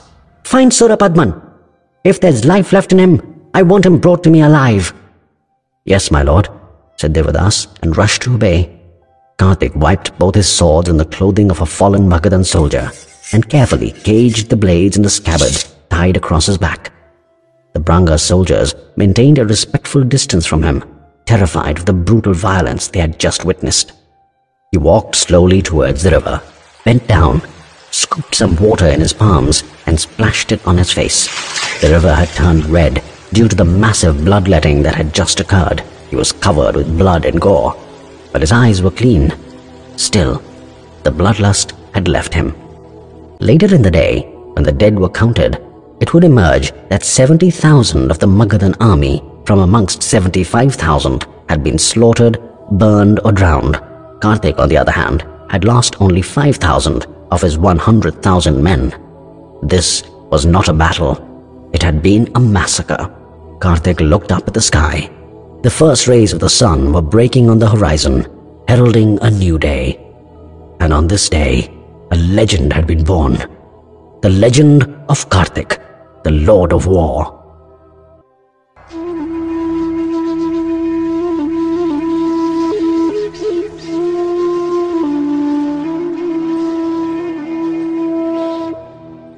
Chapter 24 The Age of Violence The golden orb of a rising sun peeked from the mainland to the right as a strong southerly wind filled their sails, racing them towards the port of Lothal.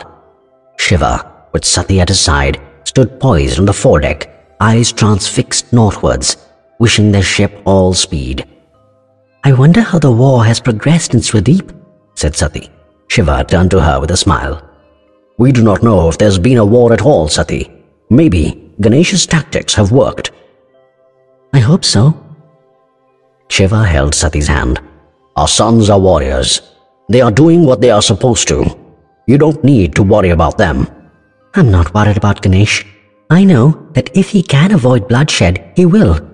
Not that he's a coward, but he understands the futility of war. But Kartik, he loves the art of war. I fear he will go out of his way to court danger. You're probably right, said Shiva. But you cannot change his essential character.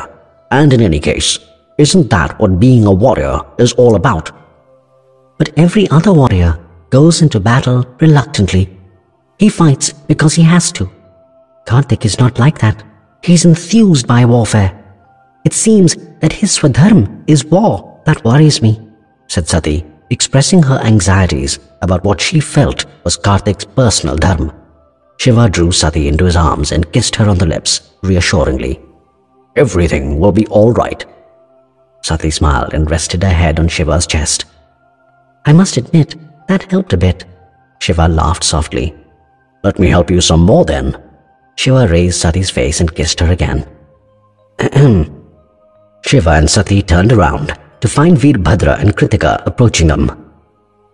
This is an open deck, said a smiling Veerbhadra, teasing his friend. Find a room. Kritika hit Veerbhadra lightly on his stomach, embarrassed. Shut up.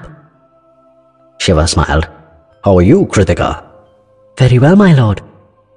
Kritika, said Shiva, how many times do I have to tell you? You are my friend's wife. Call me Shiva. Kritika smiled. I'm sorry. Shiva rested his hand on Veerbhadra's shoulder. What did the captain say, Bhadra? How far are we? At the rate we are sailing, just a few more days. The winds have been kind. Hmm.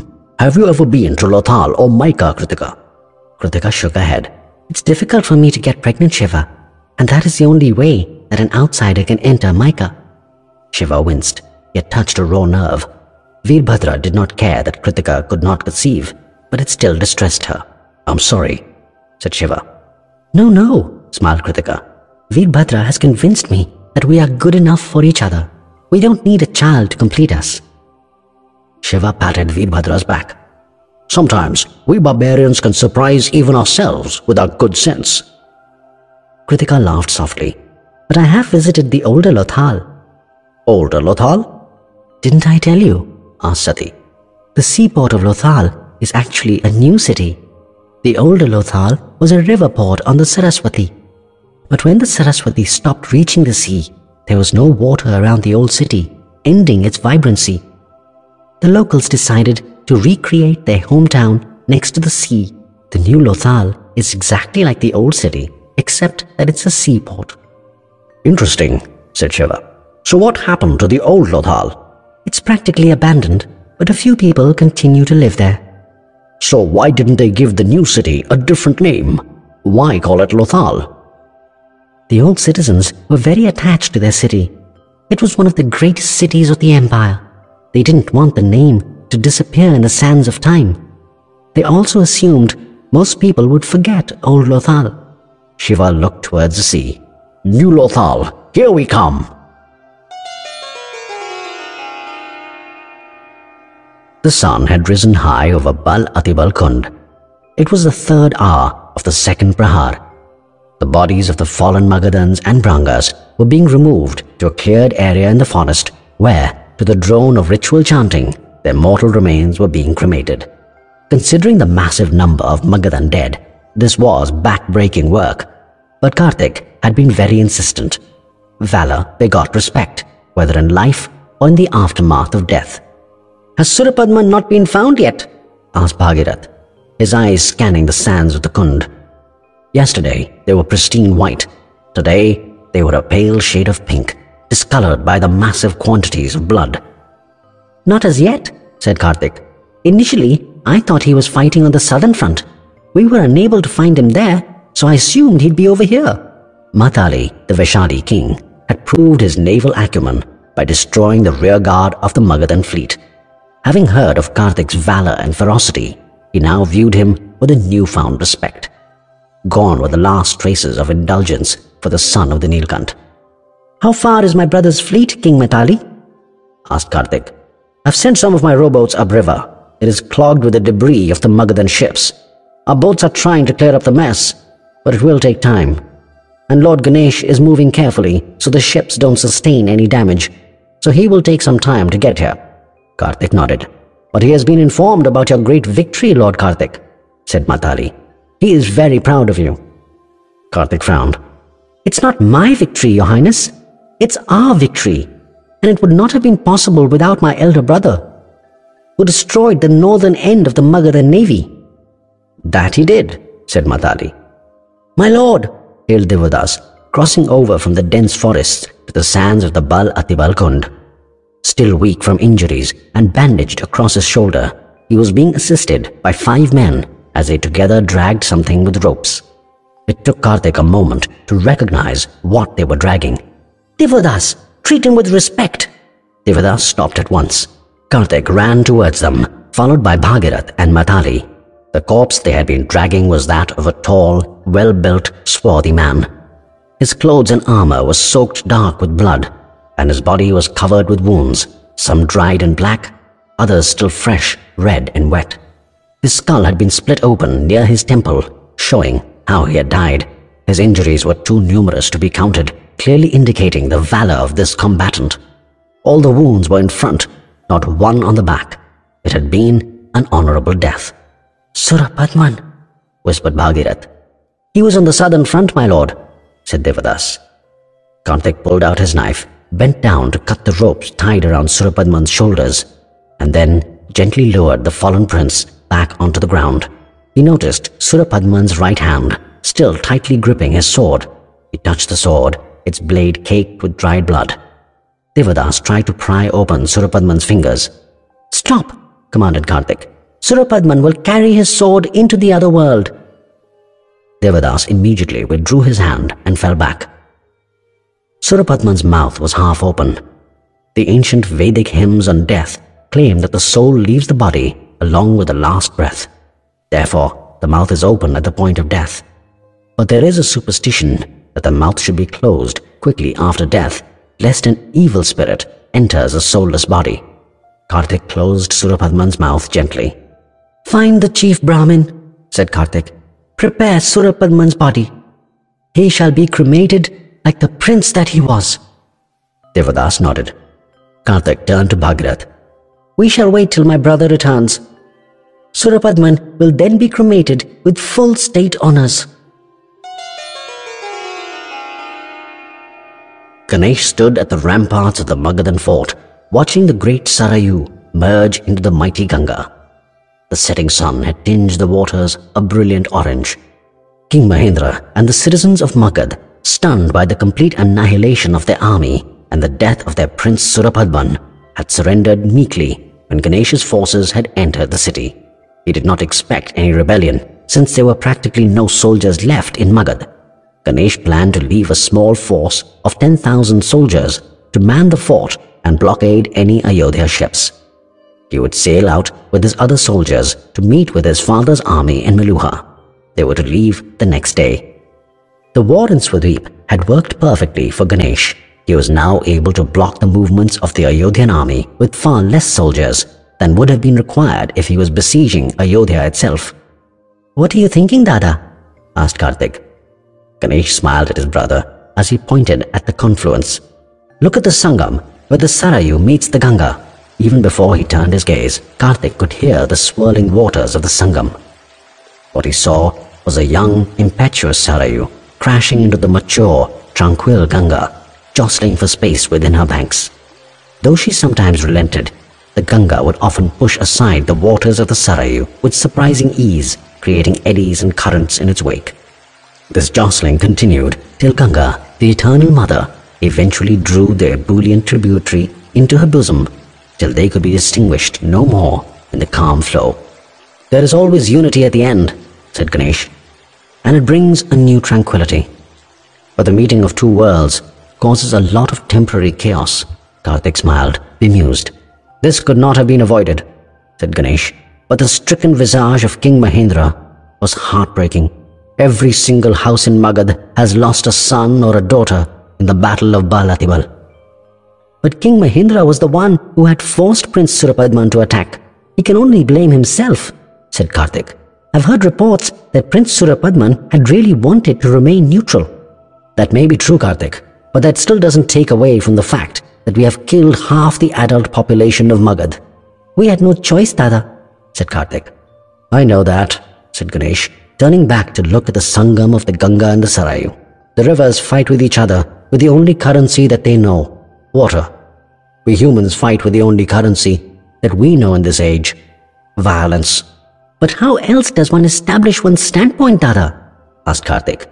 There are times when reason does not work and peaceful efforts prove inadequate. Violence is ultimately the last resort. That is the way it has always been. The world will, perhaps, never be any different. Ganesh shook his head. It will be one day. We live in the age of the Kshatriya. That's why we think that the only currency to bring about change is violence. Age of the Kshatriya? I've never heard of that. You would have heard of the four yugs, cyclical eras that time traverses repeatedly through a never-ending loop. The Satyug, Treta Yug, Dwapar Yug, and Kali Yug. Yes, within each of these yugs, there are smaller cycles dominated by different caste professions. There is the age of the Brahmin, of the Kshatriya, of the Vaishya, and of the Shudra. Age of the Brahmin, Dada. I haven't heard of that either. Sure you have. All of us have been told stories of the Prajapati, of a time of magic. Kartik smiled. Of course, knowledge seems like magic to the ignorant.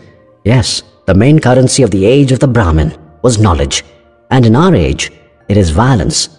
Some philosophers believe that after our epoch will be the age of the Vaishya, and the people in that age will not use violence to establish their writ? Violence will never die, Kartik. Neither will knowledge. But they will not be the determining factors, since it will be an age dominated by the age of the Vaishya, which is profit. They will use money. I can't imagine a world like that, Dada. It will come. I pray that it doesn't take too long. Not that I'm afraid of violence, but it leaves too many grieving hearts in its wake. Dada, even if I do believe that such a time will come, are you saying that money will cause less devastation than violence? Will there not be winners and losers even then? Will sadness disappear? Ganesh raised his eyebrows, surprised. He smiled and patted his brother on his back. You're right. There will always be winners and losers. But that is the way of the world. Kartik put his arm around his brother's waist as Ganesh put his arm around Kartik's shoulders. But that still doesn't take away from the grief of knowing that we have caused suffering to others.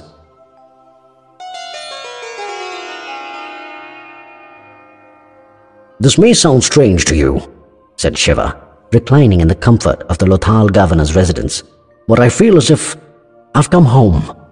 Meluha is where my journey began. Just as Kali had expected, the Lothal governor, Janadhwaj, had broken ranks with Meluhan nobility and opened the doors of his city for Shiva's army, pledging loyalty to the Neelkanth. And this is where it'll end, said Sati. Then we can all go and live in Kailash.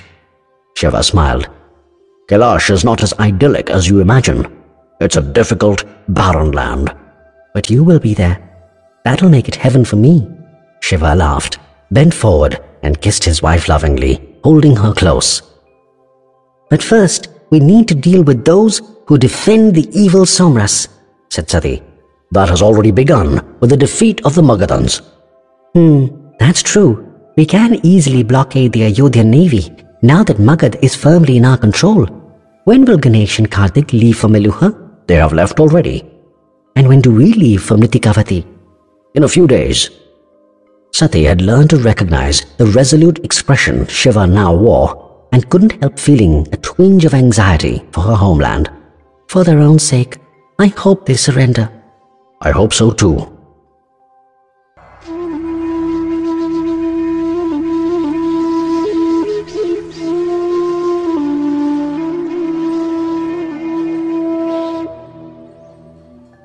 Chapter 25 God or Country